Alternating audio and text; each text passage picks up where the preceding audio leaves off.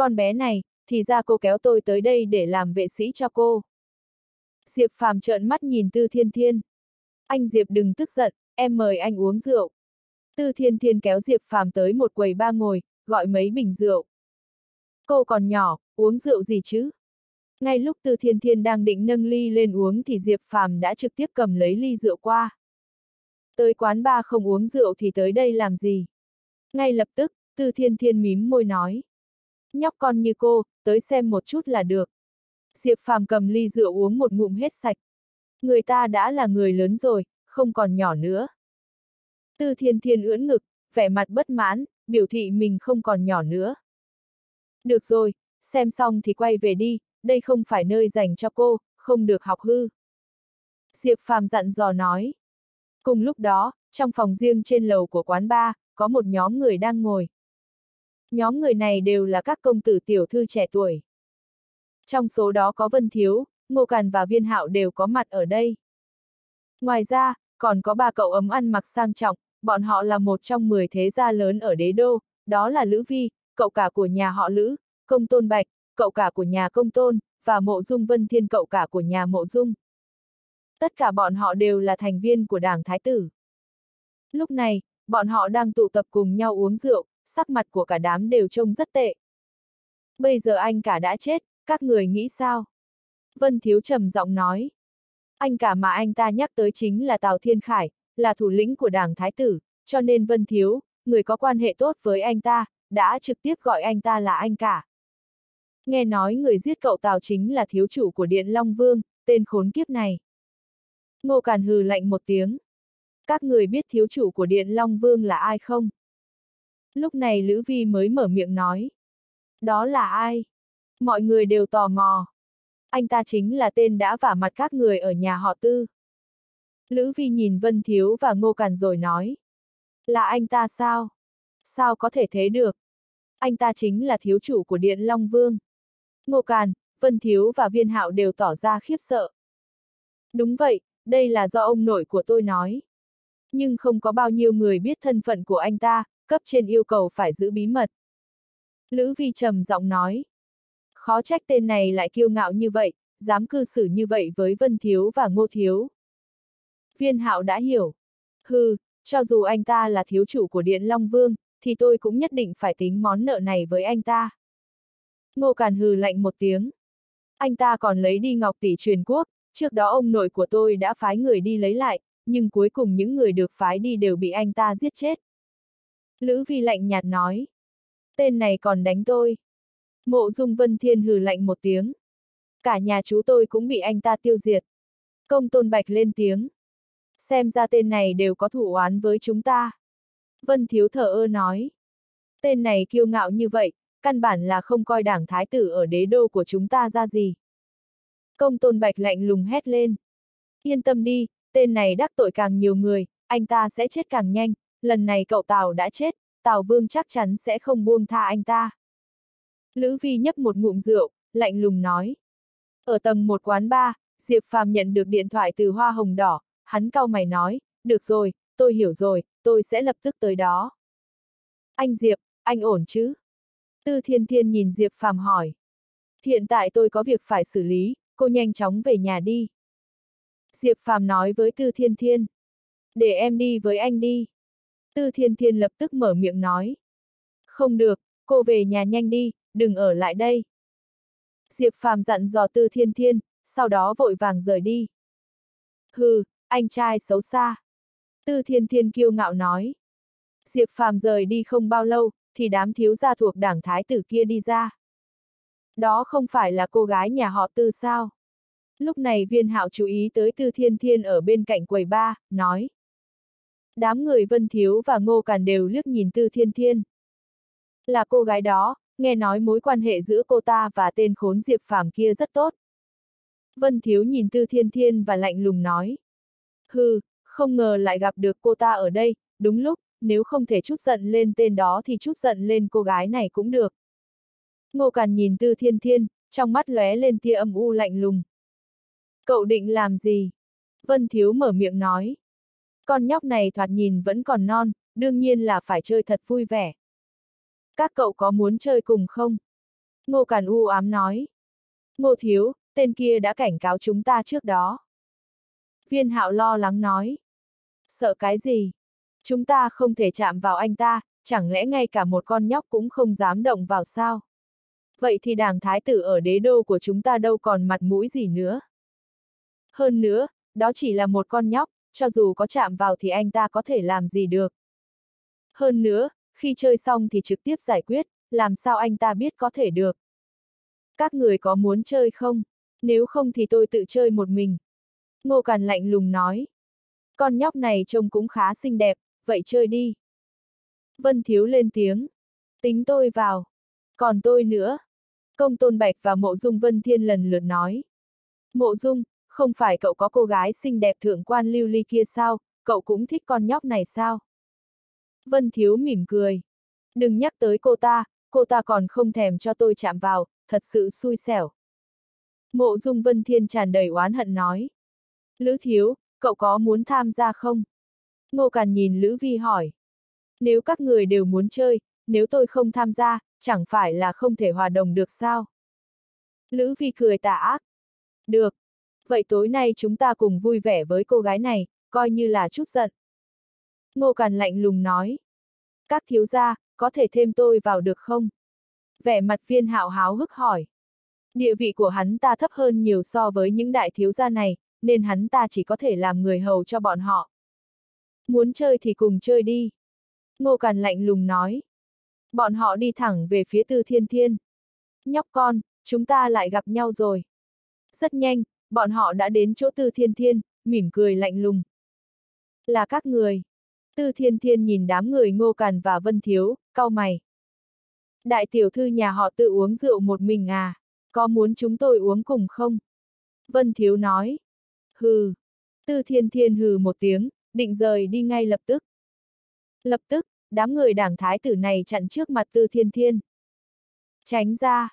Tư thiên thiên hét lớn. Nếu chúng tôi không tránh thì sao? Ngô Càn nhìn chằm chằm vào Tư Thiên Thiên với ánh mắt tà ác. Bùm! Tư Thiên Thiên trực tiếp ra tay, trực tiếp đánh bay Ngô Càn chỉ bằng một cú đấm. Xoẹt xoẹt xoẹt. Đột nhiên, sắc mặt những người khác thay đổi, kinh ngạc nhìn Tư Thiên Thiên. Bọn họ không ngờ rằng con nhóc trông có vẻ yếu đuối này lại là một cao thủ. Phải biết rằng, thân là con trai của Phó Cục trưởng Sở Hộ Long, mặc dù tài năng của Ngô Càn không quá cao, nhưng vẫn là một võ giả nhân cảnh, có thể đánh bay anh ta không phải là chuyện người bình thường có thể làm được. Cô! Ngô Càn nằm trên mặt đất, nhìn Tư Thiên Thiên với ánh mắt tức giận. Nhóc con, cô! Đám người vân thiếu nhìn Tư Thiên Thiên và định trách móc, nhưng đối phương đã trực tiếp ra tay, đánh bay tất cả bọn họ. Hừ! Sau khi đánh ngã những tên thiếu gia này, Tư Thiên Thiên hừ lạnh một tiếng, thấy tôi nhỏ thì nghĩ là dễ bắt nạt phải không? Đám người xấu các ngươi. Nói xong cô rời khỏi quán ba. Bởi vì nhóm đại thiếu gia thuộc đảng thái tử này lén họp riêng, nên không mang vệ sĩ đến bảo vệ, chỉ có thể trơ mắt nhìn tư thiên thiên rời đi. Con khốn! Lập tức, nhóm thiếu gia này trở nên vô cùng phẫn nộ, trong mắt tràn đầy tức giận. Con khốn này, tuyệt đối không thể buông tha cho cô ta. Ngô Càn hét lên. Cả nhà họ tư cũng phải bị tiêu diệt. Vẻ mặt Lữ Vi u ám nói.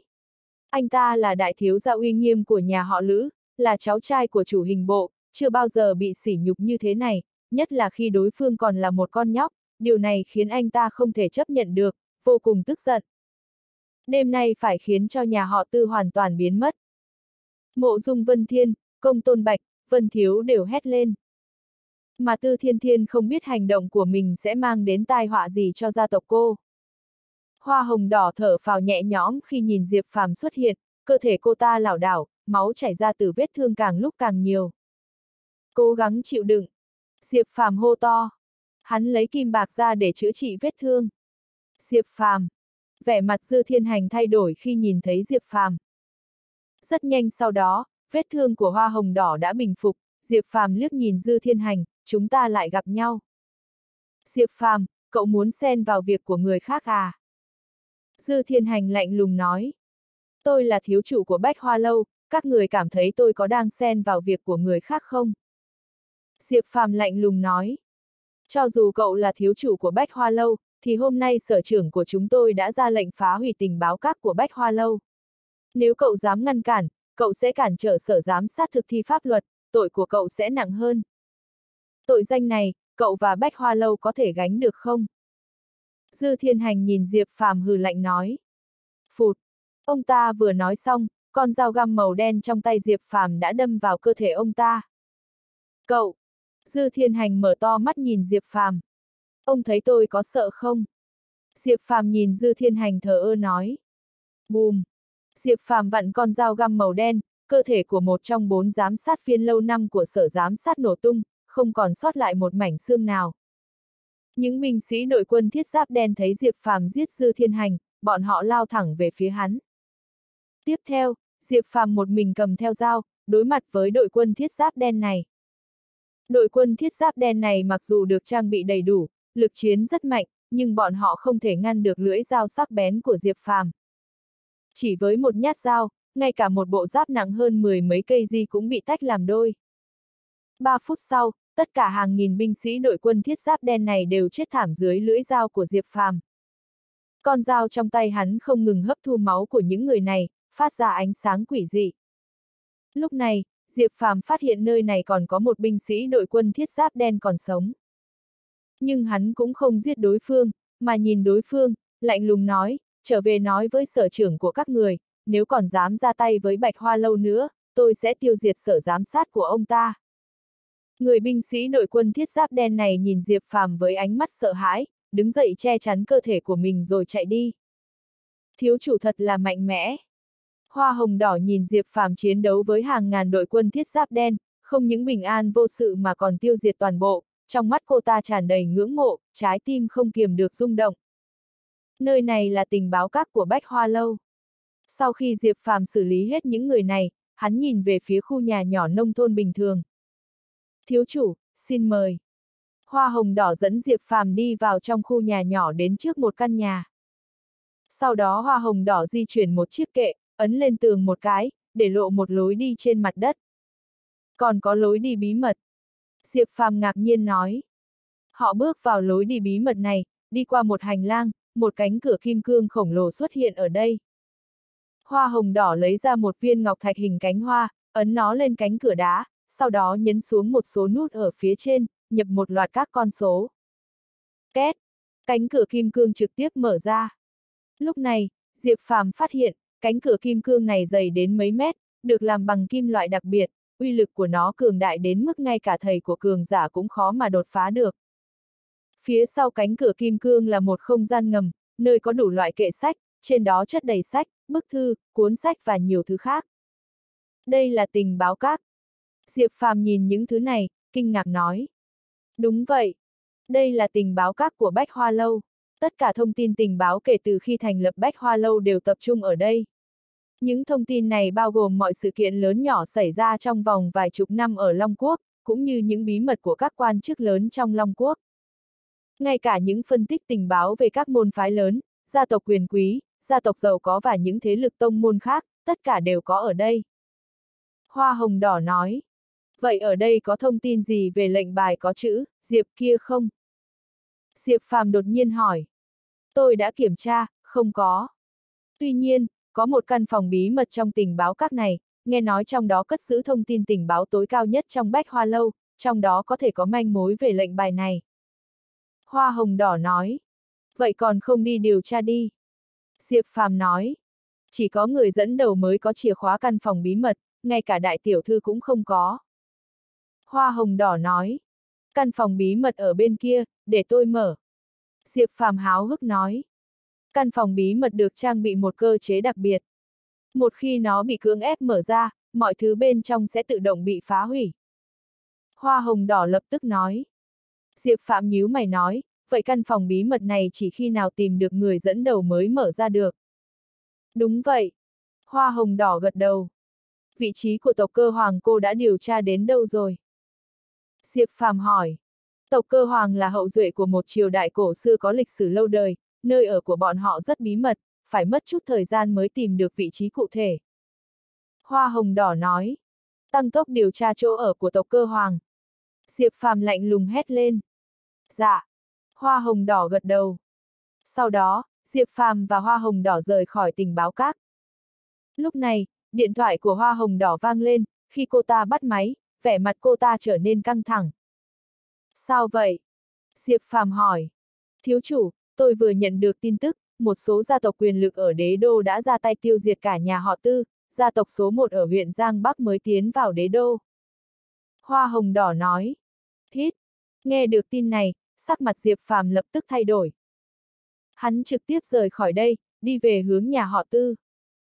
10 phút sau, Diệp Phạm đã đến nhà họ tư. Lúc này ở nhà họ tư, khắp nơi đều là xác chết, máu chảy lênh láng. Cả nhà họ tư đều bị giết. Vẻ mặt của Diệp Phàm lúc này cực kỳ khó coi. Hắn đi về phía trang viên nhà họ tư, nhìn xung quanh.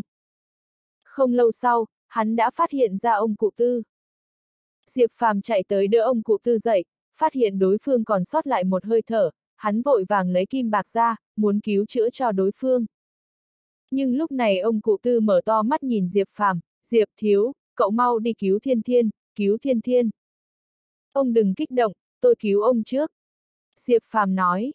Đừng quan tâm đến tôi, đi cứu thiên thiên, nó bị mấy người vân thiếu bắt đi, mau đi cứu nó đi. Ông cụ tư chút hơi thở cuối cùng.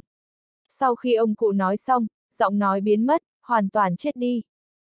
Trong lúc nhất thời, trong mắt Diệp Phàm bùng lên ngọn lửa giận dữ, trong không khí tràn ngập một luồng sát ý lạnh lẽo. Hắn lấy điện thoại di động ra gọi vào số của Hoa Hồng Đỏ, tìm vị trí của thiếu chủ nhà họ Vân cho tôi ngay lập tức. Chưa đầy nửa phút, điện thoại của Diệp Phạm nhận được một cái định vị. Hắn lao thẳng về phía vị trí được định vị. Trong một biệt thự cao cấp ở đế đô. Tư Thiên Thiên đang bị trói hai tay, nằm trên ghế sofa. Sáu đại thiếu là Vân Thiếu, Ngô Càn, Lữ Vi, Công Tôn Bạch, Mộ Dung Vân Thiên và Viên Hạo đứng ở đây, ánh mắt lóe lên tia lạnh lẽo nhìn chằm chằm vào Tư Thiên Thiên. Mấy người là lũ xấu xa đáng chết. Các người đã giết ông nội của tôi, các ngươi đều đáng chết. Tư Thiên Thiên giận dữ hét lên. Lúc này cô đã bị một chiến binh bên cạnh Lữ Vi Phong bế huyệt đạo, khiến cô không thể cử động được, chỉ có thể hét lên. Hừ nhóc con, đây là kết quả của mày khi dám đối địch với bọn tao. Dám đánh tao, mày sẽ phải trả một cái giá rất đắt. Đêm nay mày nên phục vụ thật tốt mấy anh em tụi tao đi, tụi tao cảm thấy vui vẻ biết đâu lại tha cho cái mạng chó của mày, nếu không thì tụi tao liền tiễn mày đi đoàn tụ với ông nội vô dụng của mày đấy. Ngô Càn lạnh lùng nói với Tư Thiên Thiên. Con bé này dáng người mảnh mai, lại còn trẻ, nếu như có thể huấn luyện đàng hoàng, sau này trở thành đồ chơi riêng của chúng ta cũng không tệ đâu. Lữ Vi đê tiện nhìn Tư Thiên Thiên. Được rồi, tối nay chúng ta hãy cùng nhau thưởng thức con bé này đi. Ngô Càn cười lạnh. Các người là một đám xấu xa, các người sẽ không được chết tử tế, Diệp ca ca nhất định sẽ không tha cho các ngươi. Tư Thiên Thiên hét lớn. Đêm nay không ai có thể cứu được mày đâu. Sau khi chơi đùa với mày xong, chúng tao sẽ đi xử lý Diệp ca ca của mày. Mộ Dung Vân Thiên hừ lạnh một tiếng. Được rồi, đừng lãng phí thời gian nữa, bắt đầu đi. Vân Thiếu nói. Tôi có một ít thuốc, các cậu muốn uống bao nhiêu? Công Tôn Bạch hỏi. Đệt, đàn ông đích thực cần gì phải uống thuốc cơ chứ? Đêm nay, bổn thiếu sẽ làm 13 lần một đêm. Ngô Càn tự tin. Sau đó đám người bắt đầu cởi quần áo. Tư Thiên Thiên nhìn thấy cảnh tượng này, trong mắt tràn ngập sự sợ hãi, cô thật sự rất muốn bỏ chạy, nhưng chẳng thể nào trốn thoát được, chỉ có thể bất lực khóc rồi hét lên, Diệp ca ca, anh ở đâu? Lúc này, Ngô Càn là người đầu tiên lao về phía Tư Thiên Thiên, cố gắng xé bỏ quần áo trên người cô. Thả tôi ra, đừng chạm vào tôi.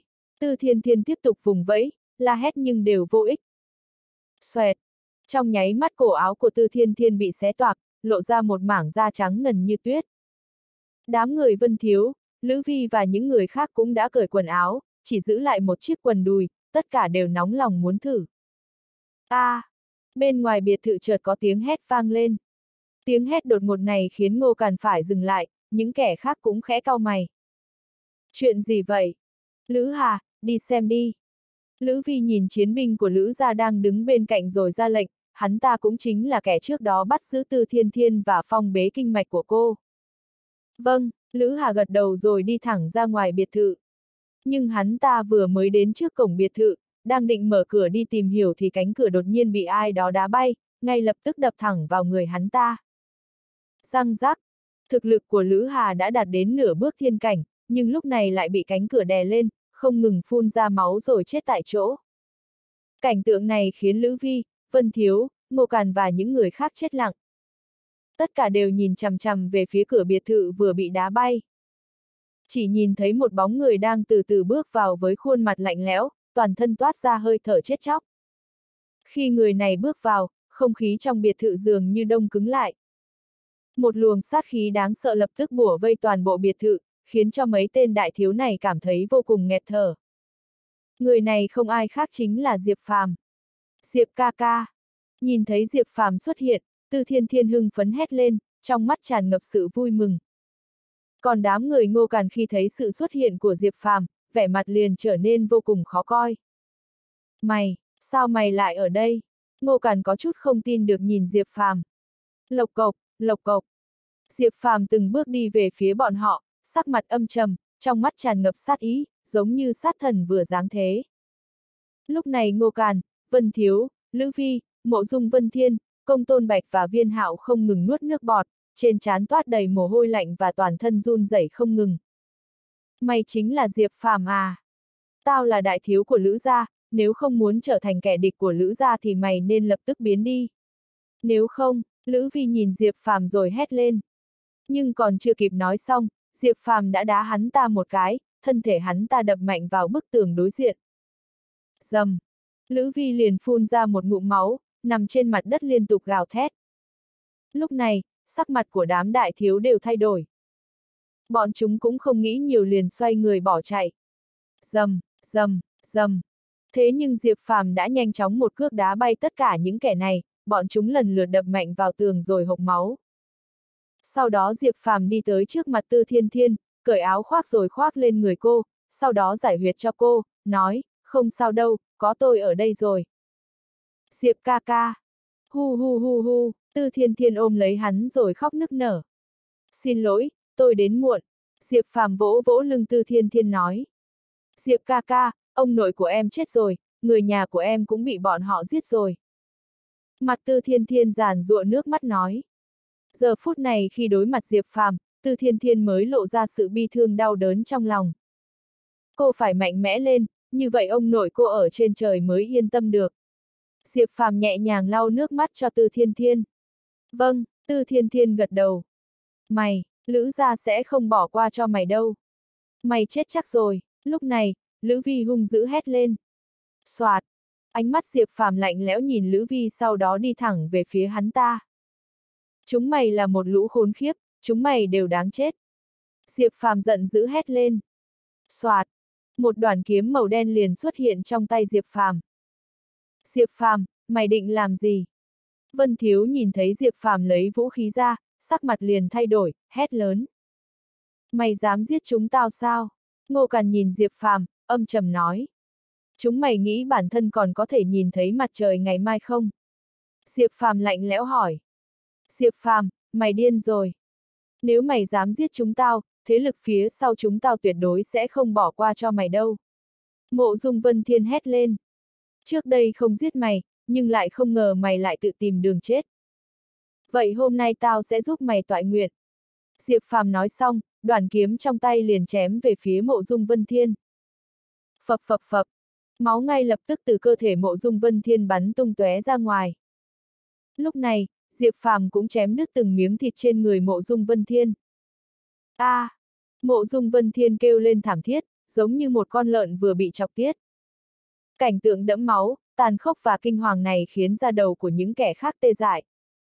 Vài phút sau, toàn bộ da thịt trên người mộ dung vân thiên đều bị Diệp Phàm róc sạch, chỉ còn nguyên vẹn một bộ xương và một cái đầu.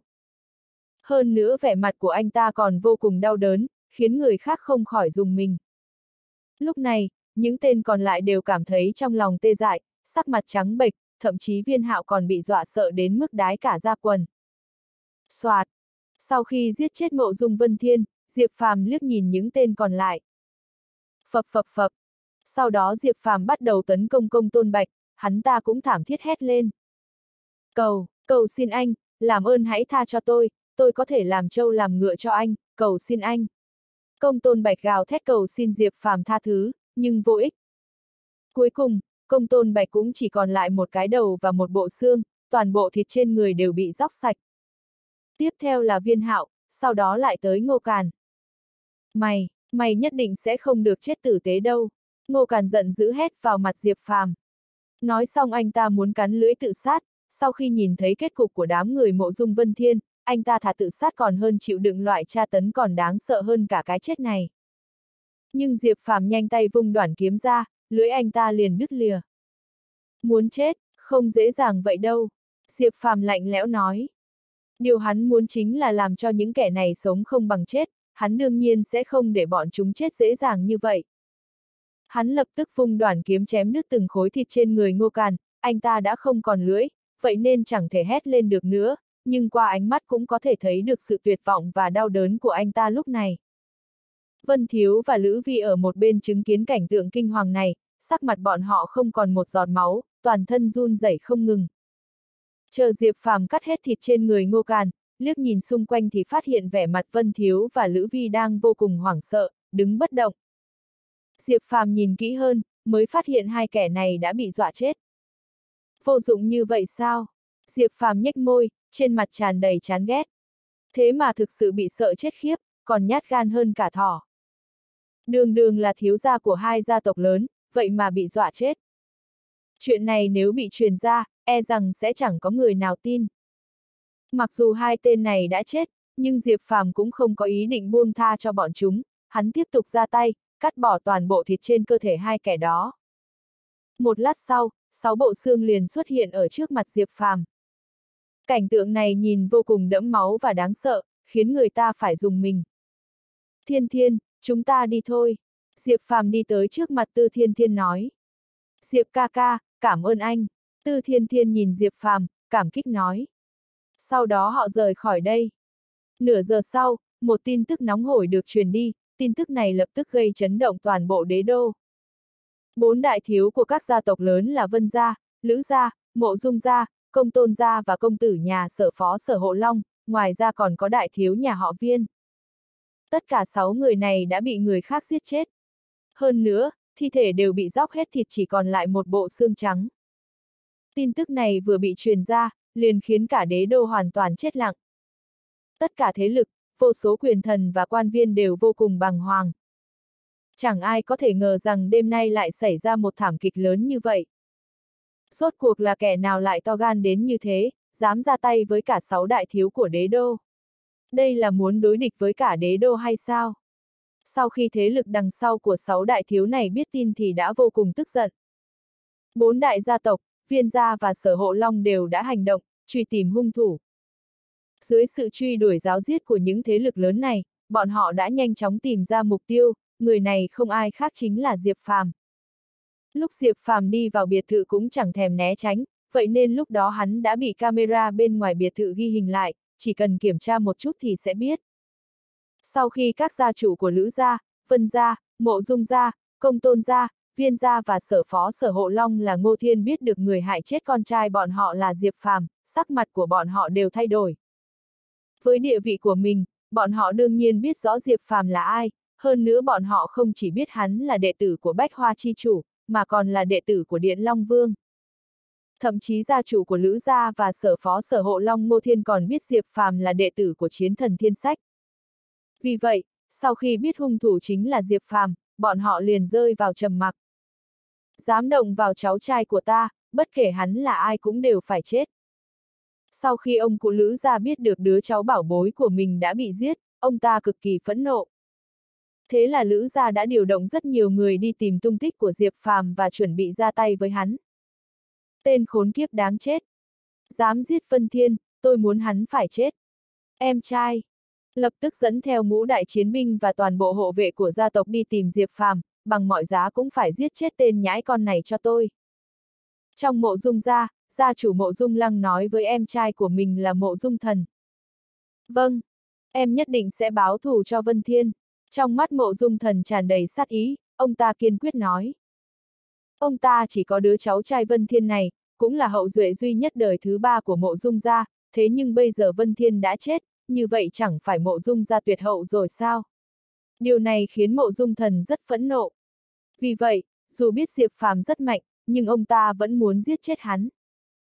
Hơn nữa, cho dù tên nhóc con này có mạnh mẽ đến đâu cũng không thể đánh bại ngũ đại chiến binh của mộ dung ra được.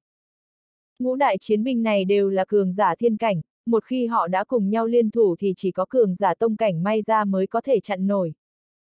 Ba đại gia tộc là Vân Gia, Công Tôn Gia và Viên Gia cũng đã huy động toàn bộ lực lượng trong gia tộc chuẩn bị ra tay với Diệp Phàm. Dù sao ba đại thiếu cũng là người thừa kế ba gia tộc lớn của bọn họ, bây giờ lại bị giết như vậy, nếu không báo thù thì làm gì còn mặt mũi nào ở đế đô này nữa. Còn sở hộ long, Ngô Thiên đứng ở chỗ này nhìn chằm chằm vào bộ xương khô của đứa con trai, trong mắt ông ta tràn ngập lửa giận bừng bừng, toàn thân không ngừng tỏa ra sát ý. Diệp Phàm, mày đã đi quá xa rồi. Ngô Thiên hét lên. Con trai yên tâm đi, nếu như cha không thể báo thù cho con thì cha không xứng đáng làm người. Sau đó Ngô Thiên nhẹ nhàng vuốt đôi mắt của con trai ông ta xuống rồi nói, người đâu, mau điều động toàn bộ thành viên của sở hộ long ở đế đô đi giết chết tên khốn khiếp đó. Về phía hoa gia, hoa ân nhìn cháu trai hoa thừa rồi lạnh lùng nói, nhìn thấy chưa, nếu như không phải ông cấm con ra ngoài, thì bây giờ có lẽ con đã chôn cùng mấy tên tiểu tử kia rồi. Ông nội, vẫn là người nhìn cao trông rộng ạ. À. Không ngờ hắn lại điên cuồng như vậy. Hoa thừa có chút sợ hãi. Khi Hoa Ân biết được chuyện lần trước anh ta gặp phải Diệp Phàm ở tư gia, ông ấy lập tức cấm Hoa thừa giao lưu với đám người Vân Thiếu, cho nên anh ta không hề đến buổi tụ tập đó của bọn họ. Anh ta đã may mắn tránh được một kiếp, nếu không có lẽ bây giờ anh ta cũng có kết cục giống như bọn họ. Ông đã dặn là tuyệt đối không được đắc tội với Diệp Phàm. Hoa ân trầm giọng nói. Ông nội, hiện tại hắn đã giết đám người Vân Thiếu, chỉ sợ cũng xong đời rồi. Hoa thừa nói. Ánh mắt của Hoa ân khẽ lóe lên, không nói gì thêm. Chẳng bao lâu sau, thế lực của Lữ Gia, Vân Gia, Công Tôn Gia, Mộ Dung Gia, Viên Gia và Sở Hộ Long đã tìm ra được tung tích của Diệp Phàm. Bọn họ đều điều động hàng nghìn người, hùng hổ đi về phía Diệp Phàm. Giờ phút này, tất cả thế lực ở đế đô đều chú ý tới chuyện này. Đêm nay sẽ là một đêm chẳng ai có thể ngủ được. Lúc này, Diệp Phàm và Tư Thiên Thiên đã quay về tư gia. Ông nội. Tư Thiên Thiên nhìn thi thể của ông nội, tiến đến ôm thi thể đã lạnh rồi khóc nức nở. Đừng quá đau lòng, bây giờ cô đã không sao rồi, linh hồn ông nội cô trên trời cũng có thể yên lòng. Diệp Phàm vỗ vỗ vai Tư Thiên Thiên, an ủi. Sau đó, Diệp Phàm gọi người đến, để họ chôn cất người nhà tư gia cho đàng hoàng. Hắn không muốn Tư Thiên Thiên càng thêm đau lòng, nên đã đưa cô về thẳng khách sạn nơi hắn đang ở. Bây giờ Tư Thiên Thiên cũng không còn thích hợp ở lại tư gia được nữa, Diệp Phàm chỉ có thể mang cô đi cùng. Trở lại khách sạn, Diệp Phàm nói với đường sở sở về chuyện của Tư Thiên Thiên và nhờ cô chăm sóc cho đối phương nhiều hơn. Sau khi biết được những chuyện mà Tư Thiên Thiên gặp phải, đường sở sở cảm thấy rất đồng cảm, vội vàng nắm lấy tay Tư Thiên Thiên rồi nói, Thiên Thiên đừng quá đau buồn. Bây giờ anh chị sẽ ở bên cạnh em. Sau này em hãy đi theo chúng ta, chúng ta sẽ chăm sóc cho em. Thiếu chủ, bên ngoài khách sạn có rất nhiều người, hơn nữa mọi người trong khách sạn hình như đã được thông báo, tất cả đều phải trả phòng rồi rời đi ngay lập tức, ngay cả nhân viên khách sạn cũng phải rời đi. Lúc này, U ảnh đến gần Diệp Phàm, nói. Xem ra bọn chúng đến rồi. Diệp Phàm chế nhạo. Hắn đã giết chết mấy tên đại thiếu đó, thế lực gia tộc đứng sau bọn chúng đương nhiên sẽ không bỏ qua cho hắn. U ảnh, đại hổ, nhị hổ, mọi người ở lại đây, bảo vệ sở sở. Diệp Phàm phân phó. Vâng, ba người lập tức gật đầu. Có cần giúp đỡ không? Huyết cơ nhìn Diệp Phàm. Không cần, Diệp Phàm nói xong liền đi ra ngoài. Khi Diệp Phàm đi đến đại sảnh của khách sạn, bốn phương tám hướng đều là người, nhiều đến mức không đếm xuể. Trong tay bọn chúng đều cầm đủ loại vũ khí, hơn nữa còn có hàng trăm cường giả huyền cảnh trở lên và rất nhiều cường giả địa cảnh và thiên cảnh đỉnh cấp. Đám người này đều là người của Lữ Gia, Vân Gia, Mộ Dung Gia, Công Tôn Gia và Viên Gia. Diệp Phàm, mày dám giết chết cháu trai của tao. Tối nay tao muốn mày phải đền mạng. Mộ Dung Thần tức giận nhìn Diệp Phàm. Anh ta đáng chết, Diệp Phàm lạnh lẽo nói. Ngũ đại chiến binh, giết hắn. Mộ dung thần lập tức hét lên. Năm người phía sau ông ta liền biến thành năm cực quang rồi lao thẳng về phía Diệp Phàm. Bùm, bùm, bùm, bùm, bùm. Năm người trực tiếp bộc phát sức mạnh vô cùng quái dị, mỗi người đều tung một trưởng về phía Diệp Phàm, tạo ra những âm thanh cực kỳ vang vội. Diệp Phàm nhìn năm cường giả thiên cảnh đang lao về phía mình, nhưng sắc mặt lại lạnh lẽo, chẳng hề thay đổi. Ngay lúc đòn tấn công của bọn họ sắp giáng thẳng vào người Diệp Phàm, thì cuối cùng hắn cũng di chuyển, chỉ nhìn thấy hắn vung đoạn kiếm màu đen ra. Phụt, phụt, phụt, phụt, phụt. Đoàn kiếm màu đen giống hệt như một tia chớp, nhanh chóng lướt qua trước mặt năm cường giả thiên cảnh. Ngay lập tức năm tia máu liền bắn ra tung tóe từ cổ họng của năm tên cường giả này. Sau đó tất cả đều ngã xuống đất, chẳng còn chút hơi thở. Soạt. Lúc này, vẻ mặt của mộ dung thần liền thay đổi, đồng tử chợt co rút, ông ta không thể nào tin nổi nhìn Diệp Phàm. Ông ta làm sao biết được thực lực của Diệp Phàm lại đáng sợ như vậy? Ngũ đại chiến binh của mộ dung ra thế mà lại bị Diệp Phàm giết chết trong nháy mắt. Thật không thể nào tin được. Đám người của mộ dung gia đều chết lặng, còn người của Lữ gia, Vân gia, Công Tôn gia và Viên gia đều bàng hoàng. Các người muốn báo thù những kẻ cặn bã đó, các người cũng phải chết. Diệp Phàm nhìn đám người, rồi gần từng chữ một, hắn lúc này giống như Diêm Vương đang ban hành phán xét. Các vị, thực lực của tên nhóc con này không đơn giản, tất cả cùng lên đi. Sắc mặt mộ dung thần vô cùng khó coi. Đúng vậy, cùng nhau xông lên đi, cường giả của Lữ gia hét lên. Xông lên, người của năm đại gia tộc cũng hét lên. Khi đám người của những gia tộc lớn này đang định xông lên, thì đúng lúc này lại một đám người lao ra từ phía sau bọn họ. Không nói một lời, đám người này liền bắt đầu chém giết người của Lữ gia, Vân gia, Mộ Dung gia, Công Tôn gia và Viên gia. Nhóm người này chính là huyết đồ, Diễm, Hắc Quả Phụ và 10 cao thủ ảnh bộ. Máy bay mà đám người huyết đồ đi bị đạn đạo tập kích, tất cả bị thương, bây giờ đang khôi phục lại. Hơn nữa so với trước, bây giờ thực lực của bọn họ cường đại hơn trước, tất cả đều trên thiên cảnh tam trọng. Đám người huyết đồ ra tay, đội ngũ của năm gia tộc lớn trực tiếp rối loạn. 13 người giết thành một con đường từ trong đội ngũ của năm gia tộc lớn, đi đến trước mặt Diệp Phàm, quỳ xuống kêu lên, bái kiến thiếu chủ. Mấy người khôi phục không tệ, đứng lên đi. Mấy người đến rất đúng lúc, giải quyết toàn bộ những người này đi, tôi đỡ phải ra tay. Diệp Phàm nói. Rõ. Bọn họ gật đầu rồi đứng dậy. Giết. Trên người huyết đồ bộc phát kiếm ý sắc bén, một kiếm chém một đám cao thủ nhà họ Lữ. Diễm thao tác ngọn lửa, điên cuồng cắn nuốt những người này. Hắc quả phụ cũng ra tay sắc bén, 10 cao thủ ảnh bộ, thân hình như quỷ, xuyên qua những người này, cướp đi sinh mệnh của bọn họ. Cho dù 10 gia tộc lớn này phái ra vô số cao thủ nhưng vẫn không cản được đám người huyết đồ. Rất nhiều thành viên sở hộ Long xuất hiện, cầm đầu là phó cục trưởng sở hộ Long, Ngô Thiên. Diệp Phàm. Ngô Thiên kêu lên, trong mắt tràn đầy hận thù. Ông là ai? Diệp Phàm nhìn chằm chằm Ngô Thiên. Ngô Thiên, phó cục trưởng sở hộ Long. Con trai ngô càn của tao chết trong tay mày. Ngô Thiên nghiến răng nghiến lợi nói. À, là ông à. Sao, đến báo thù cho con trai. Nhưng ông là phó cục trưởng sở hộ Long lại dẫn theo nhiều người của sở hộ Long đến đây báo thù cho con trai mình, sợ rằng đang dùng quyền mưu tư. Diệp Phàm lạnh lùng nói. Hôm nay tao chỉ cần mày chết. Giết. Ngô Thiên tức giận ra lệnh. Vô số thành viên sở hộ Long xông về phía Diệp Phàm. ầm, um, Lúc này một ngọn lửa khổng lồ buông xuống bao phủ thành viên sở hộ Long, đốt cháy bọn họ. Thành viên sở hộ Long bị đốt cháy phát ra tiếng kêu thống khổ. Thuật sĩ. Ngô Thiên nhìn chằm chằm vào Diễm, nói. Liệt viêm, ra tay. Ngô Thiên lạnh nhạt nói. Một bóng người lao ra từ trong đội ngũ sở hộ Long, xuất hiện trước mặt Diễm, quanh thân bộc phát ra một ngọn lửa khủng bố, người này cũng là một thuật sĩ thao tác ngọn lửa. Diễm và vị cao thủ thuật sĩ sở hộ long này chiến đấu kịch liệt, hai bên thao tác ngọn lửa đánh nhau. Ngô Thiên rút trường kiếm, chém về phía Diệp Phàm. ầm, um, Ngô Thiên là phó cục trưởng sở hộ long, thực lực đã bước vào bán bộ tông sư, chỉ kém nửa bước có thể bước vào tông cảnh, trở thành tông sư võ đạo. Hơn nữa ông ta bước vào cảnh mấy năm nay, bởi vậy lực lượng tích lũy cực kỳ mạnh, cho dù cao thủ cùng cảnh giới cũng không phải đối thủ của ông ta. Lúc này một kiếm của Ngô Thiên chém xuống, xé rách không gian, phát ra kiếm khí khủng bố, lao về phía Diệp Phàm. Giác!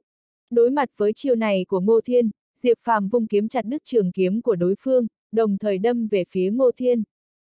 Ngô Thiên biến sắc, đồng tử co rụt lại, thân thể liên tục lùi về sau, muốn tránh thoát một kiếm này của Diệp Phàm nhưng lại không kịp. Phụt! Giây tiếp theo, kiếm của Diệp Phàm đâm vào trong thân thể của Ngô Thiên, máu bắn tung tóe. Mày! Ngô Thiên nhìn chằm chằm vào Diệp Phàm. Phụt! Diệp Phàm lại đâm sâu hơn, hoàn toàn xuyên qua thân thể của Ngô Thiên. Ngô Thiên chết không nhắm mắt như con trai của mình. Diệp Phàm nhấc chân đá bay Ngô Thiên ra ngoài.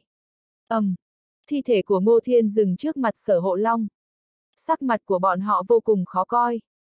Diệp Phàm lạnh nhạt nói, mấy người còn muốn đánh nữa không? Máy giết phó cục trưởng, chờ cục trưởng trở về, ngài ấy sẽ không bỏ qua cho mày. Một cao thủ sở hộ long nói. Vậy tôi chờ ông ta. Diệp Phàm khinh thường nói. Đột nhiên tiếng bước chân nặng nề truyền đến từ xa. Một đám chiến sĩ mặc chiến giáp, tay cầm trường kiếm, được võ trang đầy đủ đang đi về phía này. Nhóm người này có hơn 3.000 người, bọn họ nện bước đều nhịp, tất cả đều là võ giả trên nhân cảnh lục trọng. Hơn 3.000 võ giả nhân cảnh lục trọng, đội hình này làm Diệp Phàm cảm thấy chấn động nhất. Ở xã hội văn minh phát triển cao này, võ giả không nhiều lắm, muốn nhìn thấy một lượng lớn võ giả chỉ có thể nhìn thấy trong những tông môn võ đạo hoặc gia tộc võ đạo. Hơn 3.000 võ giả xuất hiện trong đô thị, thấp nhất là nhân cảnh lục trọng, tuyệt đối cực kỳ chấn động. Quân ngự lâm. Diệp Phàm lạnh nhạt nói. Từ trang bị của nhóm người này, Diệp Phàm có thể đoán được bọn họ là người của quân ngự lâm. Hiển nhiên là Tào Vương đến báo thù. Rất nhanh hơn 3.000 người này xuất hiện trước mặt Diệp Phàm. Cầm đầu quân ngự lâm là một người đàn ông lạnh lùng. Mấy người do Tào Vương phái đến. Diệp Phàm hỏi thẳng. Ta là Cát Lâm, nhị thống lĩnh quân ngự lâm, người giết gần ngàn năm quân ngự lâm của ta, ta vâng lệnh đến bắt ngươi về thẩm phán. Người đàn ông lạnh lùng này quát to. Dứt lời, trên người hắn ta bộc phát ra uy áp khủng bố, chân khí ngập trời tản ra, không khí như động lại. Cao thủ tông cảnh, tông sư võ đạo, người của năm gia tộc lớn và sở hộ long nhìn thấy uy áp của nhị thống lĩnh quân ngự lâm, tất cả đều vô cùng chấn động. Nhị thống lĩnh quân ngự lâm là một cao thủ tông sư cấp tông cảnh. Hiện giờ ở Long Quốc, tông sư võ đạo giống như Thái Sơn bắt đầu, cực có lực uy hiếp. Một tông sư võ đạo có thể uy hiếp một thế gia. Cho dù là 10 thế gia ở đế đô cũng không dám đắc tội tông sư võ đạo. Cao thủ cấp tông sư cũng cực kỳ thưa thớt, bình thường không có khả năng nhìn thấy. Bây giờ một tông sư võ đạo xuất hiện đánh vỡ cục diện bế tắc này. Xem ra hắn ta xong đời rồi. Người của năm gia tộc lớn lạnh nhạt nói. Vị tông sư võ đạo này ra tay, Diệp Phàm chỉ có thể ngoan ngoãn chịu trói, một khi hắn bị quân ngự lâm bắt lấy, Tào Vương tuyệt đối sẽ không tha cho hắn. Thì ra là cao thủ tông cảnh. Diệp Phàm cười nói. Diệp Phàm, ngoan ngoãn chịu trói, nếu không đừng trách ta vô tình. Cát lâm quát. Hắn ta bộc phát ra uy áp tông sư võ đạo, bao phủ Diệp Phàm. Không khí ở hiện trường cực kỳ áp lực. Đột nhiên lại truyền đến một tiếng bước chân. Lại có một đám người xuất hiện. Bọn họ mặc đồ đen, sắc mặt lạnh lùng, tất cả đều là võ giả. Cầm đầu là một người đàn ông trung niên mặc đồ luyện công, lông mày đen dày, mặt chữ điền, ánh mắt như chim ưng, tản ra cảm giác áp bách cực khủng bố. Võ Vương Nhị thống lĩnh quân ngữ lâm nhìn thấy người đàn ông mặc đồ luyện công này, vội vàng kêu lên. Người đàn ông trung niên này là một trong tám vương gia, Võ Vương. Người của năm gia tộc lớn và sở hộ long thấy Võ Vương xuất hiện đều bị hoảng sợ. Không ngờ Võ Vương cũng đến. Diệp Phàm nhìn Võ Vương, ánh mắt lóe lên. Lúc trước Võ Vương đã cho người đến cướp Long Tỷ nhưng thất bại, không ngờ lần này lại gặp mặt trực tiếp. Võ Vương xuất hiện, nhìn chằm chằm vào Diệp Phàm, người trẻ tuổi, xem ra hôm nay ngươi gặp nguy. Ông đến cướp Long Tỷ. Diệp Phàm lạnh nhạt nói. Đúng vậy. Bổn Vương đến vì Long Tỷ. Chỉ cần ngươi giao Long Tỷ cho bổn Vương, bổn Vương có thể đảm bảo tính mạng của ngươi, không ai có thể động vào ngươi. Ngươi thấy giao dịch này thế nào? Võ Vương nói thẳng. Võ Vương. Cát Lâm biến sắc, nói. Sao, người muốn cãi lại mệnh lệnh của bổn Vương? Võ Vương nhìn lướt qua Cát Lâm, lạnh nhạt nói. Dứt lời, Cát Lâm vội vàng cúi đầu nói, thuộc hạ không dám, nhưng người này chính là. Một thống lĩnh nho nhỏ không có tư cách nói chuyện với bổn vương, muốn nói thì bảo tên Tào Vương kia đến nói. Võ Vương kiêu ngạo nói. Thấy thái độ của Võ Vương cường thế như vậy, ánh mắt Cát Lâm lóe lên, không nói gì. Mặc dù thực lực của hắn ta là tông cảnh nhưng Võ Vương đã bước vào tông cảnh từ lâu, khủng bổ hơn hắn ta nhiều, hơn nữa đối phương là vương gia, thân phận càng thêm tôn quý, không phải người mà hắn ta có thể đắc tội. Audio điện tử võ tấn bền. Người trẻ tuổi, thấy rồi chứ? Bây giờ ngươi có thể giao long tỷ cho bổn vương chưa, dùng long tỷ đổi mạng của ngươi, rất đáng giá. Võ vương nhìn về phía Diệp Phàm, lên tiếng. Đồ vào tay tôi, không có khả năng nhổ ra. Ông muốn long tỷ, kiếp sau đi. Diệp Phàm lạnh nhạt nói. Sắc mặt võ vương tối sầm lại, nhìn chằm chằm Diệp Phàm, rượu mời không uống lại thích uống rượu phạt. Con người của tôi thích uống rượu phạt. Diệp Phàm châm biếm. Chết đi. ầm. Um.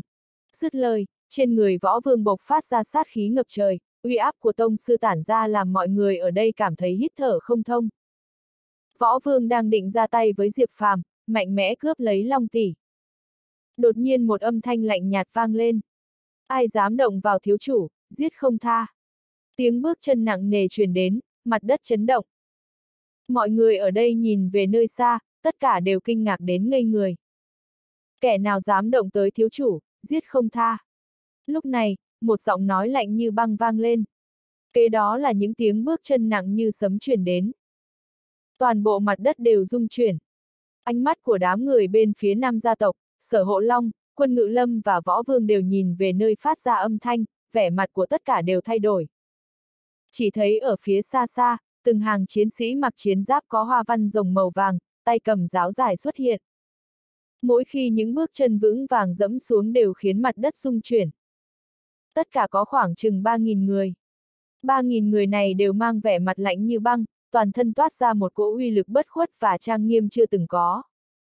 Thay vì nói là 3.000 chiến sĩ, chỉ bằng đổi thành 3.000 cường giả thì đúng hơn. Trong số họ, người có thực lực thấp nhất cũng đã đạt tới huyền cảnh, đội ngũ có địa cảnh, cường giả cấp bậc thiên cảnh, thậm chí là cả tông cảnh. 3.000 cường giả thực lực trên huyền cảnh.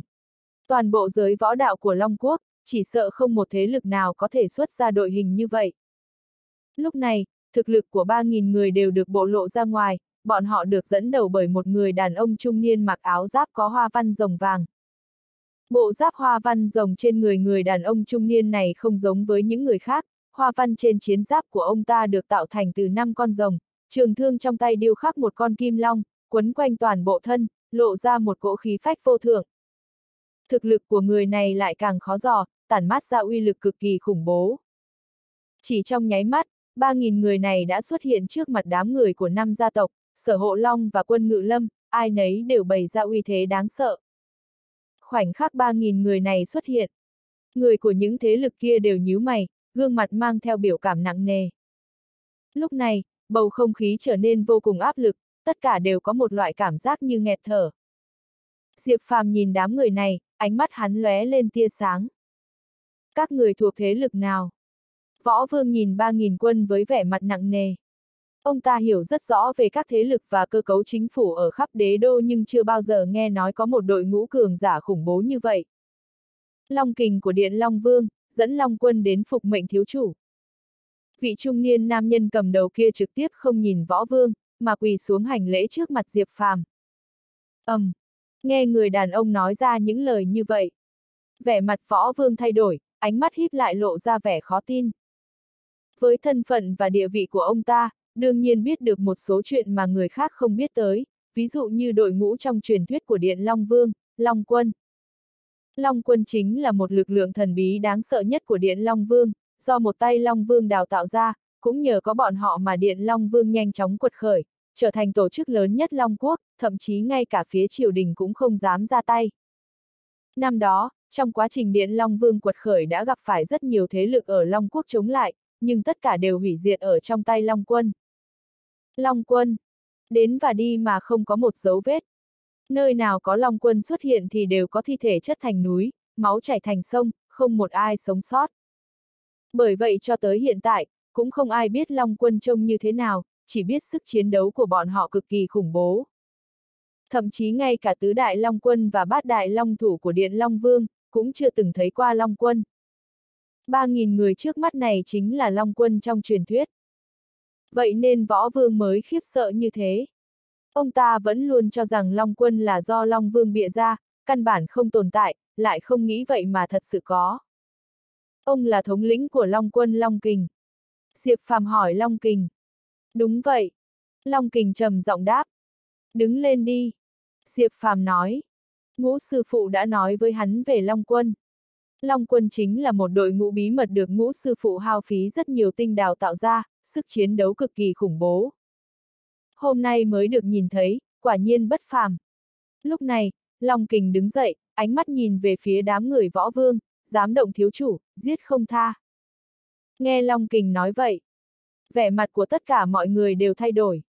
Giết! Ba ngàn quân Long quân cùng hô lên, âm thanh như sấm, chấn động bốn phương. Một giây sau, bọn họ tay cầm trường thương, trực tiếp xông về phía năm gia tộc, quân ngự lâm, sở hộ Long và người phủ võ vương. Với họ mà nói, cho dù là quân ngự lâm, sở hộ Long, hay là người của vương phủ thì đều có thể giết. Long quân không quan tâm thân phận của bọn họ. Mà sau khi Long quân ra tay, tất cả quân địch bên phía đối phương đều sợ tới ngây người. Long quân ra tay quả nhiên hung mãnh. Trường thương trong tay bọn họ vung ra, tựa như chỉ chờ thời cơ thích hợp để hành động, không thể nào ngăn cản. Người của năm đại gia tộc, quân ngự lâm, sở hộ long, phủ võ vương lần lượt chết thảm. Vẻ mặt của nhị thống lĩnh quân ngự lâm cát lâm trầm xuống, hắn trực tiếp xông về phía long quân, trực tiếp bày ra uy lực cấp bậc tông sư. Bùm! Cát lâm vừa ra tay, trường thương trong tay sáu vị cường giả long quân liền đánh về phía hắn. Sáu cây trường thương này lóe ra kim quang, giống như sáu con kim long phóng về phía Cát Lâm, mơ hồ có tiếng rồng ngâm, bộc phát ra uy thế khủng bố. Cát Lâm nhìn sáu cây trường thương đâm tới, vẻ mặt ông ta khựng lại rồi đánh ra một trường. Chân khí khủng bố được bộc phát, muốn đánh bay sáu vị cường giả long quân. Nhưng khi đòn tấn công va chạm với sáu cây trường thương, sắc mặt ông ta lại biến đổi. Bên trong sáu cây trường thương ẩn chứa một cỗ lực lượng vô cùng khủng bố, mang theo uy thế không thể chống đỡ nổi, phá hủy đi sức mạnh của đòn tấn công. Bịch bịch bịch. Sau khi va chạm, thân thể Cát Lâm liên lục lui về phía sau. Phút phút phút. Lúc này, lại thêm mấy vị cường giả long quân cầm trường thương như rồng ra biển đâm về phía Cát Lâm, tốc độ cực nhanh, trực tiếp xé rách hư không, truyền ra âm thanh chói tai. Cát Lâm vội vàng ra tay, ngăn cản công kích của đối phương. Ngay lúc đó, năm tia sáng vàng lóe lên năm cường giả long quân lại cầm trường thương lao về phía Cát Lâm. Phụt, phụt, phụt, phụt, phụt. Cát Lâm đang phải ngăn cản đối phương, căn bản không kịp đối phó với năm long quân này. Ngay lập tức, cơ thể Cát Lâm bị năm cây trường thương đâm xuyên thủng, máu bắn văng tung tóe. Phụt. Cát Lâm phun ra một ngụm máu tươi, hai mắt trừng thật to. Những người khác thấy vậy thì ngây cả người. Nhị thống lĩnh quân ngự lâm thực lực tông cảnh lại bị giết. Sao có thể? Giờ phút này, tất cả mọi người đều trở nên sợ hãi. Liền ngay cả vẻ mặt của võ vương cũng thay đổi, ông ta cau mày nói, huấn luyện nghiêm chỉnh, phối hợp ăn ý, Long quân quả nhiên không đơn giản. Phút. Lúc này Long kình nhìn võ vương, lạnh lùng nói, ông cũng muốn giết thiếu chủ đúng không? Thì sao? Người còn muốn động đến bổn vương? Võ vương nhìn Long kình khinh thường nói. Mặc dù ông ta ngạc nhiên với sức chiến đấu của Long Quân, nhưng cũng không cho rằng đối phương có thể gây ra nguy hiểm cho mình. Dù sao ông ta cũng không phải là Cát Lâm. Tuy thực lực của Cát Lâm là tông cảnh, nhưng nhiều nhất chỉ là tông cảnh nhất trọng, nhị trọng, còn ông ta chính là tông cảnh tứ trọng, mặc dù chỉ kém 2-3 tầng, nhưng với cấp bậc tông cảnh mà nói, chỉ chênh lệch một bậc thôi đã như trên trời dưới đất. Bởi vậy, trước mặt của võ vương, Cát Lâm ngay cả một chiêu của ông ta cũng không ngăn được. Long quân mạnh được tới đâu, chẳng lẽ còn có thể giết được cường giả tông cảnh tứ trọng này sao? Kẻ đối địch với thiếu chủ, đều đáng chết. Long kình lạnh lùng nói. ầm, um, Dứt lời, một tiếng nổ chói tai vang lên. Trường thương trong tay ông chớp mắt đã đâm về phía võ vương. Giống. Lúc này, cây thương của Long kình lao đi mang theo tiếng rồng ngâm chói tai. Cây trường thương trong tay Long kình lóe ra kim quang rực rỡ, Kim Long uốn lượn trên thân thương như sống lại, dương nanh múa vuốt đánh tới võ vương. Vẻ mặt võ vương thay đổi ngay lập tức, ông ta vội vàng đánh ra một quyền. ầm, um, khi một quyền này của võ vương và trường thương trong tay long kình chạm nhau. Ngay sau đó là tiếng nổ long trời lở đất. Cùng với tiếng nổ vang dội, toàn bộ nắm tay và cánh tay của Vũ Vương nổ tung. Ngọn giáo trong tay Long Kình đâm xuyên qua người của Vũ Vương tạo ra một cái lỗ trên ngực của hắn ta, máu bắn ra khắp nơi. Ngay lập tức ánh mắt của Vũ Vương đông cứng lại, hắn ta chừng to hai mắt nhìn ngọn giáo đâm xuyên ngực mình mà không thể tin được. Giáo! Ngươi! Vũ Vương ngước mắt lên nhìn Long Kình, hắn ta há miệng nói được một chữ rồi cúi đầu xuống tắt thở. Long Kình vô cảm rút ngọn giáo ra khiến Vũ Vương ngã ra đất, chết không nhắm mắt. Mà khi Vũ Vương chết thì năm đại gia tộc còn lại, Sở Hộ Long, Quân Ngự Lâm và những người khác cũng đều chết thảm dưới tay Long Quân. Ba ngàn Long Quân này giống như thiên thần giáng trần, không thể ngăn cản được. Cuối cùng người của ngũ đại gia tộc, Sở Hộ Long, Quân Ngự Lâm và tất cả những người trong phủ Vũ Vương đều bị giết, không trừ lại một ai. Về phần Long Quân thì không có ai bị tổn hại. Khoảnh khắc này, huyết phu, Diệm và mấy người Natasha Romanov đều lộ ra ánh mắt chấn động, khi huyết cơ đi từ trên phòng khách sạn xuống nhìn thấy cảnh này thì trong mắt cũng có biểu hiện chấn động giống như vậy, cô ta chăm chú quan sát nhóm Long Quân này, trên mặt lộ ra vẻ nghiêm túc. Ngay cả Diệp Phàm cũng đã nhìn thấy màn thể hiện của Long Kình và Long Quân, hắn cũng không thể thốt lên câu nào, ngũ sư phụ của hắn thật lợi hại, đã huấn luyện ra một đoàn quân mạnh đến vậy. Thiếu chủ, tất cả kẻ thù xâm lược đều đã bị tiêu diệt. Long kình cúi đầu trước Diệp Phàm rồi nói. Làm rất tốt. Diệp Phàm cười nhạt. Nhưng mà tại sao đột nhiên các người lại đến đây? Sau đó Diệp Phàm lại hỏi. Ban ngày chúng tôi biết được thiếu chủ xuất hiện nên ngay lập tức đến đây, trước đó chủ nhân có gửi tin báo cho chúng tôi, một khi thiếu chủ quay về Điện Long Vương thì chúng tôi phải nghe theo mệnh lệnh của thiếu chủ. Long Kình từ tốn nói với Diệp Phàm. Xem ra ngũ sư phụ vẫn còn rất thương tôi. Diệp Phàm cười khẽ. Được rồi, các người quay về trước đi, đừng để lộ hành. Tung. Diệp Phàm nói. Một khi chuyện đêm nay bị lan truyền ra ngoài thì át hẳn Long Quân sẽ trở thành tiêu điểm chú ý của tất cả các bên. Mà Long Quân là một con át chủ bài của Diệp Phàm, hắn không định để chuyện này lộ ra sớm như vậy. Tiếp theo Diệp Phàm trực tiếp thông báo cho người của Điện Long Vương đến thu dọn chiến trường, đồng thời xóa bỏ hoàn toàn dấu vết về sự xuất hiện của Long Quân. Thậm chí hắn còn để người của Điện Long Vương gửi thư đến cho ngũ đại gia tộc, Sở Hộ Long và Phủ Tào Vương. Nội dung bức thư rất đơn giản chính là cảnh cáo bọn họ, nếu vẫn còn muốn trả thù thù ngũ đại gia tộc, Sở Hộ Long, Phủ Tào Vương cùng với năm vị đại thiếu sẽ cùng chết. Bên trong đại sảnh nhà họ Lữ, một lão già mặc trang phục thời đường màu đen đang ngồi ở đó, trên tay ông ta cầm lá thư của Diệp Phàm, trong đôi mắt của ông ta tràn ngập sự căm phần. Khốn nạn! Đột nhiên lão già vô cùng phẫn nộ đập bàn. Ông ta là lão già của nhà họ Lữ tên Lữ Tứ Hải, ông ta cũng là người quản lý toàn bộ hình bộ giữ quan hàm nhất phẩm. Cha, Diệp Phàm này quá kiêu ngạo. Không sai, hắn nghĩ nhà họ Lữ chúng ta là ai? Mà lại dám uy hiếp chúng ta như thế chứ? Mấy đứa con trai của Lữ Tứ Hải nháo nhào nói to. Mà con trai trưởng của Lữ Tứ Hải là Lữ Thành, cha của Lữ Vi và cũng là gia chủ của nhà họ Lữ lộ ra vẻ mặt u ám, trong mắt của ông ta chứa đầy sát ý. Cha, con sẽ huy động toàn bộ lực lượng của nhà họ Lữ, bằng mọi giá phải giết chết tên này. Lữ Thành hét lên. Lữ Tứ Hải vừa định nói gì đó thì bất ngờ nhận được một cuộc điện thoại khiến vẻ mặt của ông ta tối sầm câu chặt mày lại. Cha, có chuyện gì vậy? Lữ Thành và mấy anh em khác của ông ta đều nhìn Lữ Tứ Hải. Cha vừa nhận được thông tin từ mạng lưới tính báo của hình bộ, lần này không chỉ những người chúng ta cử đi đều chết, mà nhà họ Mộ Dung, nhà họ Công Tôn và cả người nhà họ Vân đều bị giết. Ngay cả phó sở trưởng của sở hộ Long, nhị thống lĩnh của quân Ngự Lâm và Vũ Vương cũng ra tay đối phó với tên này, kết quả đều bị giết chết. Lữ Thành nói, cái gì, đây? Vẻ mặt của Lữ Thành và những người khác đều thay đổi, biểu cảm của ai cũng kinh hoàng. Phó sở trưởng của sở hộ Long, nhị thống lĩnh của quân Ngự Lâm, Vũ Vương, đây đều là những người mạnh nhất đế đô nhưng tất cả đều bị giết. Chuyện này thật khó tin. Làm sao tên đó có thể có năng lực mạnh như vậy? Vẻ mặt của Lữ Thành rất u ám khó coi, ông ta hét lên. Đừng quên phía sau hắn còn có bách hoa lâu chủ, có Long Vương và chiến thần thiên sách. Mấy người bọn họ sao có thể để đệ tử của mình chết dễ dàng như vậy được? Lữ Tư Hải lạnh nhạt nói. Vậy nên làm gì đây? Cha, lẽ nào cha không muốn trả thù cho Vi Nhi sao?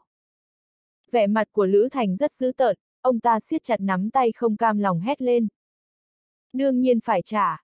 Cháu trai của Lữ Tử Hải ta bị giết chết, nếu không thể chính tay giết chết hung thủ thì ba còn tư cách gì để quản lý hình bộ. Vẻ mặt của Lữ Tứ Hải rất uy nghiêm, ông ta lạnh lùng hét lên. Vậy cha định làm thế nào? Nếu không thì điều động lực lượng của hình bộ ra tay với hắn. Lữ Thành đề nghị. Không được, nếu như dùng lực lượng của hình bộ để giết hắn vậy át hẳn các vị sư phụ đứng sau hắn sẽ bất mãn với triều đình. Khi đến lúc thì bên trên sẽ trách cứ xuống, e rằng sẽ ảnh hưởng đến việc quản lý hình bộ. Ngay lập tức, Lữ Tứ Hải lắc đầu. Vậy phải làm gì đây? Lữ Thành cau mày. Ba sẽ liên lạc với Thanh Hầu để cậu ta quay về đối phó với Han. Với thực lực của cậu ta đã đủ để xử lý tên đó rồi, hơn nữa sau lưng cậu ta còn có chỗ dựa tôn quý nên cho dù cậu ta có giết Diệp Phàm thì Bách Hoa Lâu chủ cũng sẽ thông cảm, chiến thần thiên sách và Long Vương Cung không dám làm gì cả. Nói. Trong mắt của Lữ Tứ Hải lập lòe ánh sáng, ông ta lạnh lùng.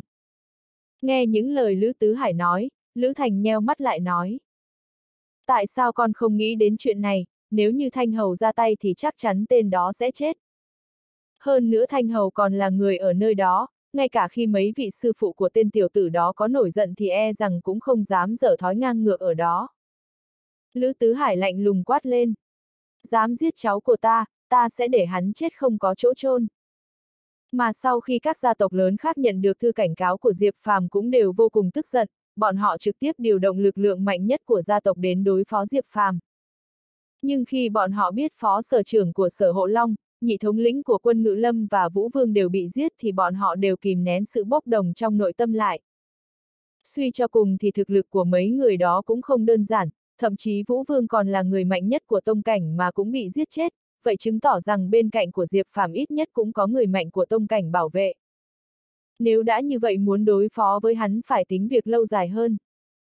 Về phần sở hộ Long và Phủ Tào Vương, sau khi bọn họ nhận được thư cảnh cáo của Diệp Phàm thì bọn họ đã vội vã liên lạc với Tào Vương và Cục trưởng của Sở Hộ Long. Tiếp theo, tin tức Phó Sở trưởng Sở Hộ Long, nhị thống lĩnh quân Ngự Lâm và Vũ Vương bị giết chết đã lan truyền khắp đế đô, lại lần nữa gây náo động đế đô. Đặc biệt là sự sụp đổ của Vũ Vương là vô cùng chấn động. Mấy ngày trước đoàn Vương vừa chết, bây giờ Vũ Vương lại bị giết. Chuyện này quá kinh hãi. Các quyền quý lớn ở đế đô đang dốc sức điều tra xem rốt cuộc ai là người đã giết chết Vũ Vương. Một đêm này toàn bộ đế đô không hề yên tĩnh. Trong lúc này, ở nhà họ Âu Dương, một trong 10 thế gia lớn nhất đế đô. Lão gia của nhà họ Âu Dương là Âu Dương Thành và con trai của lão ta là Âu Dương Khắc đang đứng bên cạnh một lão già có râu tóc bạc phơ, lão già trước mặt mặc đạo bào màu trắng. Lão già này không ai khác mà chính là sự tôn của Âu Dương Bất Phàm, Phàn Đại Sư, đồng thời ông ta còn là một vị võ đạo tông sư đến từ một tông môn cổ xưa hùng mạnh của giới võ đạo. Phàn Đại Sư, lần này khiến ngài phải đích thân đến đây, thật sự tôi rất xin lỗi. Âu Dương Thành nhìn Phàn Đại Sư rồi nói. Bất phàm là đệ tử thân truyền của Lão Phu, nó bị người ta giết chết, lẽ nào Lão Phu có thể khoanh tay đứng nhìn? Phàn Đại Sư lạnh lùng nói. Phàn Đại Sư, ngài phải giết chết tên khốn đó để báo thù cho tiểu phàm. Âu Dương Khắc khẩn thiết nói. Yên tâm đi, dám giết đệ tử của tôi thì buộc phải chết. Phan Đại Sư lạnh lùng nói. Phan Đại Sư, thân phận của tên đó không đơn giản, phía sau hắn còn có mấy vị sư phụ khá mạnh. Âu Dương Thành giải thích ngắn gọn thân phận của Diệp Phàm cho Phan Đại Sư. Hừ, chút ít bản lĩnh thế tục của mấy tên sư phụ của hắn chẳng là gì trong mắt tôi cả. Các người lập tức truyền tin nói với hắn, ngày mai phản Long Minh tôi hẹn hắn đến Tần Sơn giao chiến. Âu Dương khắc kinh ngạc hỏi, phản Đại Sư muốn giết hắn trước mặt mọi người sao? Phản Đại Sư là một tông sư võ đạo nên đương nhiên giết người cũng không thể lén lút được, phải đấu một trận công băng. Ngay lập tức, Âu Dương Thành lên tiếng. Không sai. Phản Đại Sư lạnh lùng nói. Nếu như hắn không tiếp chiến thì sao? Âu Dương khắc lo lắng hỏi. Khi đến thì nói phản đại sư thách thức thiếu chủ của Điện Long Vương, thân phận của hắn là thiếu chủ của Điện Long Vương, nếu hắn không ứng chiến thì hắn sẽ làm mất hết thể diện của Điện Long Vương, chắc chắn hắn sẽ vì thể diện của Điện Long Vương mà cũng không từ chối ứng chiến. Âu Dương Thành trầm giọng nói. Đây là nước cờ hay. Ngay lập tức Âu Dương khắc gật đầu. Trong sở giám sát, sau khi sở trưởng của sở giám sát ngồi trên xe lăn biết được tin Dư Thiên Hành đã bị giết và hàng ngàn quân hắc giáp đã bị tiêu diệt thì vẻ mặt của ông ta tối sầm, trong phút chốc hai viên chân châu trong tay của ông ta vỡ nát thành bột vụn. Tôi đã đánh giá thấp cậu rồi. Sở trưởng lẩm bẩm một mình, trong mắt của ông ta hiện lên tia nham hiểm. Sở trưởng, vừa mới nhận được tin tất cả những người của nhà họ Vân, nhà họ Lữ, nhà họ Mộ Dung, nhà họ Công Tôn, nhà họ Viên, sở hộ Long và quân ngự lâm được phái đi giải quyết tên đó đều đã chết. Phó sở trưởng sở hộ Long, nhị thống lĩnh quân ngự lâm và Vũ Vương cũng đã chết, về phần có phải do Diệp Phàm làm hay không thì bây giờ vẫn chưa biết được.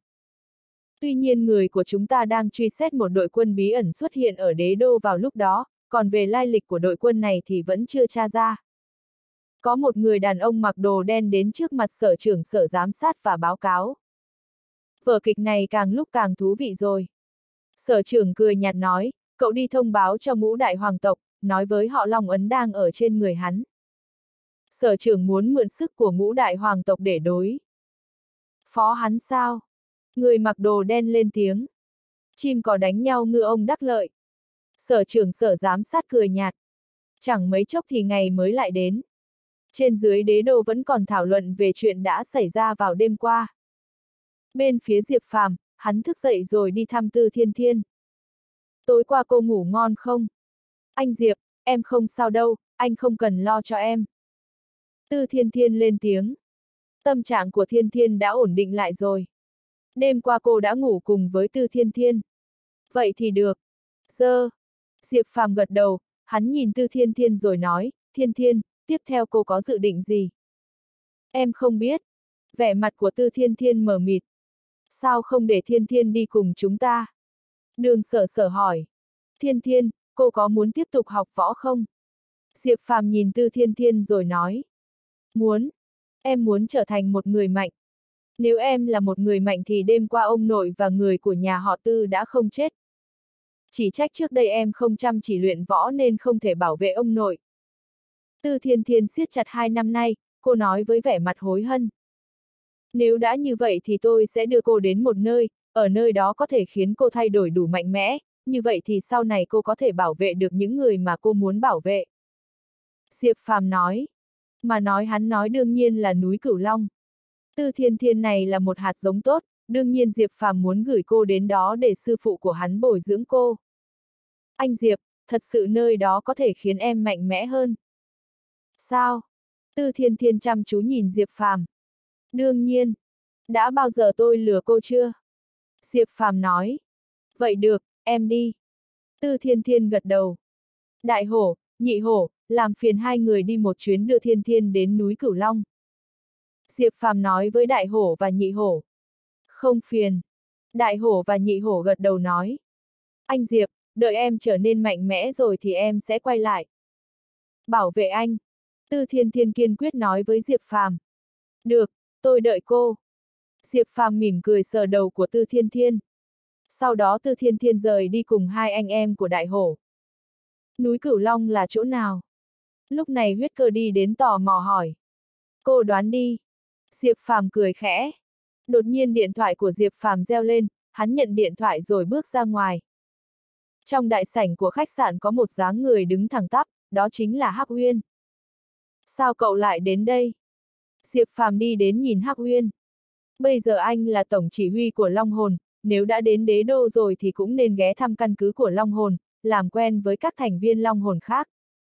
Hắc Uyên nhìn Diệp Phàm rồi nói. Không đi không được à? Diệp Phàm cong môi. Đây là mệnh lệnh của Long Soái. Hắc Uyên trả lời. Thôi bỏ đi, cho lão già ấy chút thể diện vậy, đi thôi. Diệp Phàm lên tiếng. Hắn theo Hắc Uyên đi thẳng đến căn cứ Long Hồn. Mà trong lúc Diệp Phàm đi đến căn cứ Long Hồn thì bất ngờ có một tin tức được truyền đi trong đế đô. Võ đạo tông sư Phàn Long, người xếp hạng thứ 93 trong bảng xếp hạng tông sư hẹn giao chiến với thiếu chủ của Điện Long Vương ở Tần Sơn ngoại ô đế đô. Tin này vừa truyền ra đã làm giấy lên tranh luận sôi nổi. Một vị võ đạo tông sư lại đi khiêu chiến với một thiếu chủ vừa xuất thế của Điện Long Vương, đây là một tin tức rất lớn. Võ đạo tông sư, lâu lắm rồi không có công khai lộ diện. Huống chi ông ta còn là võ đạo tông sư có mặt trong danh sách tông sư thì càng lâu rồi không xuất hiện hơn. Bây giờ võ đạo tông sư có xếp hạng thứ 93 trong bảng tông sư đã đích thân đưa ra lời khiêu chiến, đương nhiên đã gây ra náo động cực lớn. Trong phút chốc, tất cả các thế lực ở đế đô đều suy đoán rằng không biết thiếu chủ của Điện Long Vương có chấp nhận ứng chiến hay không. Thậm chí rất nhiều quyền quý và thế lực ở các nơi đã trực tiếp đi đến Tần Sơn, chuẩn bị quan sát vô thượng phong tư của võ đạo tông sư. Mà Diệp Phàm còn chưa hay biết mình bị người ta khiêu chiến, hắn vẫn đi cùng Hắc Huyên đến căn cứ Long Hồn. Căn cứ Long Hồn này rất bí ẩn, nó nằm giữa một vùng rừng núi ở ngoại ô phía tây.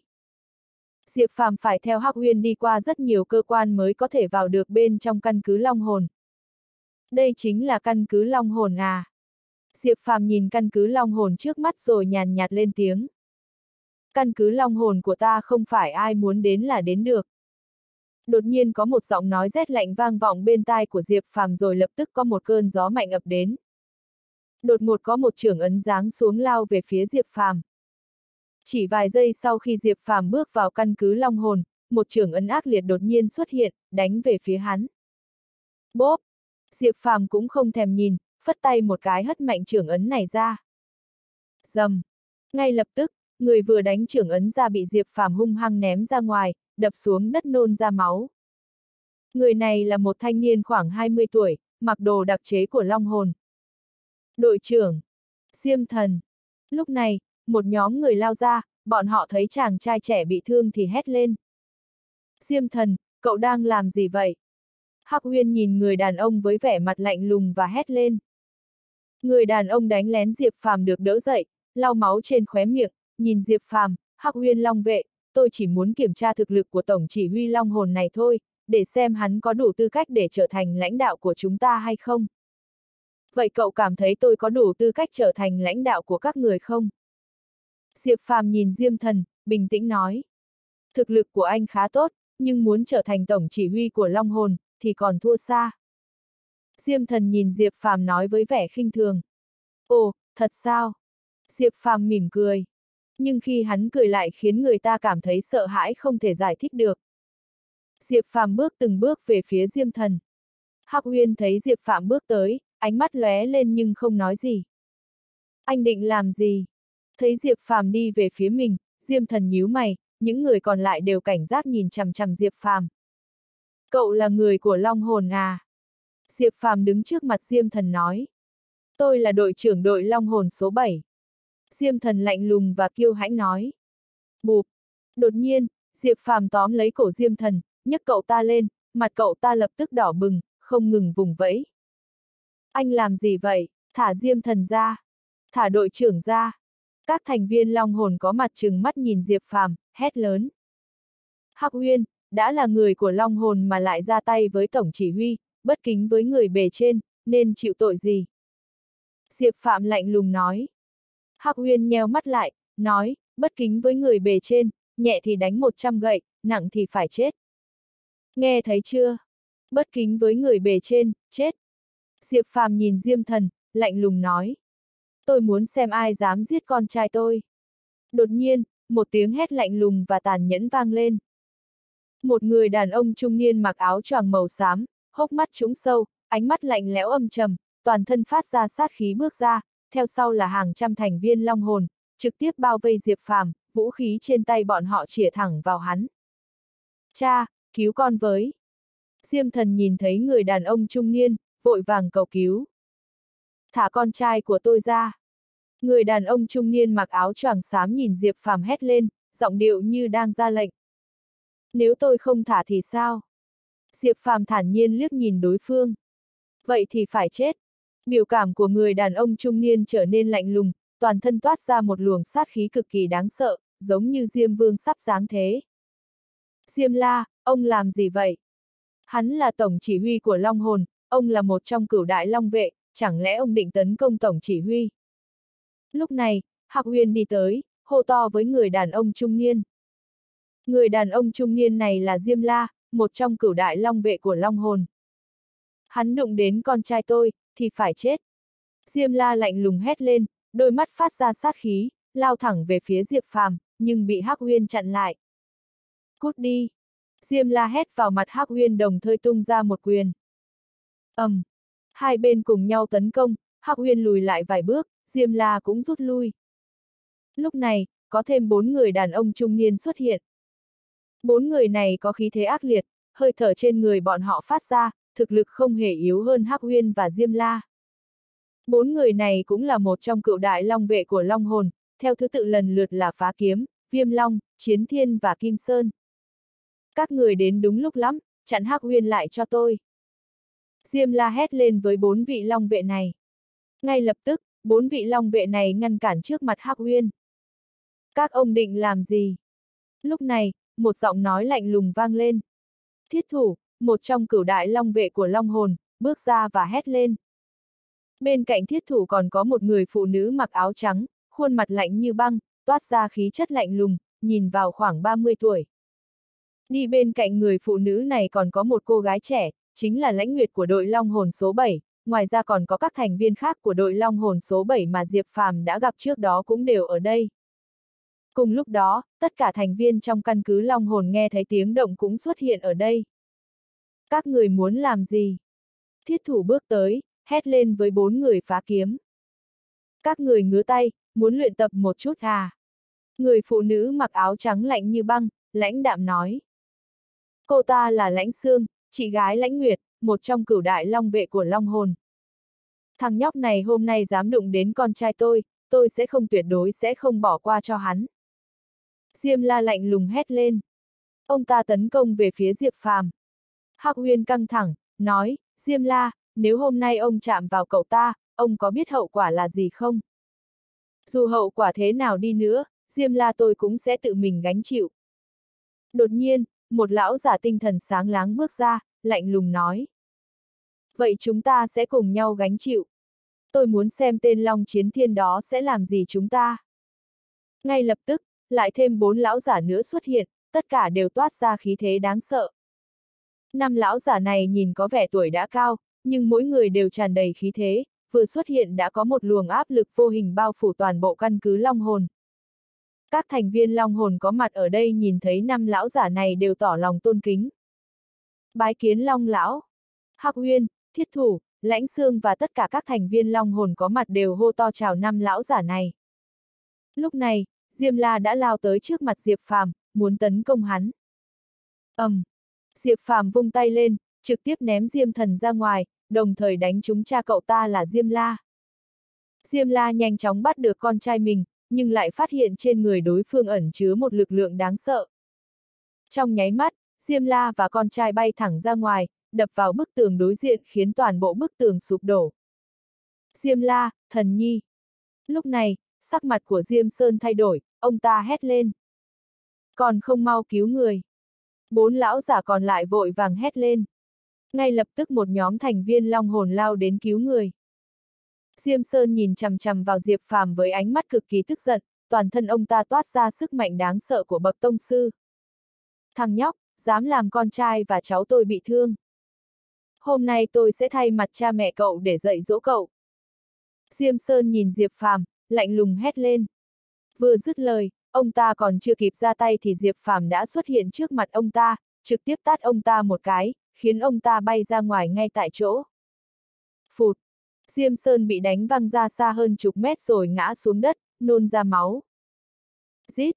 Khi mọi người trong long hồn nhìn thấy cảnh này, tất cả đều rít một hơi. Các đại long vệ và bốn lão giả khác có mặt đều bị vô cùng giật mình.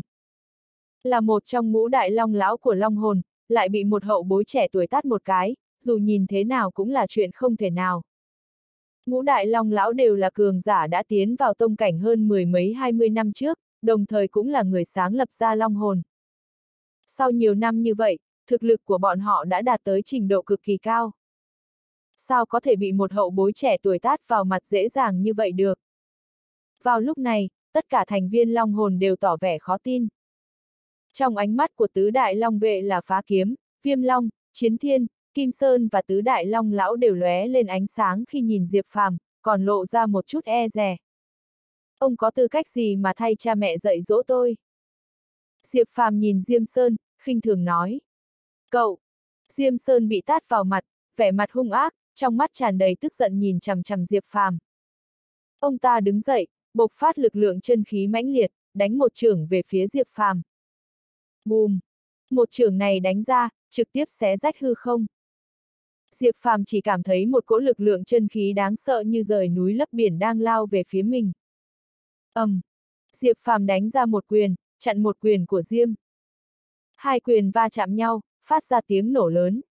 Toàn bộ không khí xung quanh hai người nổ tung, mặt đất dưới chân lập tức sụp đổ. Phút, Diêm Sơn bị đánh bay ra ngoài, miệng phun ra máu tươi, cả người lại nện trên mặt đất, thân thể bị thương nặng.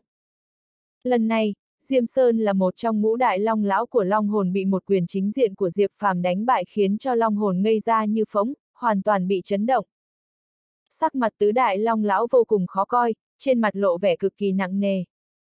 Ông không có tư cách nhắc tới cha mẹ tôi. Hôm nay nể mặt long soái, tôi tạm thời tha cho ông một mạng. Diệp Phàm vẻ mặt lạnh như băng mạnh mẽ quát lên. Khụ khụ khụ. Diêm Sơn nằm trên mặt đất không ngừng họ khan, trong mắt lộ vẻ khó tin nhìn chằm chằm Diệp Phàm, trong nội tâm nhấc lên sóng to gió lớn. Ông ta hoàn toàn không ngờ rằng thằng nhóc trước mắt cái này thoạt nhìn cũng chỉ 20 tuổi đầu, một thân thực lực vậy mà đáng sợ đến loại tình trạng này. Phải biết rằng, 20 năm trước lúc ông ta bước vào tông cảnh thì thằng nhóc này vừa mới sinh ra thôi. Mà 20 năm tu luyện này lại khiến một thân thực lực tông cảnh của ông ta ngày càng đạt đến trình độ cao hơn. Đảo. Nhưng hôm nay, ông ta lại bị thằng nhãi này hoàn toàn áp. Điều này khiến cho Diêm Sơn bị đả kích cả vạn lần, nội tâm ông ta sụp đổ. Được rồi, bây giờ tôi tự giới thiệu một chút. Tôi là Diệp Phàm, là tổng chỉ huy mới nhậm chức của Long Hồn các ông. Nói cách khác, sau này các ông phải phải nghe lời tôi. Tôi mặc kệ các ông có ý kiến gì về tôi nhưng cái tôi muốn là các ông phải phục tùng tôi vô điều kiện, nếu có ai không phục, bây giờ lập tức đứng ra, tôi cho kẻ đó cơ hội khiêu chiến với tôi. Nói. Sau đó, Diệp Phàm nhìn tất cả thành viên long hồn ở đây. Những lời hắn vừa nói ra khiến bầu không khí như chết lặng. Vừa mới chứng kiến thức đáng sợ thực lực kia của Diệp Phàm, ai còn dám tiến lên khiêu chiến hắn chứ, đây không phải là tự đâm đầu vào chỗ chết ư. Các ông có ý kiến gì không? Ánh mắt Diệp Phàm quét về phía bốn vị long lão. Chúng tôi sẽ tuân theo mệnh lệnh của Tổng chỉ huy. Ánh mắt bốn vị long lão ngưng tụ, cùng khom người hô lên với Diệp Phàm. Ngay thời khắc Diệp Phàm miểu sát Diêm Sơn, bốn vị long lão này hoàn toàn buông tha việc đối kháng với Diệp Phàm, càng bỏ qua tôn nghiêm trên người.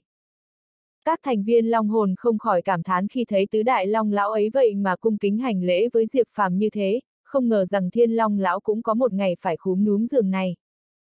Phải biết rằng, trước nay ngũ đại long lão luôn ỉ mình là người sáng lập long hồn, lại có thực lực mạnh mẽ, luôn chưa từng để bất luận kẻ nào vào mắt, dù đối mặt với long soái cũng chỉ đối đãi bình đẳng, càng không có chuyện cúi thấp đâu. Nhưng hôm nay, bọn họ lại cúi đầu với Diệp Phàm, điều này không khỏi làm cho người ta cảm thán. Được rồi, tôi nói xong rồi. Hắc Uyên, đưa tôi quay về. Diệp Phàm mở miệng nói. Tổng chỉ huy, bọn họ là long hồn còn những người còn lại là đại long vệ, cậu hãy làm quen một chút. Hắc Uyên giới thiệu. Long vệ lãnh xương tham kiến tổng chỉ huy. Lãnh xương mở miệng nói với Diệp Phàm. Khi lãnh xương nói, ánh mắt bốn vị long vệ còn lại lóe lên, thi nhau tự mình giới thiệu với Diệp Phàm.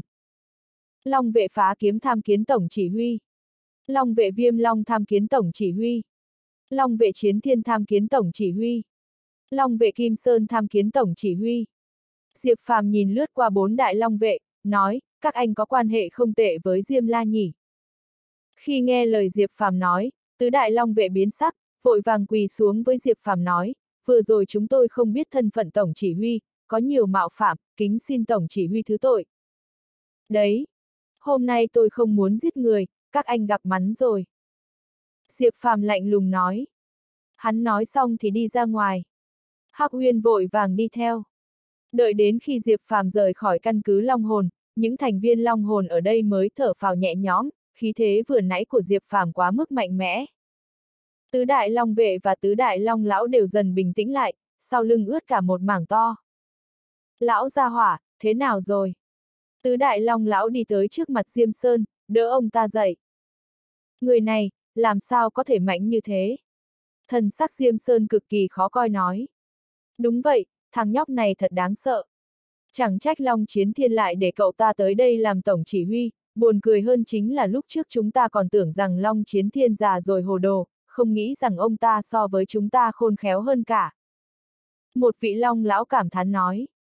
Sợ là ông ta muốn mượn người này đến chấn áp chúng ta, triệt để khống chế Long hồn thì có. Một vị Long lão khác nói. Chẳng lẽ các ông thật sự muốn từ nay về sau phải nghe theo mệnh lệnh của người này? Diêm Sơn không cam lòng nói. Lão Diêm, tôi khuyên ông chớ nên có ý nghĩ khác. Thực lực của người này sâu không lường được, dù năm người chúng ta cùng sông lên cũng sợ không đủ để cậu ta đón tiếp. Đúng vậy. Vẻ mặt bốn vị long lão chưa hết sợ hãi nói. Mà bên ngoài căn cứ long hồn, Diệp Phàm nhìn Hắc Huyên, hôm nay anh dẫn tôi tới đây, sợ là có mục đích khác nhỉ. Hắc Huyên đáp, cậu nghĩ nhiều rồi, tôi chỉ phụng mệnh dẫn cậu tới đây làm quen với long hồn một chút mà thôi. Vậy sao? Diệp Phàm không tin lời Hắc Huyên nói. Đúng vậy, cậu muốn trở thành tổng chỉ huy của Long Hồn thì phải khiến cho toàn bộ người trong Long Hồn nghe lời cậu, cửa ải vừa rồi là một cửa ải nhất định phải trải qua. Hắc Huyên nói. Mấy lão già kia là ai? Diệp Phàm hỏi. Bọn họ chính là ngũ đại long lão của Long Hồn, năm đó thành lập Long Hồn với Long Soái, cũng coi như là những người đồng sáng lập ra Long Hồn. Mà bởi vì ngũ đại long lão quanh năm đợi ở long hồn nên uy tín và quyền lợi của bọn họ ở long hồn càng lúc càng lớn, trong cửu đại long vệ có tới 5 vị giam dắp nghe theo bọn họ, mà không nghe theo lệnh long soái. Hơn phân nửa người thuộc chín tiểu đội long hồn cũng chỉ nghe theo ngũ đại long lão. Còn về mệnh lệnh của long soái, đa số thành viên trong long hồn đều là trước trưng cầu ý kiến của ngũ đại long lão trước, sau đó mới đi chấp hành. Nguyên nhân cũng bởi vì như thế nên bọn họ tự nhiên vô cùng không hài lòng đối với người mới nhậm chức tổng chỉ huy Long Hồn là cậu, cho nên Diêm thần kia mới muốn ra oai phủ đầu cho cậu xem. Hắc Uyên thản nhiên nói. Thế nên hôm nay anh dẫn tôi tới đây vì muốn khiến ngũ đại Long lão kinh sợ một một phen. Hoặc là nói theo cách khác là lúc trước Long soái để tôi làm tổng chỉ huy, vì muốn lợi dụng tôi đến chèn ép ngũ đại Long lão trong Long hồn một chút. Lão gia hỏa này thật đúng là tên cáo già. Diệp Phàm cười lạnh. Cậu nghĩ nhiều rồi, Long soái cho cậu đảm nhiệm tổng chỉ huy Long hồn, chỉ là vì để cậu có được thân phận đủ hùng mạnh, như vậy nội các mới không dễ dàng động thủ đối phó cậu được, về phần trấn áp ngũ đại Long lão chỉ là tiện tay mà thôi. Hắc Uyên vội vàng giải thích. Tôi biết rồi. Diệp Phàm bĩu môi. Rất nhanh, Hạc Huyền đưa Diệp Phàm về khách sạn. Mà trước cửa khách sạn có một chiếc xe Việt giã màu đen, bên cạnh cửa xe có một người đàn ông mặc trang phục mạnh mẽ đang đứng, hơi thở nội liếm, khi hắn ta thấy Diệp Phàm thì đi thẳng tới. Cậu là Diệp Phàm đúng không? Người đàn ông nhìn Diệp Phàm mở miệng hỏi. Anh là... Diệp Phàm quét mắt nhìn đối phương. Tôi phụng mệnh tôn chủ, dẫn cậu đi yết kiến tôn chủ, đi theo tôi. Người đàn ông này nhìn Diệp Phàm nói thẳng, giọng điệu không cho phép cự tuyệt. Tôn chủ, cái quái gì đây? Diệp Phàm bĩu môi. Hắc Huyên ở một bên biến sắc, nhìn chăm chú vào người này nói, anh là người do Bạch Tôn chủ phái tới. Đúng vậy. Người đàn ông mở miệng đáp, ánh mắt hắn ta vẫn nhìn chăm chú vào Diệp Phàm, đi theo tôi. Tôn chủ trong miệng anh muốn gặp tôi thì bảo hắn ta tự mình tới. Tôi cũng không có dư thời gian mà đi gặp hắn. Diệp Phàm bĩu môi, đi thẳng vào khách sạn. Bộp. Lúc này thần sắc người đàn ông kia tối sầm, chụp một chảo lên bả vai Diệp Phàm. Phanh! Diệp Phàm trở tay đánh ra một quyền khiến người này cho bay ra ngoài, khéo làm sao lại đụng vào chiếc xe Việt dã kia, phun máu lên xe. Cậu! Người đàn ông kia chừng mắt nhìn Diệp Phàm, chưa nói xong đã ngất lịm đi. Hắc Uyên thấy một màn như vậy, sắc mặt không ngừng biến hóa, còn Diệp Phàm đã đi thẳng vào khách sạn rồi. Hắc Uyên lập tức gọi điện thoại cho Long Chiến Thiên, đầu tiên nói chuyện xảy ra ở căn cứ Long Hồn cho đối phương biết. Tên nhóc này, không ngờ rằng một thực lực của cậu ta đã mạnh đến mức này. Trách không được cậu ta không cố kỵ chút nào. Long Chiến Thiên thán phục nói. Đúng rồi, Long soái vẫn còn một việc nữa. Hắc Huyên bẩm báo lại chuyện vừa rồi cho Long Chiến Thiên. Tên nhóc này, thật đúng là một ngày không đắc tội với người ta không chịu được mà. Long Chiến Thiên bất đắc dĩ nói. Long soái, làm sao bây giờ? Bên Bạch Tôn Chủ. Hắc Uyên nói. Để tôi liên lạc với Bạch Tôn Chủ, giải thích một chút. Long Chiến Thiên nói. Diệp Phàm bên này, hắn vừa mới lên lầu, thì nhận được điện thoại của Bạch ưng Long Quân, biết được chuyện Phản Long đứng thứ 93 trên bảng tông sư muốn khiêu chiến hắn. Tôi. Phản Long, hắn từ đâu chui ra? Vì sao muốn khiêu chiến? Diệp Phàm kinh ngạc nói. Tôi phái người tra xét một chút, hắn là sự tôn của nhị thiếu gia Âu Dương bất phàm của Âu Dương Thế Gia. Bạch ưng Long Quân nói. Ồ, thì ra là đến báo thù cho đồ đệ của mình. Diệp Phàm cười lạnh. Thiếu chủ, cậu muốn ứng chiến không? Bạch ưng Long Quân hỏi. Nếu ai khiêu chiến tôi, tôi đều đi ứng chiến, chẳng phải sẽ mệt chết sao? Diệp Phàm bĩu môi. Nhưng nếu thiếu chủ không ứng chiến, chỉ sợ. Tôi biết ông đang lo lắng cái gì, tôi sẽ để người khác đi giải quyết hắn. Đối với lo lắng của Bạch ưng Long Quân, Diệp Phàm tự nhiên biết rõ. Phàn Long chỉ mặt gọi tên muốn khiêu chiến với thiếu chủ Điện Long Vương, nếu hắn không ứng chiến, tất nhiên sẽ ảnh hưởng đến danh dự của Điện Long Vương. Nhất là ở thời khắc mấu chốt khi Điện Long Vương lại lớn mạnh lần nữa, thế nên càng không thể để danh dự bị ảnh hưởng. Diệp Phàm trực tiếp liên lạc với một người để hắn đi đối phó Phản Long. Vùng ngoại ô đế đô, Tần Sơn, nơi này là một thánh địa du lịch, chỉ là hôm nay đã bị phong bế, du khách bình thường không thể tiến vào Tần Sơn. Về phần những người có quyền thế ở đế đô thì ngược lại thi nhau tiến vào Tần Sơn, chuẩn bị quan sát phong thái của võ đạo tông sư một phen. Dù sao cơ hội có thể nhìn thấy võ đạo tông sư xuất thủ cũng không nhiều lắm, huống chi người đối phương khiêu chiến lại là thiếu chủ điện Long Vương vẫn luôn chấn động đế đô. Trận chiến này, tất nhiên vô cùng đặc sắc. Ngay lúc này, trên đỉnh Tần Sơn, Phàn Long đang khoanh chân ngồi trên một tảng đá lớn, tư thế thản nhiên bình tĩnh, đứng cách đó không xa là hai cha con Âu Dương Thành và Âu Dương Khắc. Thời gian trôi qua, bốn phía tụ tập một nhóm các đại lão quyền quý đến từ đế đô, bao gồm các đại thế gia hào môn, còn có các quan viên đại cơ cấu vân vân. Sao thiếu chủ điện Long Vương vẫn chưa tới? Chẳng lẽ hắn không dám tới? Khẳng định là không dám tới, dù sao này phản đại sư cũng là võ đạo tông sư cao cao tại thượng, ai dám đối chiến với võ đạo tông sư chưa, đây không phải tự chịu chết à. Nếu hắn không đến, danh vọng điện Long Vương vừa đánh ra sợ là sẽ không còn nữa. Bởi vì Diệp Phàm vẫn luôn không xuất hiện, nên các quyền quý vây quanh ồn ào nghị luận. Cha, thằng nhãi kia sẽ không thật sự không dám tới chứ. Âu Dương Khắc lo lắng nói. Chờ một chút. Âu Dương Thành trầm giọng nói. Trong chớp mắt, một giờ đã trôi qua. Thiếu chủ điện Long Vương vẫn không xuất hiện. Đám quyền quý vây xem đều trưng vẻ mặt thất vọng, trong lòng mắng thiếu chủ điện Long Vương nhát gan, lãng phí thời gian của bọn họ. Không nghĩ tới đường đường là thiếu chủ điện Long Vương lại nhát gan đến thế, nếu hôm nay hắn không dám hiện thân, vậy lão phu chỉ có thể tự mình đến điện Long Vương một lần, xem xem đến tột cùng hắn có dám đánh một trận với lão phu hay không. Lúc này Phàn Long đứng dậy nói. Dựa vào ông cũng xứng khiêu chiến thiếu chủ ư. Bỗng nhiên, một tiếng quát vô tình, lạnh lùng như băng truyền đến.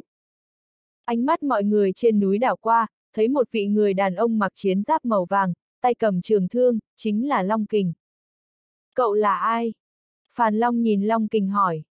Chỉ dựa vào ông cũng xứng khiêu chiến với thiếu chủ. Long Kình nhìn Phàn Long, miệt thị nói. Nghe thế, sắc mặt Phàn Long tối sầm xuống, trong mắt lóe lên sự tức giận, nhìn chằm chằm Long Kình nói, cậu là người của Điện Long Vương. Sao vậy, thiếu chủ các cậu không dám ra mặt nên cậu đến chịu chết à?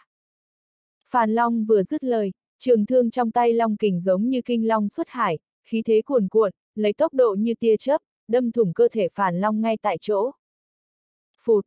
Một dòng máu bắn ra từ ngực Phàn Long, ánh mắt ông to trừng to, trong đôi mắt lộ ra vẻ không thể tin. Dựa vào thực lực của ông ta lại bị người ta giết chết ngay lập tức chỉ trong một chiêu. Sao có thể thế được? Giờ phút này, cha con Âu Dương Thành và toàn bộ các đại lão quyền quý vây xung quanh đều sợ ngây người, vẻ mặt cứng ngắc. Phốc! Long kình rút trường thương trong tay ra, kéo theo một dòng máu chảy ra. Vị võ đạo tông sư đứng hàng 93 trên bảng tông sư này, ngã thẳng xuống mặt đất, chết không nhắm mắt. Không chịu nổi một kích. Long kình phun ra năm chữ, cầm thương rời đi. Đợi sau khi Long kình rời đi, mọi người mới phản ứng lại, liên tục nuốt nước miếng.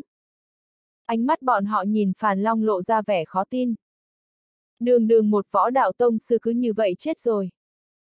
Chết đơn giản như thế, nhanh chóng như thế, không hề có bất kỳ đại chiến nào nổ ra. Điều này không khỏi làm cho người ta hoài nghi Phàn Long có phải là tông sư võ đạo thật hay không. Nếu là thầy sao ông ta lại có thể chết một cách nhanh chóng như vậy? Điều này hoàn toàn khác xa tưởng tượng của mọi người. Về phần cha con Âu Dương Thành, cả hai nhìn thi thể Phàn Long, sắc mặt cực kỳ khó coi, nội tâm cũng chấn động không thôi. Bọn họ không ngờ rằng tên Diệp Phàm kia ngay cả mặt cũng không lộ ra, chỉ phái một người đến đã có thể giết chết một võ đạo tông sư. Rất nhanh, tin tức trên Tần Sơn đã truyền khắp đế đô. Đường đường là võ đạo tông sư đứng thứ 93 trên bảng tông sư, lại bị thuộc hạ của thiếu chủ điện Long Vương cử đến giết chết chỉ với một chiêu. Chuyện này với bất luận kẻ nào cũng là một câu chuyện khó có thể tin. Võ đạo tông sư chính là cường giả vô thượng có thể khai tông lập phái. Nhất là võ đạo tông sư trên bảng tông sư, là người so với cường giả tông cảnh bình thường còn mạnh hơn, làm sao có thể cứ như vậy bị giết chết.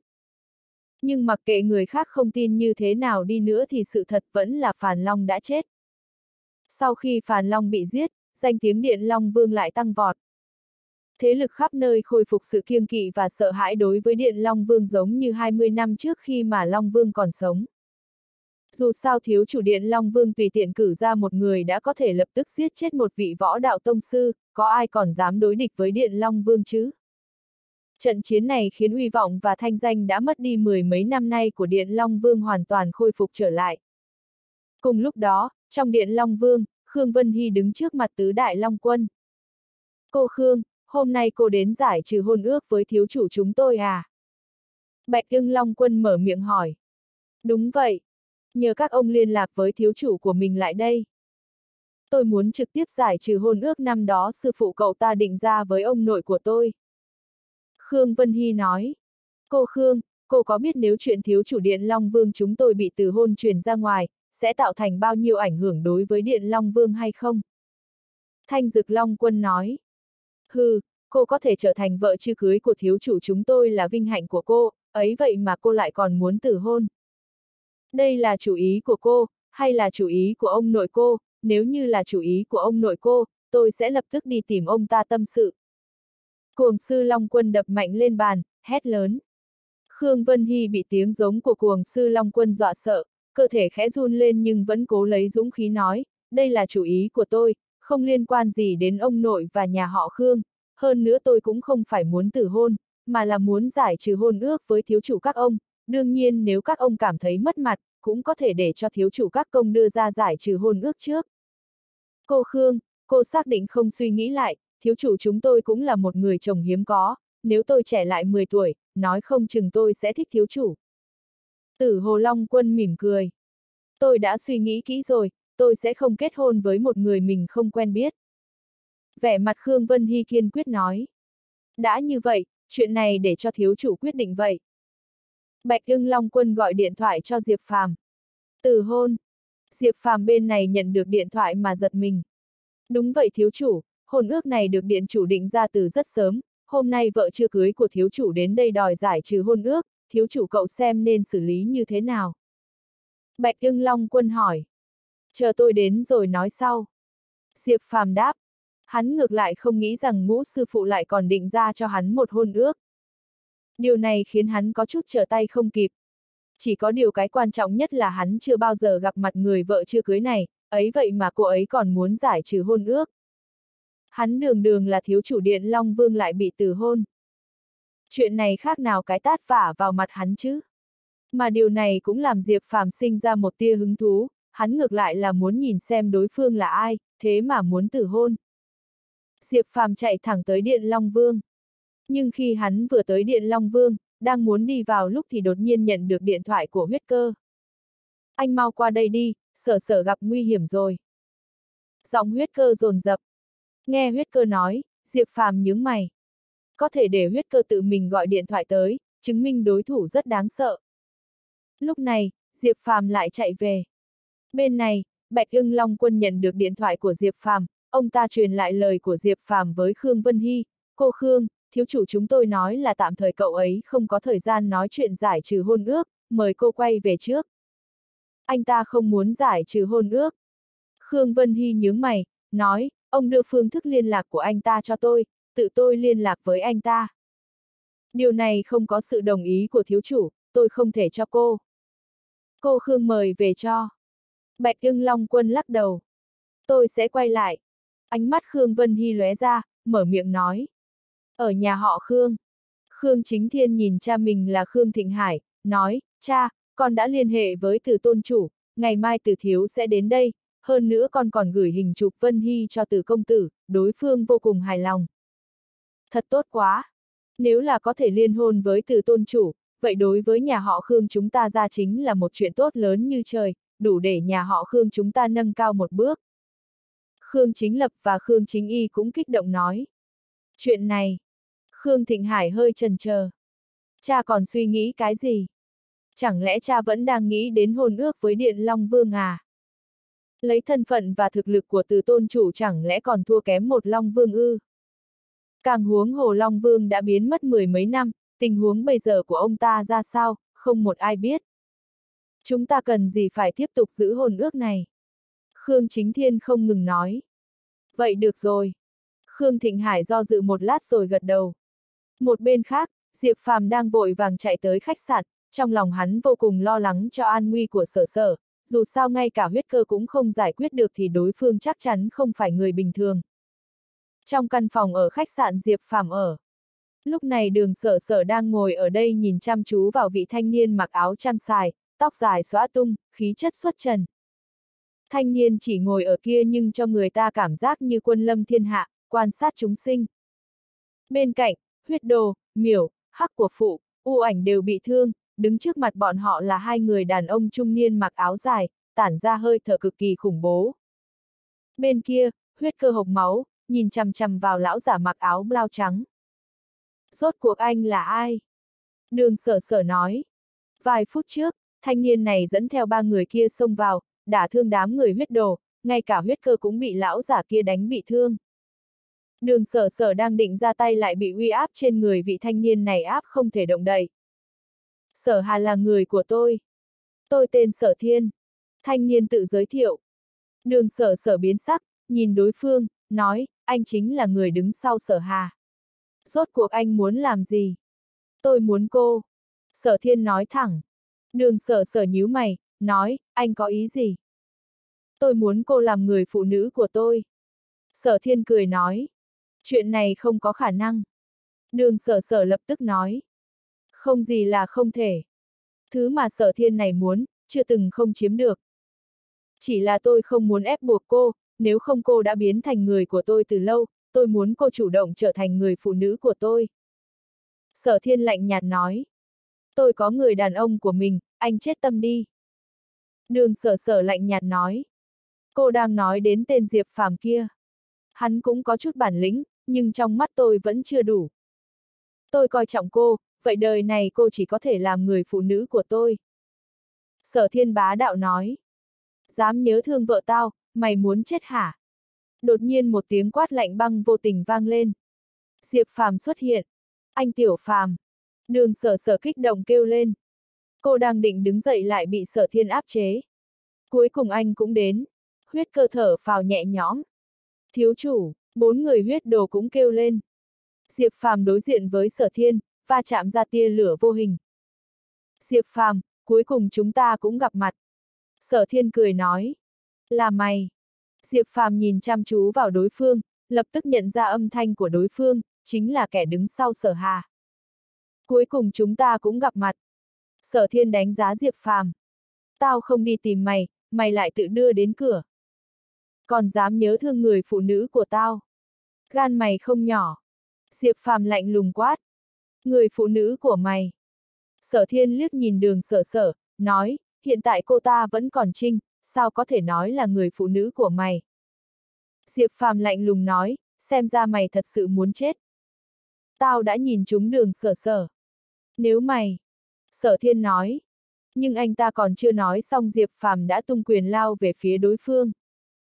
Lúc này hai người đang đứng trước mặt đám người huyết đồ xuất hiện trước mặt Diệp Phàm, tung ra một quyền. ầm, um, nắm tay của ba người va chạm vào nhau, truyền ra một tiếng nổ động trời. Hai người kia lùi về sau, khóe miệng tràn ra máu tươi. Diệp Phàm tiếp tục lao về phía sở thiên.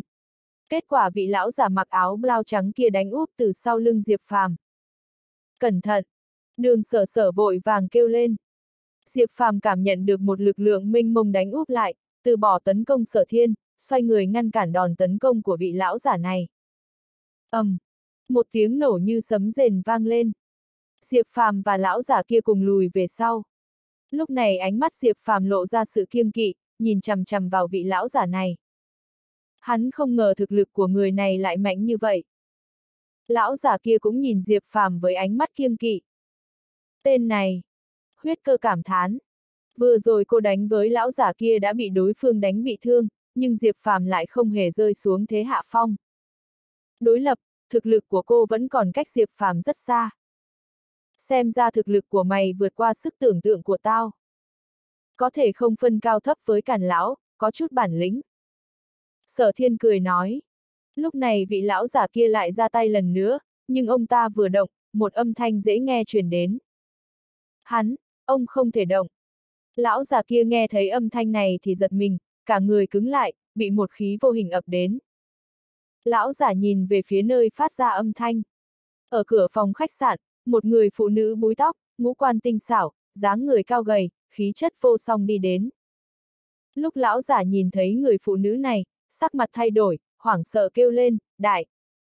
Lão giả còn chưa nói xong, sở thiên đột nhiên kêu lên, sao cô lại ở đây? Sở thiên nhìn người phụ nữ này, sắc mặt cực kỳ xấu.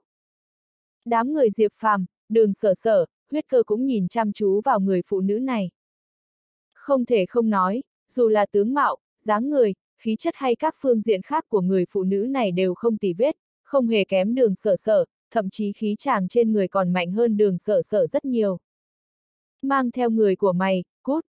Người phụ nữ này nhìn sở thiên, không chút khách khí nói. Sở thiên lạnh lùng nói, sở cửu ca, cô. Tao không muốn lặp lại câu thứ hai. Người phụ nữ quát lên. Nói xong, một dòng khí vô hình ập đến sở thiên. Diệp phàm nhíu mày, nhìn người phụ nữ này với ánh mắt kinh dị. Coi như mày gặp may.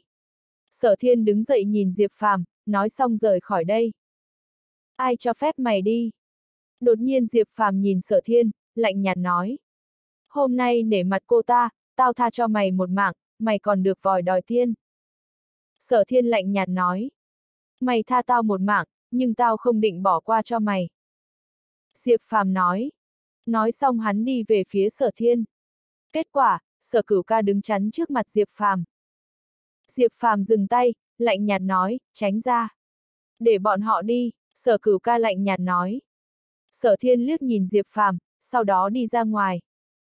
Diệp Phàm đang định chặn lại thì bị đường sở sở kéo lại, anh tiểu Phàm, thôi bỏ đi. Rất nhanh, sở thiên mang theo ba người kia rời đi nơi này. Rốt cuộc cô là ai? Diệp Phàm lạnh lùng quát. Tôi tên sở cửu ca. Người phụ nữ này nói. Cô chính là sở cửu ca, chủ tịch tập đoàn sở thị. Sở cửu ca. Diệp Phàm nghe thấy tên này, ánh mắt lóe lên. Đường sở sở nghe vậy đứng bật dậy, hưng phấn nói, cô chính là chủ tịch tập đoàn sở thị đứng đầu Long Quốc. Người phụ nữ truyền kỳ một tay sáng lập một thương nghiệp. Diệp Phàm nghe thấy tập đoàn sở thị, ánh mắt lập lóe. Hắn cũng nghe qua tập đoàn này, lúc trước ở Tây Nam hắn đã đắc tội người của tập đoàn sở thị, còn xảy ra tranh đấu. Không ngờ hôm nay gặp được chủ tịch sở thị. Sở thị chính là bá chủ kinh tế có thể đấu lại với thương hội Thiên Long. Người phụ nữ này chính là người sáng lập ra đế quốc thương nghiệp này. Ừm. Sở cửu ca gật đầu.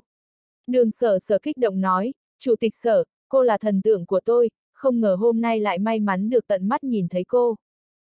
Đường tiểu thư, cô cũng không tồi, bây giờ đường thị đã trở thành tân quý trong thương giới Long Quốc, sợ rằng không mất bao lâu sẽ vượt qua sở thị.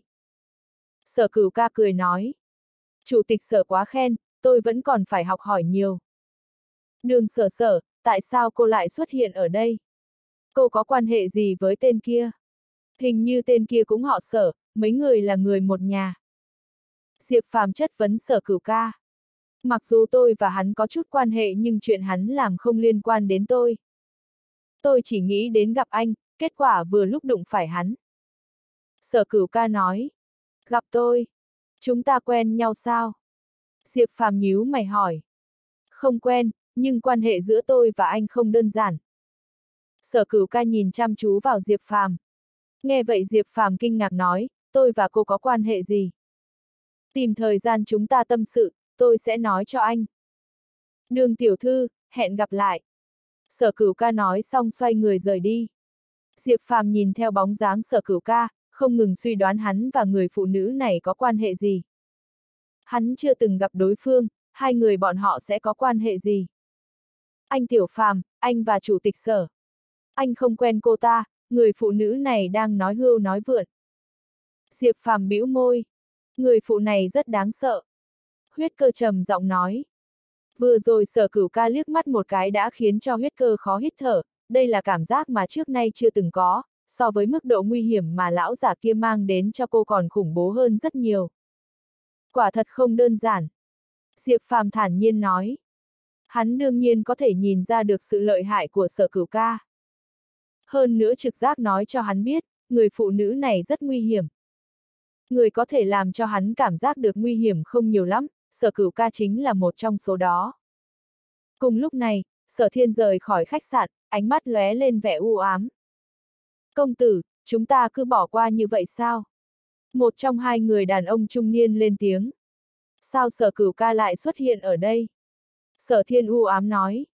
Cô ta xuất hiện ở nơi này, sợ là không đơn giản.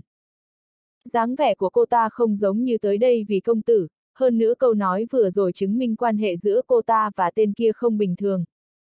Lão giả mặc áo trắng lên tiếng. Cha, lập tức điều tra rõ ràng giữa người phụ nữ này và tên kia có quan hệ gì. Sở thiên lạnh giọng nói. Rõ. Hai người đàn ông trung niên cùng gật đầu. Công tử, đường sở sở kia. Lão giả áo trắng nhìn sở thiên chăm chú. Cô ta là cơ thể huyền M, chỉ có thể thuộc về ta. Ánh mắt sở thiên lạnh như băng. Chớp mắt, màn đêm buông xuống. Diệp Phàm dẫn đường sở sở, huyết cơ, tôn tiểu tiểu tìm một nhà hàng ăn cơm. Anh Tiểu Phàm, em định hai ngày nữa sẽ thành lập chi nhánh công ty đường thị ở đế đô. Đường sở sở nhìn Diệp Phàm nói. Được, tốc độ nhanh đấy. Diệp Phàm mỉm cười nói. Nếu có thể thành lập chi nhánh công ty thuận lợi, khi đó giá cổ phiếu của đường thị sẽ tăng mạnh, không bao lâu nữa, đường thị sẽ nằm trong top 3 tập đoàn trong nước. Nhưng mà em sợ là lúc đó những thế lực quyền quý kia sẽ ngăn cản đường thị thành lập chi nhánh. Đường sở sở nói. Yên tâm, bọn họ không có lá gan đó. Tới hôm đó, anh sẽ khiến đường thị tỏa sáng nhất đế đô. Diệp Phàm thản nhiên nói. Anh Tiểu Phàm, cảm ơn anh. Đường sở sở cảm kích nhìn Diệp Phàm. Em là bà xã của anh, còn muốn khách khí với anh như vậy à? Lúc này, Diệp Phàm tỏ vẻ không vui. Em xin lỗi. Đường sở sở lè lưỡi, tinh nghịch hôn lên mặt Diệp Phàm. Chủ tịch, ở đây còn đang có người, xin hai vị chú ý. Tôn Tiểu Tiểu ở bên cạnh oán giận nói. Làm sao, hâm mộ, hâm mộ thì nhanh chóng tìm bạn trai, đừng có một mình mãi như thế. Đường sở sở trêu ghẹo nói. Em không thèm bạn trai đâu, ảnh hưởng tới công việc. Tôn Tiểu Tiểu hừ nói. Bọn họ cơm nước xong mới vừa đi ra khỏi phòng ăn thì nhìn thấy một quả bóng khổng lồ đang lao từ phía xa tới. Đợi khi quả bóng tới gần thì đám Diệp Phàm mới phát hiện đây không phải bóng mà là một người, chẳng qua là người này mập như một quả bóng. Đằng sau còn có một đám người. Rất nhanh, người đàn ông béo như quả bóng này lao tới trước mặt Diệp Phàm, ngồi xổm trên mặt đất thở hổn hển. Tiền đa đa, không ngờ mày béo mà chạy nhanh thế. Nhóm người đuổi theo phía sau chạy tới, nhìn người đàn ông rồi hừ lạnh. Mấy người là lũ khốn nạn nhân cơ hội bỏ đá xuống giếng, đợi ba tao về, chúng mày chết chắc. Người đàn ông tức giận nhìn đám người. Hừ, ba mày chết lâu rồi.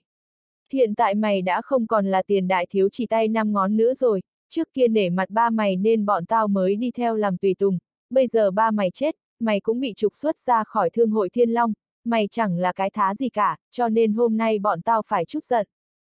Anh em đâu, lên. Đám người này nói xong thì vén tay áo lên, vung về phía người đàn ông. Cút, Lúc này, Diệp Phàm nhìn mấy người kia quát. Danh con ở đâu chui ra vậy, thích lo chuyện bao đồng không? Đám người kia nhìn Diệp Phàm, ẩm ý nói. Bịch bịch bịch, bóng dáng u ảnh xuất hiện, đánh bay tất cả đám người này ra ngoài. Giỏi quá! Ánh mắt người đàn ông sáng lên, anh ta hét đầy phấn khích.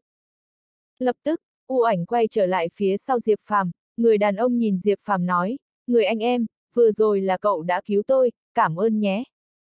Đợi tiền đa đa này quật khởi, tôi nhất định sẽ cảm tạ cậu. Người đàn ông híp mắt, khiêm tốn nói. Anh là người của Thương hội Thiên Long. Diệp Phàm hỏi đối phương. Ừ, cha tôi là một trong chín tài thần của Thương Hôi Thiên Long. Tiền đa đa gật đầu. Vậy vừa nãy, vì sao bọn họ lại nói cha anh chết rồi? Diệp Phàm tò mò hỏi. Bọn họ nói càn, cha tôi không thể nào chết được. Nhất định là cha tôi và nhan lão bị tên khốn hứa thế thiên bắt cóc. Ngay lập tức, tiền đa đa nói với vẻ mặt căm giận. Nhan lão, hứa thế thiên. Nghe được hai cái tên quen thuộc, ánh mắt Diệp Phàm khựng lại, rốt cuộc đã xảy ra chuyện gì? Hai ngày trước, hứa thế thiên một trong chín tài thần của Thương hội Thiên Long đã triệu tập một cuộc hội nghị, mời tám tài thần khác tới tham dự, ngay cả năm vị nguyên lão cũng có mặt. Nhưng không biết vì sao ngôi biệt thự tổ chức đại hội đột nhiên phát nổ, cuối cùng chỉ có mình hứa thế thiên, bốn tài thần và hai nguyên lão còn sống. Hứa thế thiên nói cha tôi, nhan lão và những tài thần nguyên lão khác đều là chết, nhưng ngay cả thi thể cũng không tìm được, hơn nữa bọn họ không cho phép bất cứ ai điều tra ngôi biệt thự kia. Sau khi nhận được tin tức, tôi định đi tới biệt thự nơi phát nổ để xem thử nhưng lại bị ngăn lại, sau đó tôi đi tìm hứa thế thiên, kết quả tên khốn kia lấy lý do là tôi chống đối tài thần, trục xuất tôi ra khỏi thương hội thương long. Vậy nên tôi càng nghi ngờ cha mình chưa chết, tất cả đều là mưu đồ của hứa thế thiên, đáng tiếc là không có chứng cứ. Tiền đa đa tức giận nói. Nghe xong, ánh mắt Diệp Phàm lóe lên, vậy đám người vừa rồi là. Bọn họ đều là tùy tùng trước kia của tôi, sau khi biết cha tôi chết, bản thân tôi thì bị trục xuất ra khỏi thương hội thiên long thì bọn họ đã thừa cơ hãm hại, đám khốn kiếp. Tiền đa đa căm phẫn.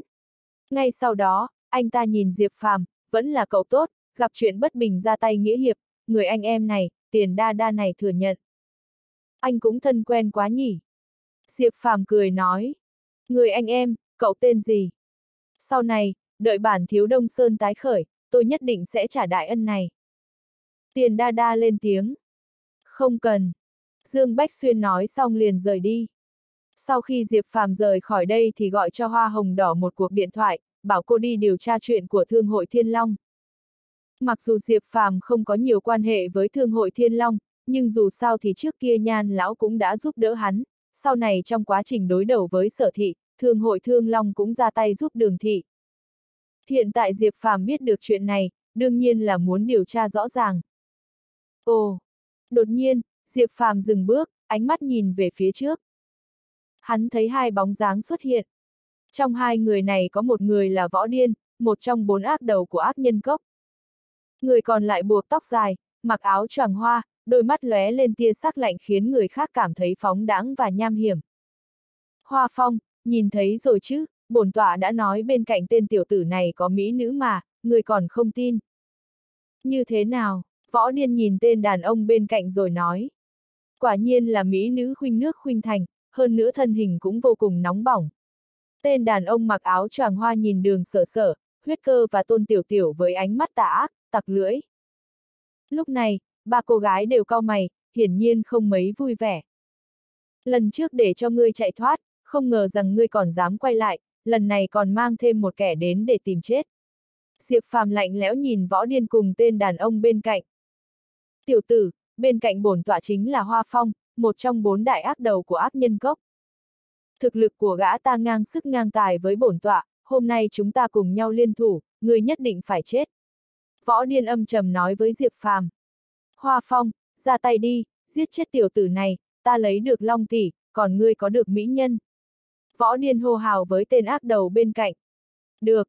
Hoa Phong gật đầu, ánh mắt vô cùng ghen tị nhìn Diệp Phàm, tiểu tử, xung quanh ngươi thế mà lại có rất nhiều mỹ nhân tuyệt sắc như vậy. Bồn tọa thật sự rất hâm mộ đó nha, nhưng sau ngày hôm nay, bọn họ đều sẽ thuộc về ta. Dứt lời, Hoa Phong liền ra tay. Cơ thể gã ta giống như bị một cơn lốc xoáy, tốc độ cực kỳ nhanh, trong nháy mắt đã đứng trước mặt Diệp Phàm, rồi bàn tay gã ta liền biến thành móng vuốt tấn công về phía Diệp Phàm. Lúc này võ điên cũng bắt đầu ra tay. Mặc dù hai người này chưa tiến vào tông cảnh nhưng cũng là cường giả thiên cảnh tầng thứ 9. Vậy nên hai người bọn họ đủ mạnh để đấu với cường giả nửa bước tiến vào tông cảnh. Nhưng đứng trước Diệp Phàm, thực lực vẫn chưa đủ. Lần trước đối phó với võ điên, Diệp Phàm không dùng thực lực chân chính, vậy nên đã để ông ta chạy thoát. Lần này, hắn nhất định sẽ không nương tay. Bùm, bùm. Diệp Phàm đấm ra hai quyền, trực tiếp chặn lại móng vuốt của Hoa Phong và nắm đấm của võ điên, tiếng nổ chói tai liền vang lên. Răng rắc, răng rắc. Ngay sau đó, nắm đấm của võ điên và móng vuốt của Hoa Phong bị vỡ vụn. Bọn chúng bị bay ra đằng sau, ngã nhào xuống đất rồi điên cuồng hộc ra máu. Diệp Phàm đằng đằng sát khí đi về phía hai tên này. Hai tên ác đầu cũng khiếp sợ nhìn hắn. Ngươi, ngươi là cường giả tông cảnh. Võ điên có chút khó tin nhìn Diệp Phàm. Chỉ có cường giả tông cảnh mới có thể hạ gục hai người bọn họ chỉ bằng một chiêu.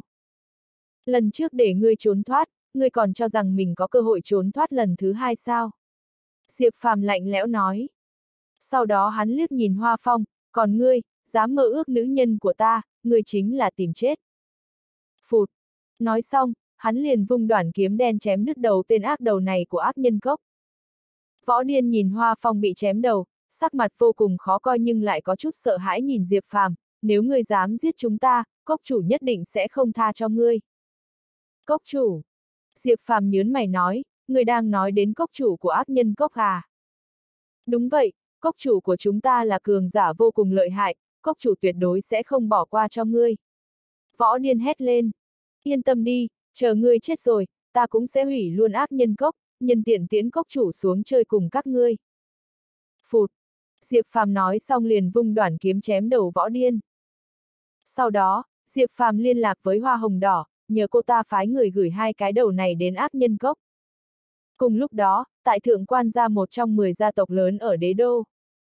Thượng quan phu nhân chỉ vào thượng quan lưu ly, tức giận mắng, con khốn này, mày chính là đồ sao chổi. Mày hại em trai còn chưa đủ hay sao, bây giờ lại còn khắc chết mộ dung thiếu gia, khiến cho hai nhà không thể nào liên hôn được. Mày chính là nỗi ô nhục của thượng quan gia, tại sao mày không chết cùng con mẹ đê tiện của mày luôn đi? Xoẹt, ánh mắt thượng quan lưu ly lạnh lẽo nhìn mẹ kế. Làm sao, giờ bà còn muốn đánh tôi à? Thượng quan phu nhân liếc nhìn thượng quan lưu ly rồi hừ lạnh một tiếng. Bốp! Đột nhiên thượng quan lưu ly tát thật mạnh vào mặt mẹ kế khiến bà ta ngã nhào xuống đất. Mày, mày dám đánh tao, thượng quan phu nhân không thể tin nổi, nhìn chằm chằm vào thượng quan lưu ly. Bà có thể mắng tôi, nhưng tuyệt đối không được xúc phạm mẹ tôi. Thượng quan lưu ly lạnh lẽo nói. Thượng quan lưu ly, mày đang làm gì vậy? Lúc này, cha của thượng quan lưu ly là thượng quan hồng, cũng là gia chủ của thượng quan gia, ông ta vừa xuất hiện liền quát mắng thượng quan lưu ly. Bà ta đáng bị đánh, thượng quan lưu ly nhàn nhạt đáp. Bốp! Thượng quan hồng tát thẳng vào mặt thượng quan lưu ly, câm miệng, dù thế nào đi chăng nữa Yến Nhi cũng là trưởng bối của mày, hơn nữa còn là thượng quan phu nhân, tại sao mày có thể hỗn láo như vậy? Lập tức xin lỗi Yến Nhi mau, thượng quan hồng hét lên. Bà ta không xứng, thượng quan lưu ly lạnh lùng nói. Mày, nếu mày không xin lỗi, lập tức cút khỏi thượng quan ra cho tao. Thượng quan hồng tức giận mắng. Thượng quan lưu ly ngay sau đó liền xoay người rời đi. Yến Nhi, bà không sao chứ? Thượng quan Hồng vội đỡ phu nhân của ông ta dậy. Thượng quan Hồng, ông nhìn xem con gái của ông đã làm gì, nó thế mà lại dám đánh cả tôi, tôi tuyệt đối sẽ không bỏ qua cho nó đâu. Thượng quan phu nhân tức giận hét lên. Thượng quan Hồng vội vàng nói, đừng tức giận nữa, tôi đã dạy dỗ nó rồi. Con nhỏ này chính là sao chổi, tuyệt đối không thể để nó ở lại thượng quan ra được nữa. Bà ta lạnh lẽo nói. Tôi đã đuổi nó ra ngoài rồi. Bà đừng tức giận nữa. Hừ, nó do một tay thượng quan gia nuôi dưỡng, đuổi đi như vậy chẳng phải là quá dễ dàng cho nó sao. Trong mắt bà phu nhân này lóe lên tia tàn độc. Lúc này thượng quan hồng nghi hoặc hỏi, vậy bà định làm gì? Nghe nói phủ Hán Vương đang tuyển phi tần cho Hán Vương, đưa nó đến đó đi. Bà ta nói thẳng. Cái gì, đưa đến phủ Hán Vương? Hán Vương chính là kẻ biến thái, bất kỳ nữ nhân nào của ông ta đều sống không bằng chết. Cái này, nghe thấy lời của phu nhân, sắc mặt của thượng quan hồng đột nhiên thay đổi. Làm sao, không nỡ à? Tôi nói cho ông biết, mặc dù Hán Vương biến thái, nhưng ông hẳn là rất rõ thân phận và địa vị của ông ta, hơn nữa thế lực đứng sau của ông ta không đơn giản đâu. Nếu như ông ta nhìn chúng con bé này, vậy thì đó chính là chuyện tốt cho gia tộc thượng quan của chúng ta. Điều này sẽ giúp thượng quan gia trở thành gia tộc đứng đầu đế đô. Thượng quan phu nhân lạnh lẽo nói. Nghe xong, ánh mắt thượng quan hồng chợt lóe lên, cuối cùng gật đầu nói, được, quyết định vậy đi. Trong một quán trà nào đó ở đế đô, có 5 người đang ngồi ở đây. Năm người này đều mặc trang phục kỳ quái, ánh mắt lạnh lẽo, toàn thân tỏa ra khí thức cực kỳ đáng sợ. Không ngờ rằng một nhà Diệp Thiên Long năm đó còn không bị giết hết, thế mà sót lại một tên nghiệt trùng. Theo như điều tra, đứa con trai này của Diệp Thiên Long không hề đơn giản, thực lực vô cùng cường đại. Hừ, cho dù mạnh đến đâu cũng chỉ là tên nhóc con vắt mũi chưa sạch, năm đó chúng ta không thể đối phó Diệp Thiên Long, lẽ nào hiện tại cũng không thể đối phó với con trai của ông ta. Lần này chúng ta phải khiến cho Diệp Thiên Long tuyệt hậu. Năm đó chúng ta không thể giết chết Diệp Thiên Long, bây giờ giết chết con trai của ông ta, cũng xem như rửa được nỗi uất hận trong lòng. Nếu đã như vậy thì ngày mai chúng ta bắt đầu hành động đi. Nghe nói nơi đó có rất nhiều người tới, chúng ta không thể để người khác cướp mất cơ hội. Sáng sớm ngày hôm sau, Diệp Phàm dẫn đám người đường sở sở ra khỏi phòng, chuẩn bị đi đến một nơi. Nhưng khi vừa mới rời khỏi khách sạn, bọn họ đã nhìn thấy năm người mặc trang phục kỳ lạ đang đi về phía mình. Diệp Phàm nhìn năm người này, ánh mắt chợt lóe lên. Hắn cảm nhận được một luồng hơi thở nguy hiểm từ năm người này. Mày chính là con trai của Diệp Thiên Long. Trông thật giống Diệp Thiên Long. Năm người đến gần rồi nhìn chằm chằm vào Diệp Phàm. Các người là ai? Khi Diệp Phàm nghe thấy họ nhắc đến cha mình, ánh mắt hắn khẽ nheo lại, lạnh lùng hỏi. Chúng tao tới để tiễn mày đi gặp cha mày. Một tên khá mập mạp lên tiếng. Xoạt. Nghe vậy, trong mắt Diệp Phàm lộ ra sát ý lạnh lẽo, toàn thân tản ra khí tức đáng sợ. Tên nhóc này cũng có chút bản lĩnh, xem như kế thừa một chút thiên phú của Diệp Thiên Long. Nhưng đáng tiếc mày không phải Diệp Thiên Long. Vậy nên mày chỉ có một con đường chết. Năm người nhìn Diệp Phàm, lạnh lẽo nói. Vừa dứt lời, từng người liền bộc phát sức mạnh. Ngay sau đó năm luồng sức mạnh cực kỳ kinh khủng liền tràn ra. Đám người huyết cơ, đường sở sở, huyết phu liền bị thổi bay về phía sau. Lúc này chỉ có Diệp Phàm là bình yên vô sự. Ngay sau đó cả năm người đều tấn công Diệp Phàm. Bùm, bùm, bùm, bùm, bùm. Đối mặt với sự tấn công như vũ bão của năm đại cường giả này, Diệp Phàm nhanh chóng tung ra cú đấm liên tiếp như tia chớp. Năm cú đấm của hắn trực tiếp va chạm với đòn tấn công của năm gã cường giả, gây ra năm tiếng nổ vô cùng lớn. Bộp, bộp, bộp. Dưới khí thế này của Diệp Phàm, thân thể của năm gã cường giả đều phải lùi về phía sau. Thế nhưng Diệp Phàm vẫn đứng im bất động. Lúc này, năm người không thể tin nổi nhìn Diệp Phàm. Mày, năm người đều vô cùng kinh ngạc. Tất cả bọn họ đều bị thực lực của Diệp Phàm làm cho chấn động. Bộp, bộp, bộp. Không hổ danh là con trai của Diệp Thiên Long, quả nhiên rất lợi hại. Lúc này, một chàng vỗ tay chợt vang lên. Một người đàn ông trung niên mặc đồ trắng đột nhiên xuất hiện ở đây và mỉm cười nhìn Diệp Phàm. Xoẹt, xoẹt, xoẹt. Là ông ta. Năm đại cường giả nhìn về phía người đàn ông trung niên mặc đồ trắng, vẻ mặt trong nháy mắt liền thay đổi, trong mắt không giấu được sự sợ hãi. Diệp Phàm nhìn chằm chằm người đàn ông đó, lông mày khẽ nhíu lại, toàn thân chợt căng thẳng. Hắn cảm nhận được một luồng hơi thở cực kỳ nguy hiểm phát ra từ người này. Người này rất mạnh. Năm đó tôi chỉ thua Diệp Thiên Long có một chiêu, hôm nay cũng muốn nhìn xem con trai của ông ta có thể kế thừa được mấy phần thực lực của ông ta. Người đàn ông này mỉm cười. Bùm! Nói xong, một cỗ sức mạnh khủng khiếp trực tiếp bộc phát. Khi sức mạnh của ông ta bùng nổ, đã làm chấn động tất cả cường giả ở đế đô. Cùng lúc đó, ở căn cứ chiến bộ. Cậu vừa nói gì cơ? Người đó đã đến đế đô. Long Chiến Thiên nghe thấy báo cáo của Hắc Huyên liền đứng dậy, vẻ mặt không thể tin được. Đúng vậy, đây là tin tức từ bên kia gửi đến. Hơn nữa hình như ông ta tới vì Diệp Phàm. Hắc Huyên trầm giọng nói. Không được, tiểu tử kia gặp nguy hiểm rồi, mau đi thôi. Sắc mặt Long Chiến Thiên liền thay đổi, trực tiếp hét lên. Sau đó bọn họ chạy thẳng đến khách sạn nơi Diệp Phàm đang ở. Bên ngoài khách sạn Diệp Phàm ở, một người đàn ông mặc đồ trắng nhìn chăm chú vào Diệp Phàm, bước từng bước về phía hắn, trên người tản ra uy áp cực kỳ khủng bố. Chỉ cần ai đứng trong phạm vi uy áp này đều bị chấn áp quỳ dạp trên mặt đất, cảm thấy hít thở không thông. Bao gồm cả năm cao thủ vừa muốn chém giết Diệp Phàm cũng bị chấn áp quỳ trên mặt đất, run bần bật. Lúc này trong phạm vi trăm mét chỉ có người đàn ông mặc đồ trắng và Diệp Phàm. Diệp Phàm nhìn chăm chú vào người đàn ông này, người này tuyệt đối là đối thủ mạnh mẽ nhất mà Diệp Phàm gặp được từ lúc xuống núi.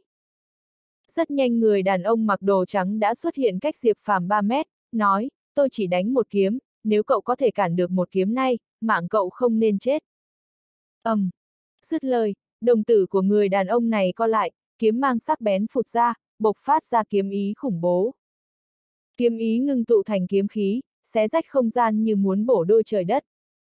Diệp Phàm cảm nhận được một sự áp bách cực mạnh. Diệp Phàm chỉ cảm thấy như vậy từ trên người bảy vị sư phụ. Người đàn ông mặc đồ trang chém về phía Diệp Phàm. Một kiếm khí nhưng tụ thành hình ẩn chứa kiếm ý vô tận, giống như một thanh thần kiếm tuyệt thế, chém về phía Diệp Phàm. Lúc này đám người Long Chiến Thiên, Nam Long Lão, Hắc Huyên, Thiết Thủ, Lãnh Sương đuổi đến đây với tốc độ cực nhanh. Bọn họ vừa lúc nhìn thấy người đàn ông mặc đồ trắng ra chiêu, tất cả đều bị chấn động mạnh. Lấy khí ngưng hình. Cúa mạnh. ầm.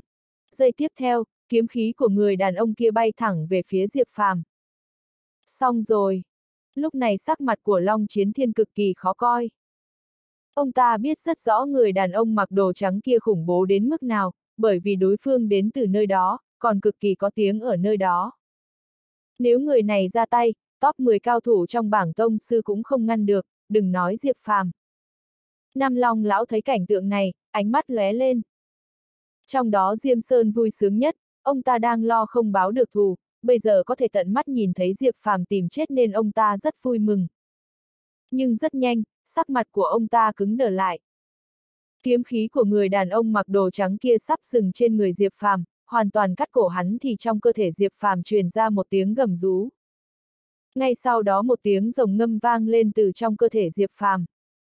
Sau đó vô số kim quang bộc phát ra, hóa thành vô số long ảnh phá hủy kiếm khí màu trắng của người đàn ông mặc đồ trắng kia, sau đó long ảnh mang theo long uy lao về phía người đàn ông mặc đồ trắng. ầm, um, một tiếng nổ mạnh vang lên. Ánh sáng vàng lóe sáng, bao phủ Diệp Phàm và người đàn ông mặc đồ trắng, làm người ngoài không thể thấy rõ tình huống của bọn họ. Một lúc sau, ánh sáng biến mất, Diệp Phàm và người đàn ông mặc đồ trắng xuất hiện. Diệp Phàm vẫn lạnh lùng đứng ở đó. Còn người đàn ông mặc đồ trắng kia che lại ngực, phun máu tươi. Thấy người đàn ông mặc đồ trắng bị thương, năm cao thủ và đám người long chiến thiên ngây ra như phỗng. Độc cô kiếm lại bại bởi một thằng nhóc hai mươi mấy tuổi. Không thể nào. Tên của người đàn ông mặc đồ trắng kia là độc cô kiếm, là cao thủ đứng đầu của gia tộc độc cô lánh đời, 18 tuổi bước vào tông cảnh, chấn động bốn phương, là thiên tài kiếm đạo trong suốt trăm năm qua. Năm người này bước vào tông cảnh đã quét ngang hơn nửa tông sư võ đạo trong bảng tông sư, còn thắng đối thủ với trạng thái nghiền áp. Nhưng trong lúc độc cô kiếm nổi tiếng bốn phương, bị vô số người sùng bái lại truyền ra tin tức, hắn ta thua. Đúng vậy, độc cô kiếm bị đánh bại, đối thủ còn trẻ hơn hắn ta. Tin tức này làm chấn động bốn phương. Nhưng không ai biết người đánh bại thiên tài kiếm đạo này là ai. Từ đó về sau độc cô kiếm rất ít xuất hiện. Hôm nay, cách 20 năm, độc cô kiếm lại lần nữa xuất hiện, nhưng lại lần nữa bị đánh bại bởi một hậu bối trẻ tuổi. Thực sự làm người khó có thể tin. Ngay cả Long Chiến Thiên cũng chấn động, nhìn Diệp Phàm với ánh mắt không thể tin được. Cho dù là ông ta cũng khó có thể cản được một kiếm vừa rồi của độc cô kiếm, đừng nói làm đối phương bị thương. Nhưng Diệp Phàm lại làm được. Long ảnh vừa rồi, không lẽ... Long Chiến Thiên nghĩ đến gì đó, đồng tử co rụt lại, nhìn chăm chú vào Diệp Phàm. Cậu! Độc cô kiếm nhìn Diệp Phàm, ánh mắt lóe lên. Lúc này Diệp Phàm cũng rất kinh ngạc. Hắn đang định thúc giục lực lượng thần bí khó có thể khống chế trong cơ thể để chống lại đối phương, nhưng không ngờ trong lúc quan trọng nhất, long tỷ trong cơ thể đột nhiên truyền ra tiếng vang lớn, sau đó bộc phát ra đòn tấn công vừa rồi. Ông thua. Diệp Phàm lạnh nhạt nói. Ha ha. Không ngờ 20 năm trước tôi thua bởi cha cậu, 20 năm sau tôi lại thua bởi cậu. Đột nhiên độc cô kiếm cười lớn. Lời nói của độc cô kiếm làm đám người long chiến thiên kinh sợ. Mặc dù bọn họ biết năm đó độc cô kiếm bị người đánh bại trong lúc nổi bật nhất, nhưng lại không biết là ai. Bây giờ nghe đối phương nói người đánh bại độc cô kiếm lại là cha của Diệp Phàm. Cha cậu ta là ai? Trong lòng Long Chiến Thiên như sóng cuộn biển gầm. Lúc trước ông ta từng điều tra lai lịch của Diệp Phàm nhưng lại không tra được manh mối gì. Cha mẹ của Diệp Phàm cũng là một bí ẩn. Diệp Phàm nghe độc cô kiếm nói vậy, ánh mắt lóe lên. Thực lực của người này đã đạt đến cảnh giới cực kỳ khủng bố. Cho dù 20 năm trước, thực lực của người này cũng không hề kém. Nhưng năm đó cha hắn lại có thể đánh bại người này. Sợ rằng thực lực của cha cũng không đơn giản. Lúc này Diệp Phàm phát hiện hình như hắn không hề biết gì về cha mình, cha ở trong mắt người ngoài cùng cha trong trí nhớ của hắn giống như hai người khác nhau. Ông còn muốn đánh tiếp không? Diệp Phàm hỏi. Tôi nói rồi, tôi chỉ đánh một kiếm. Một kiếm này đã quyết định thắng bại, cần gì so tiếp? Độc cô kiếm nói. Sau đó hắn ta nhìn Diệp Phàm, nói, cậu lợi hại hơn cha mình. Nói xong độc cô kiếm xoay người rời đi. Sau khi độc cô kiếm rời khỏi, Diệp Phàm nhìn về phía năm vị cao thủ kia. Mặc dù hắn thả chạy độc cô kiếm nhưng hắn không định buông tha năm người này. Năm người này làm Diệp Phàm cực kỳ chán ghét. Diệp Phàm vung lên đoàn kiếm màu đen, đâm thẳng về phía năm người bọn họ. Năm vị cao thủ còn đang chấn động vì độc cô kiếm bị Diệp Phàm đánh bại, đến khi kiếm của Diệp Phàm đã gần trong gang tấc, bọn họ mới lấy lại phản ứng vội vàng ra tay ngăn cản. ầm, um, một kiếm này của Diệp Phàm ẩn chứa lực lượng minh mông, thế không thể đỡ. Không phải đó là thiên quyền hạng 73 bảng tông sư sao? Còn có thẩm tuyển hạng 54 bảng tông sư. Vị kia đứng hạng 50, còn có vị kia. Mấy long vệ và năm long lão khiếp sợ nhìn năm người này. Năm người này đều là cao thủ tông sư đứng trong bảng tông sư, xếp hạng không thấp, trong đó còn có người xếp trước 40. Quan trọng hơn 20 năm trước bọn họ đã thành danh, trải qua 20 năm tu luyện, chắn chắn thực lực của bọn họ càng thêm đáng sợ. Nhưng lúc này bọn họ lại nằm bệt trên mặt đất như một con chó chết, làm người thổn thức. Diệp Phàm cầm kiếm bước từng bước về phía bọn họ. Đừng giết tôi, tôi có thể thần phục cậu, làm thuộc hạ của cậu. Cao thủ hạng 73 xin tha. Không cần, Diệp Phàm lạnh lùng nói, giơ kiếm chém đứt đầu người này. Thấy người này bị giết, bốn người còn lại từ bỏ xin tha. Bọn họ biết Diệp Phàm sẽ không bỏ qua cho bọn họ. Đáng chết, nếu mày không buông tha cho bọn tao, vậy cùng chết đi. Đột nhiên người đàn ông tên Lê Thành, kẻ mạnh nhất trong năm người lạnh lùng hét lên. Nói xong hắn ta muốn cưỡng chế vận chuyển chân khi, chuẩn bị tự bảo, đồng quy vu tận với Diệp Phàm. Phụt! Nhưng hắn ta vừa định tự bảo thì kiếm của Diệp Phàm đã đâm xuyên trái tim của hắn ta, chết tại chỗ. Phụt, phụt, phụt, phụt. Tiếp theo Diệp Phàm chém giết ba người còn lại. Sau khi giải quyết xong năm người này, Diệp Phàm đi về phía đám người đường sở sở, quan tâm nói, mọi người sao rồi? Không sao chứ? Bọn em không sao. Đường sở sở lắc đầu. Đi. Diệp Phàm dẫn bọn họ rời đi. Hiện trường chỉ còn lại đám người Long Chiến Thiên, trong lòng nổi sóng to gió lớn. Năm vị Long Lão và các Long vệ lại lần nữa bị Diệp Phàm làm cho chấn động. Ngay cả Diêm Sơn cũng từ bỏ ý định báo thù. Thực lực của Diệp Phàm quá mạnh, mạnh đến mức làm bọn họ tuyệt vọng. Đột nhiên một đám cao thủ ẩn giấu trong đế đô xuất hiện. Khi bọn họ nhìn thấy năm thi thể trên mặt đất, tất cả đều biến sắc. Chẳng phải đó là... Rất nhanh có người nhận ra thân phận của năm người này. Thân phận của năm cao thủ tông sư võ đạo này đã làm kinh sợ đám cao thủ đế đô này. Năm cao thủ đứng đầu bảng tông sư đều bị giết. Ai làm? Ai có thực lực đáng sợ như vậy? Long soái Bọn họ. Một cao thủ nhìn về phía Long Chiến Thiên. Bọn họ xúc phạm luật pháo, bị Tổng chỉ huy Long Hồn chém giết. Long Chiến Thiên nói thẳng. Tổng chỉ huy Long Hồn. Đám cao thủ này đều vô cùng chấn động. Bọn họ chưa từng nghe nói đến Tổng chỉ huy Long Hồn, người này từ đâu ra. Hơn nữa sao thực lực lại khủng bố như vậy? Sau này ai dám xúc phạm luật pháp ở đế đô, tổng chỉ huy Long Hồn sẽ lấy đầu người đó. Long Chiến Thiên lạnh lùng quát. Nghe vậy đám cao thủ đến từ các thế lực đứng đầu ở đế đô đều hoảng sợ, lộ ra sự nặng nề. Long Chiến Thiên làm vậy cũng vì muốn nhân cơ hội này nhất cao lực uy hiếp của Long Hồn, hơn nữa ông ta cũng chưa nói láo, Diệp Phàm chính là tổng chỉ huy Long Hồn. Tiếp theo, tin tức tổng chỉ huy Long Hồn chém giết năm cao thủ đứng đầu bảng tông sư nhiều năm đã nhanh chóng lan truyền khắp đế đô, làm các thế lực quyền quý chấn động. Tất cả mọi người đều thắc mắc tổng chỉ huy Long Hồn này chui ra từ đâu.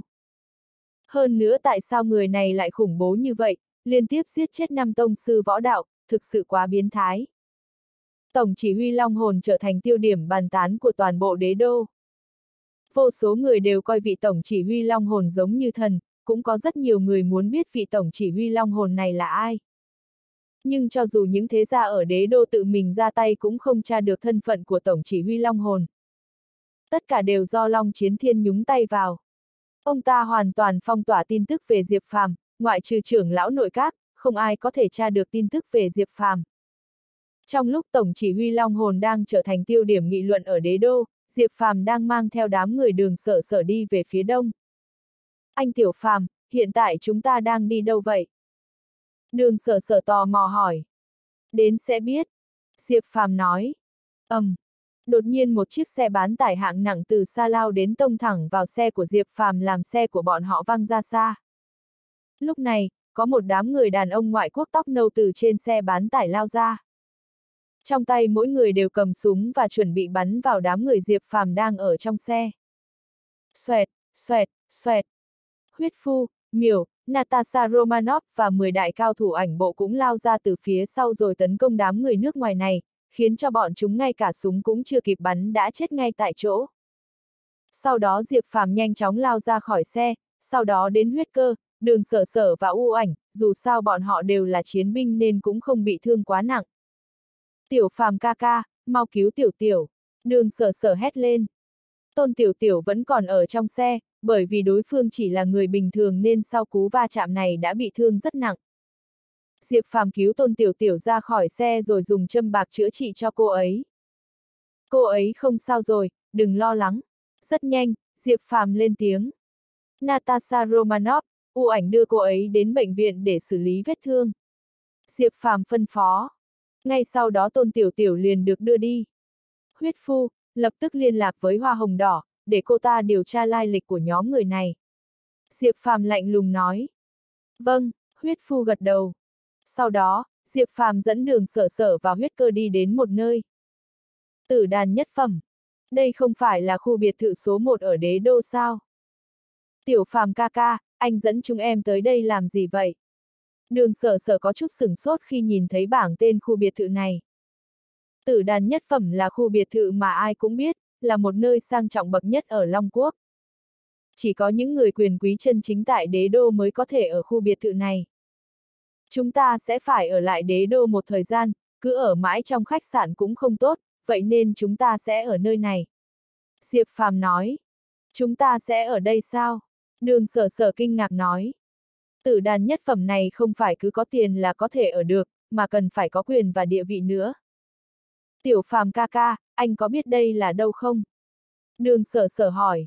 Không, Diệp phàm lắc đầu.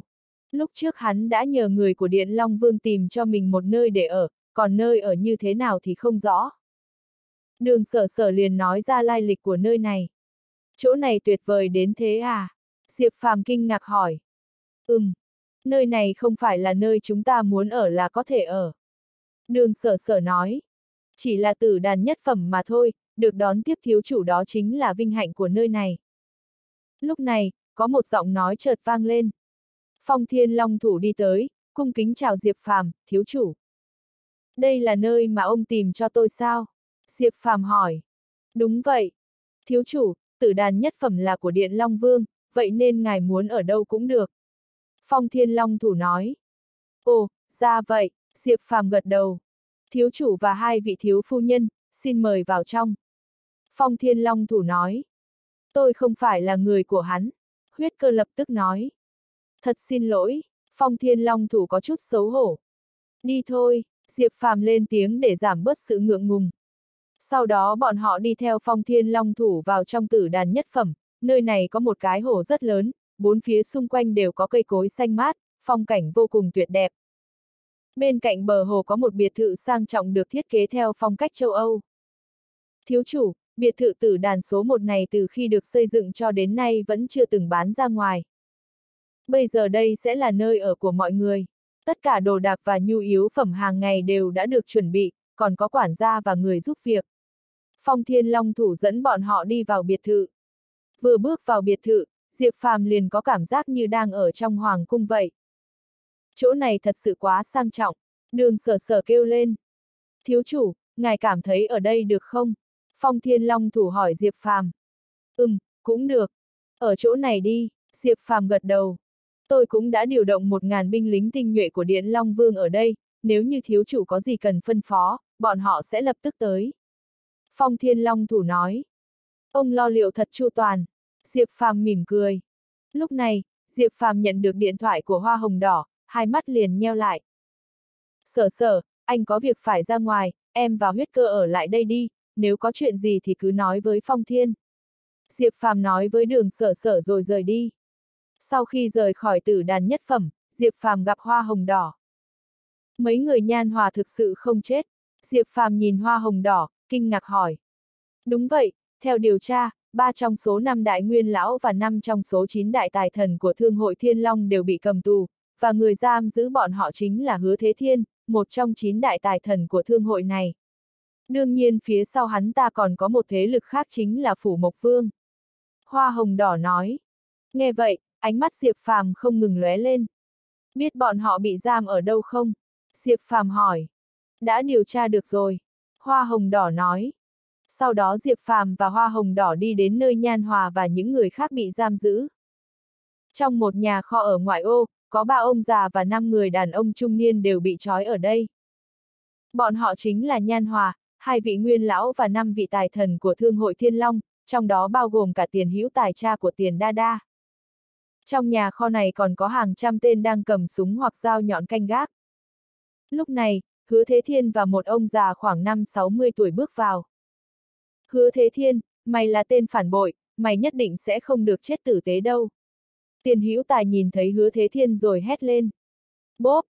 Hứa thế thiên liền tát vào mặt ông ta, lạnh lùng nói, tiền hữu tài, bây giờ ông chỉ là một tù nhân, nếu vẫn chưa muốn chết vậy thì tốt nhất ông nên cầm cái miệng lại.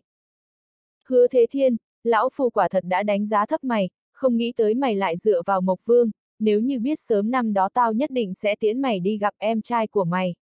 Nhan hòa lạnh lẽo nói. Xoạt! sắc mặt hứa thế thiên liền tối sầm lại rồi ngay lập tức bóp cổ của Nhan Hòa, khiến mặt ông ta đỏ bừng vì nghẹt thở. Nhan Hòa, ông dám giết em trai tôi, tôi nhất định sẽ khiến ông nợ máu phải trả bằng máu. Lúc này, sắc mặt của hứa thế thiên trở nên cực kỳ hung hãn, trong mắt tràn đầy sát ý. Hứa tài thần, bình tĩnh một chút. Lúc này, ông già bên cạnh hứa thế thiên lên tiếng, hắn ta liền buông nhan hòa ra. Đã đến lúc này rồi mà các người còn chưa muốn ra tay, xem ra Phủ Mộc Vương thật sự rất muốn lấy được chìa khóa hầm bí mật của Thương hội Thiên Long. Nhan Hòa nhìn ông già, lạnh lùng nói. Nhan lão, vương gia của chúng tôi thật sự không muốn giết ông. Chỉ cần ông, trịnh lão và giang lão giao chìa khóa hầm bí mật ra, tôi có thể bảo đảm mọi người đều được an toàn. Vị quản gia đến từ phủ Mộc Vương này nói với Nhan Hòa và hai vị nguyên lão khác của Thương hội Thiên Long. Muốn có chìa khóa của hầm bí mật, cứ mơ đi. Một nguyên lão khác hét lên. Rượu mời không uống, lại muốn uống rượu phạt. Không cần phí lời, trực tiếp tra tấn đi, tôi không tin bọn họ sẽ không đưa. Hứa thế thiên hử lạnh. Nếu như các ông đã cứng đầu như vậy, thì cũng đừng trách tôi. Tra tấn đi, quản gia phủ Mộc Vương lạnh lùng ra lệnh. Ngay lập tức, có người lấy ra rất nhiều dụng cụ tra tấn. Hứa thế thiên, chờ thiếu chủ đến, mày nhất định sẽ chết.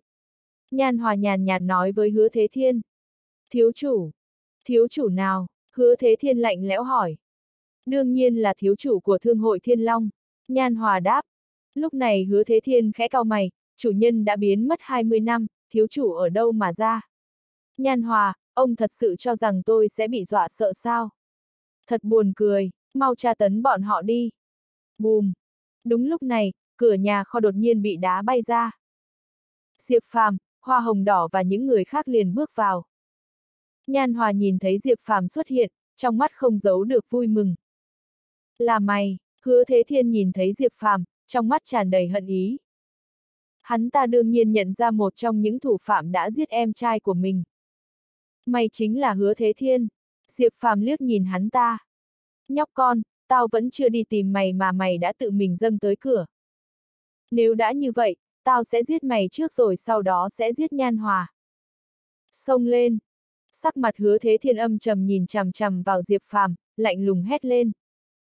Khi ông ta ra lệnh xong, những kẻ xung quanh liền chuẩn bị bắn vào Diệp Phàm.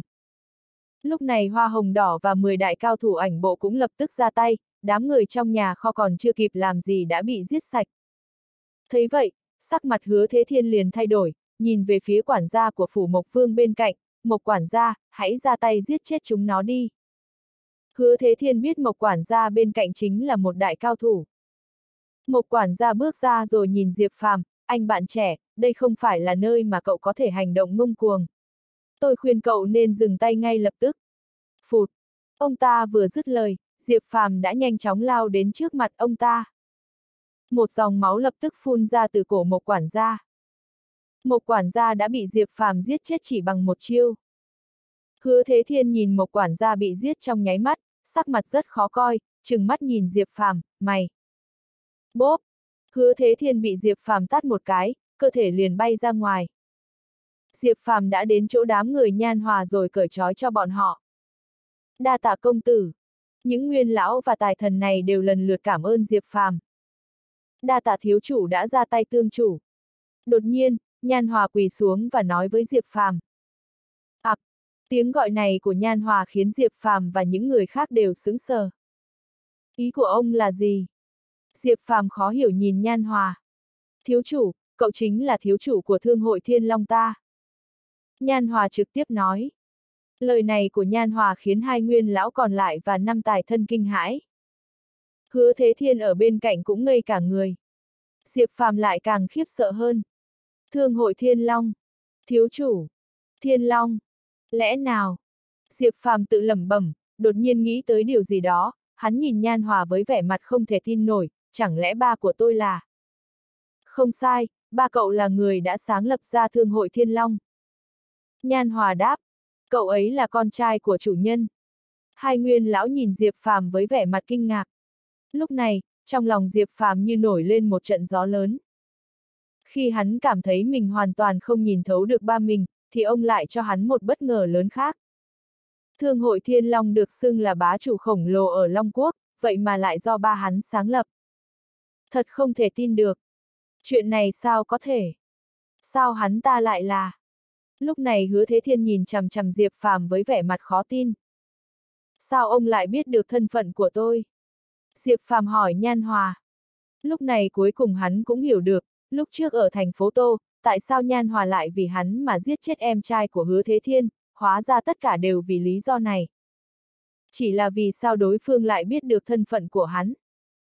Sau khi tập đoàn cho ra mắt đàn chú Nhan, tôi đã điều tra tập đoàn đường thị, kết quả ngoài ý muốn phát hiện ra thiếu chủ, lúc tôi nhìn thấy ảnh chụp của cậu thì đã giật mình.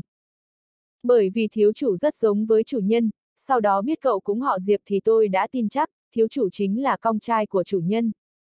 Nhan Hòa nói, lão già này, nếu ông đã biết thân phận của thiếu chủ, vì sao không nói sớm cho bọn tôi biết? Hai vị nguyên lão kiệu án giận nói, thân phận của thiếu chủ là chuyện rất quan trọng, đương nhiên càng ít người biết thì càng tốt. Nhan Hòa trầm giọng đáp. Đứng lên đi. Sau khi hiểu được tất cả mọi chuyện, Diệp Phàm nói với Nhan Hòa. Thiếu chủ, không ngờ chúng ta lại gặp nhau trong hoàn cảnh như vậy. Đều là tôi kém cỏi, dẫn đến Thương hội Thiên Long xuất hiện nội gián. Nhan Hòa vừa nói vừa nhìn về phía hứa Thế Thiên, ánh mắt tràn ngập sát ý. Ông đi thẳng về phía hứa Thế Thiên, lạnh giọng nói, tôi đã nói rồi, đợi thiếu chủ tới đây thì ông chết chắc. Thực xin lỗi nhan lão, đều là lỗi của tôi, xin. ầm, um, hứa thế thiên vừa mới mở miệng cầu xin tha thứ, nhan hòa đã đánh một trưởng đánh vỡ đầu ông ta. Hai người lập tức điều động nhân lực bắt Trịnh Tứ Hải và toàn bộ phản đồ lại. Nhan hòa nói với hai vị nguyên lão. Sau đó ông nhìn Diệp Phàm nói, thiếu chủ, mặc dù hôm nay hứa thế thiên chết nhưng chìa khóa kho bí mật trong tay hai nguyên lão phản bội cùng ông ta đã bị Mộc Vương cướp đi, chúng ta nhất định phải lấy về. Chìa khóa kho bí mật. Đó là thứ gì? Diệp Phàm tò mò hỏi. Trong thương hội Thiên Long có một cái kho bí mật do chủ nhân để lại, chìa khóa mở có 5 cái, do tôi và bốn nguyên lão chia nhau nắm giữ. Nhan Hòa nói. Bên trong kho đó có gì? Diệp Phàm tò mò. Không rõ, mặc dù 5 người chúng tôi giữ chìa khóa nhưng chủ nhân đã ra lệnh, bất cứ ai cũng không được phép mở. Nhưng nghe đồn bên trong có rất nhiều vàng bạc châu báu. Lý do Mộc Vương hợp tác với Hứa Thế Thiên là bởi vì ông ta đã nói cho đối phương biết chuyện kho báu bí mật. Lần này Mộc Vương giúp Hứa Thế Thiên bắt chúng ta, chưa giết là bởi vì muốn lấy được chìa khóa kho bí mật, mà chìa khóa trong tay hai nguyên lão cùng một ruột với Hứa Thế Thiên đã bị Mộc Vương lấy đi rồi. Nhan Hòa nói chi tiết. Được, tôi biết rồi. Ông đi xử lý đám phản đồ của Thương hội Thiên Long, còn chìa khóa kho bí mật, tôi sẽ đi lấy về. Diệp Phàm nói. Thiếu chủ, phủ mộc Vương này có một tông sư, thực lực rất mạnh, chính người này đã bắt giữ tôi, cậu phải cẩn thận. Nhan Hòa nhắc nhở Diệp Phàm. Ừm. Diệp Phàm đáp một tiếng rồi rời khỏi nơi này, đi thẳng tới phủ Mộc Vương. Phủ Mộc Vương lúc này. Mộc thần xuất hiện. Đồ con hoang, ai cho phép mày vào đây? Một gã thanh niên đứng trước mặt Mộc thần, nhìn hắn quát lạnh. Hắn ta là thế tử của phủ Mộc Vương, Mộc Phi, cũng chính là anh trai của Mộc Thần. Mộc Thần là con riêng của Mộc Vương và một tỷ nữ. Hôm nay là ngày dỗ của mẹ, tôi trở về tế bái bà ấy. Mộc Thần mặt không cảm xúc nói. Thắp hương cho mẹ mày. Ha ha, quên không nói cho mày biết, bài vị của mẹ mày đã bị tao ném khỏi từ đường lâu rồi. Mộc Phi cười lạnh nói. Nghe vậy, Mộc Thần siết chặt nắm đấm, hắn nhìn Mộc Phi với ánh mắt đầy căm phẫn, anh có tư cách gì mà ném bài vị của mẹ tôi ra khỏi từ đường? Tư cách? Vẻ mặt Mộc Phi lạnh xuống, hắn vung tay, một quả cầu nước xuất hiện đánh thẳng lên người đối phương khiến Mộc Thần bay ngược ra ngoài. Công tử! Vẻ mặt của người đàn ông trung niên đi cạnh Mộc Thần thay đổi, ông nhìn Mộc Thần rồi hô lên. Thấy Mộc Thần bị thương, người đàn ông giận dữ nhìn về phía Mộc Phi. ầm, um, Mộ Vi lại vung tay lên, một mũi tên nước nhanh chóng bắn ra, trực tiếp xuyên qua cơ thể người đàn ông trung niên. A! À, nhìn thấy người đi theo mình bị giết, Mộc Thần tức giận gầm lên. Mày! Mộc Thần nhìn chằm chằm Mộc Phi. Nhìn cái gì? Đây chính là tư cách của tao. Hiện tại đằng đại sư đã dạy dỗ tao trở thành một thuật sĩ chân chính, tương lai tiền đồ rộng mở. Ngay cả cha cũng phải ngoan ngoãn trước mặt tao, ném bài vị của một tiện tỳ ra khỏi từ đường thì có là gì. Năm đó nếu không phải cha mềm lòng, một con tiện tỳ như mẹ mày chết đi lại có tư cách vào từ đường sao. Mộc Phi đầy khinh thường nói. Cộc cộc cộc. Lúc này, một người đàn ông khoác áo dài màu lam đi tới, ông ta chính là một trong tám vương của Long Quốc, Mộc Vương. Cha! Mộc Phi khom người gọi Mộc Vương. Sao lại trở về? Mộc Vương nhíu mày nhìn Mộc Thần, ánh mắt ông ta lộ vẻ chán ghét, không có bất cứ tình thân nào. Nó về là để tới từ đường tế bái cho người mẹ tiện tì của nó. Mộc Phi nói, bài vị của mẹ mày đã bị đưa ra khỏi từ đường rồi, nếu muốn tế bái thì tới trước mộ của bà ta đi. Mộc Phương lạnh nhạt nói, ông cũng ác lắm. Ánh mắt Mộc Thần đầy căm hận nhìn chằm chằm Mộc Phương. Cút đi, đừng bao giờ xuất hiện ở đây nữa. Mộc Phương lạnh lùng nói. Đường đường là vương gia, ngay cả với con trai ruột của mình cũng máu lạnh như vậy, đúng là nhẫn tâm. Đột nhiên, một giọng nói lạnh như băng vang lên. Diệp Phàm xuất hiện trong phủ Mộc Vương. Mộc thần nhìn thấy Diệp Phàm xuất hiện thì rất ngạc nhiên. Cậu là ai? Dám tự tiện xông vào phủ Mộc Vương. Mộc Vương uy nghiêm nhìn Diệp Phàm. Trước kia anh giúp tôi một lần, hôm nay tôi sẽ trả lại ân tình này cho anh. Anh muốn ai trong số họ chết, hay cả chết cả hai? Diệp Phàm hỏi Mộc Thần. Nghe Diệp Phàm nói vậy, ánh mắt Mộc Thần nhìn chằm chằm vào Mộc Vi, tôi muốn hắn ta chết. Được. Dứt lời, Diệp Phàm biến mất ngay tại chỗ. Phút. Giây sau, Diệp Phàm đã xuất hiện trước mặt Mộc Vi, đưa tay bóp cổ hắn ta. Dừng tay. Răng rắc. Mộc Phương vừa lên tiếng thì Diệp Phàm đã cắt đứt cổ họng tên thế tử của phủ Mộc Phương. Khốn kiếp. Nộp mạng ra đây. Thấy con trai bị giết chết trước mặt mọi người, Mộc Vương giận dữ tấn công Diệp Phàm. Bịch! Diệp Phàm vung tay đánh bay Mộc Vương. Giao hai chìa khóa kho bí mật của thương hội Thương Long ra đây. Diệp Phàm đi về phía Mộc Vương, lạnh lùng nói. Mày là người của thương hội Thiên Long. Vẻ mặt Mộc Vương khựng lại. Tôi không muốn phí lời, đưa chìa khóa đây. Diệp Phàm lạnh giọng. Mơ đi. Mộc Vương lớn giọng nói. Không đưa, vậy thì đi chết đi. Nói xong, hắn định giết chết vị Mộc Vương này. Thanh niên trẻ, cậu quá ngông cuồng rồi. Đột nhiên, một giọng nói khàn khàn vang lên. Vút! Trong nháy mắt, một cây dây leo màu xanh bắn ra, trực tiếp quấn lấy cơ thể Diệp Phàm, trói hắn lại. Sắc mặt Diệp Phàm cứng lại, một cỗ lực lượng kinh khủng từ trong cơ thể hắn bộc phát, chặt đứt đám dây leo tại chỗ. Lúc này, Diệp Phàm nhìn về phía sau. Một ông già tóc bạc mặc áo choàng xanh bước tới. Đằng đại sư, mau giết hắn ta. Mộc Phương hô lên với vị lão giả này. Người trẻ tuổi, không ngờ cậu cũng có chút thực lực, lại có thể thoát khỏi dây leo của lão phu. Lão giả nhìn Diệp Phàm nói. Ông chính là vị tông sư của phủ Mộc Vương. Diệp Phàm liếc mắt nhìn đối phương. Lão phu đằng không, đứng thứ 52 trong bảng tông sư. Lão giả này vuốt nhẹ tròm dâu thản nhiên nói. Danh con, hôm nay có đằng đại sư ở đây, mày chết chắc. Mộc Vương đứng dậy lớn tiếng quát Diệp Phàm. Ông nghĩ nhiều rồi. Diệp Phàm lạnh lùng nhìn Mộc Phương. Dứt lời, hắn xông về phía đằng không. Vẻ mặt của lão giả khựng lại, dây leo mọc ra khắp người, tất cả đều tấn công về phía Diệp Phàm. Phụt phụt phụt. Diệp Phàm rút thanh kiếm ngắn màu đen chặt đứt từng dây một. Hắn chém một đường đi thẳng tới trước mặt vị tông sư kia, biểu cảm của đối phương trở nên vô cùng khó coi. Phụt. Diệp Phàm chém một kiếm tới, lại một đống dây leo xuất hiện quanh người lão giả, nhưng lần này không phải để tấn công Diệp Phàm mà là bọc lấy cơ thể ông ta, ngăn lại công kích của Diệp Phàm.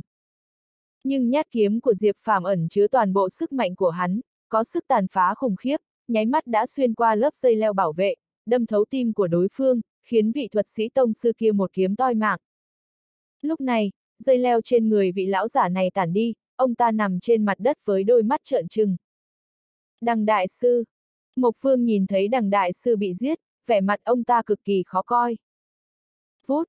Ánh mắt Diệp Phàm lại nhìn về phía Mộc Vương. Chìa khóa kho bí mật, bây giờ tôi lập tức đưa cho cậu. Lúc này, cơ thể Mộc Vương run rẩy, vội vàng giao hai chìa khóa ra. Ngay cả tông sư cũng bị giết, Mộc Vương nào dám đối địch với Diệp Phàm nữa. Người này là một kẻ biến thái. Diệp Phàm lấy được hai chiếc chìa khóa, hắn liếc mắt nhìn Mộc Thần, có muốn tôi giết ông ta luôn không?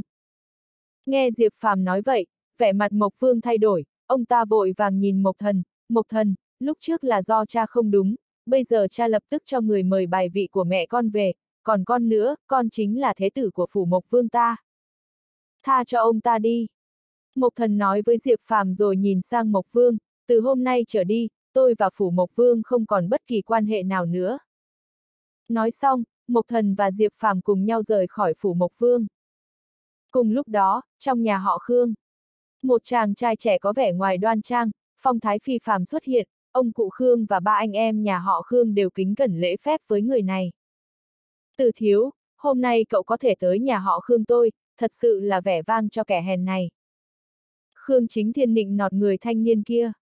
Khương đại nhân khách khí rồi. Hôm nay tôi tới đây để thăm cô Khương. Sao cô Khương vẫn chưa ra? Từ thiên hạo nói. Cha, ông nội. Hai người tìm con tới có chuyện gì không?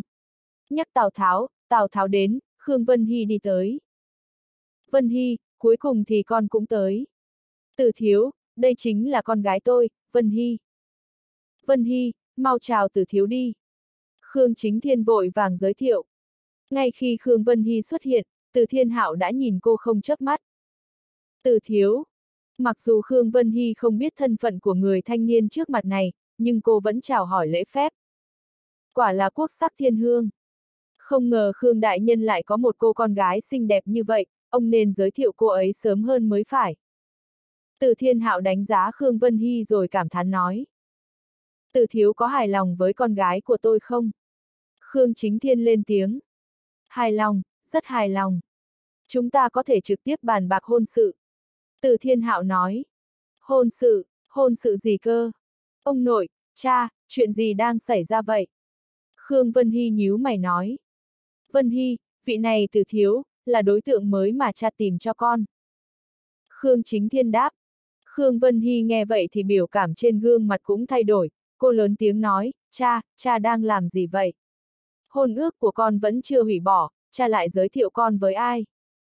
Mối hôn sự kia cha sẽ cho người xử lý, con chỉ cần yên tâm ở cạnh từ thiếu là được, từ thiếu nhất định sẽ yêu thương con. Khương Chính Thiên nói, cha, lẽ nào cha không hiểu hay sao? Hôn nhân của con, con muốn tự làm chủ, con không cần mọi người sắp xếp chồng chưa cưới hay đối tượng gì hết. Con sẽ không gả cho anh ta. Khương Vân Hy kiên quyết nói. Lúc này, từ thiên hạo nở một cụ cười gian tà nhìn Khương Vân Hy, có cá tính, tôi thích. Cô Khương, tôi đã nhìn chúng cô rồi, vậy nên cô chỉ có thể trở thành người phụ nữ của tôi. Ngoại trừ tôi, trên đời này em sẽ không tìm được bất cứ người đàn ông nào khác. Từ thiên hạo nói. Những lời ngắn gọn nhưng lại đầy ngang ngược độc đoán. Nghe vậy, vẻ mặt Khương Vân Hy trở nên vô cùng khó coi, cô nhìn chằm chằm từ thiên hạo, mặc kệ anh là ai, tôi sẽ không gả cho anh, nếu như anh muốn ép buộc tôi, vậy thì tôi tình nguyện chết. Chết! Ha ha! Từ thiên hạo cười khinh thường, hắn căn bản không tin Khương Vân Hy dám tìm cái chết. Nhưng ngay sau đó, từ thiên hạo và đám người Khương Chính Thiên đều bị dọa sợ. Khương Vân Hy đập thẳng đầu vào cây cột nhà ở bên cạnh, bể đầu chảy máu, cả người nằm trên mặt đất. Vân Hy!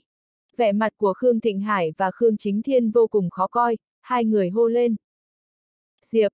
Lúc này, Khương Vân Hy nằm trên mặt đất, trong đầu hiện ra bóng dáng của Diệp Phàm, cô há miệng, lời còn chưa nói xong đã nhắm nghiền hai mắt. Đế đô, trong phòng phẫu thuật của bệnh viện số 1.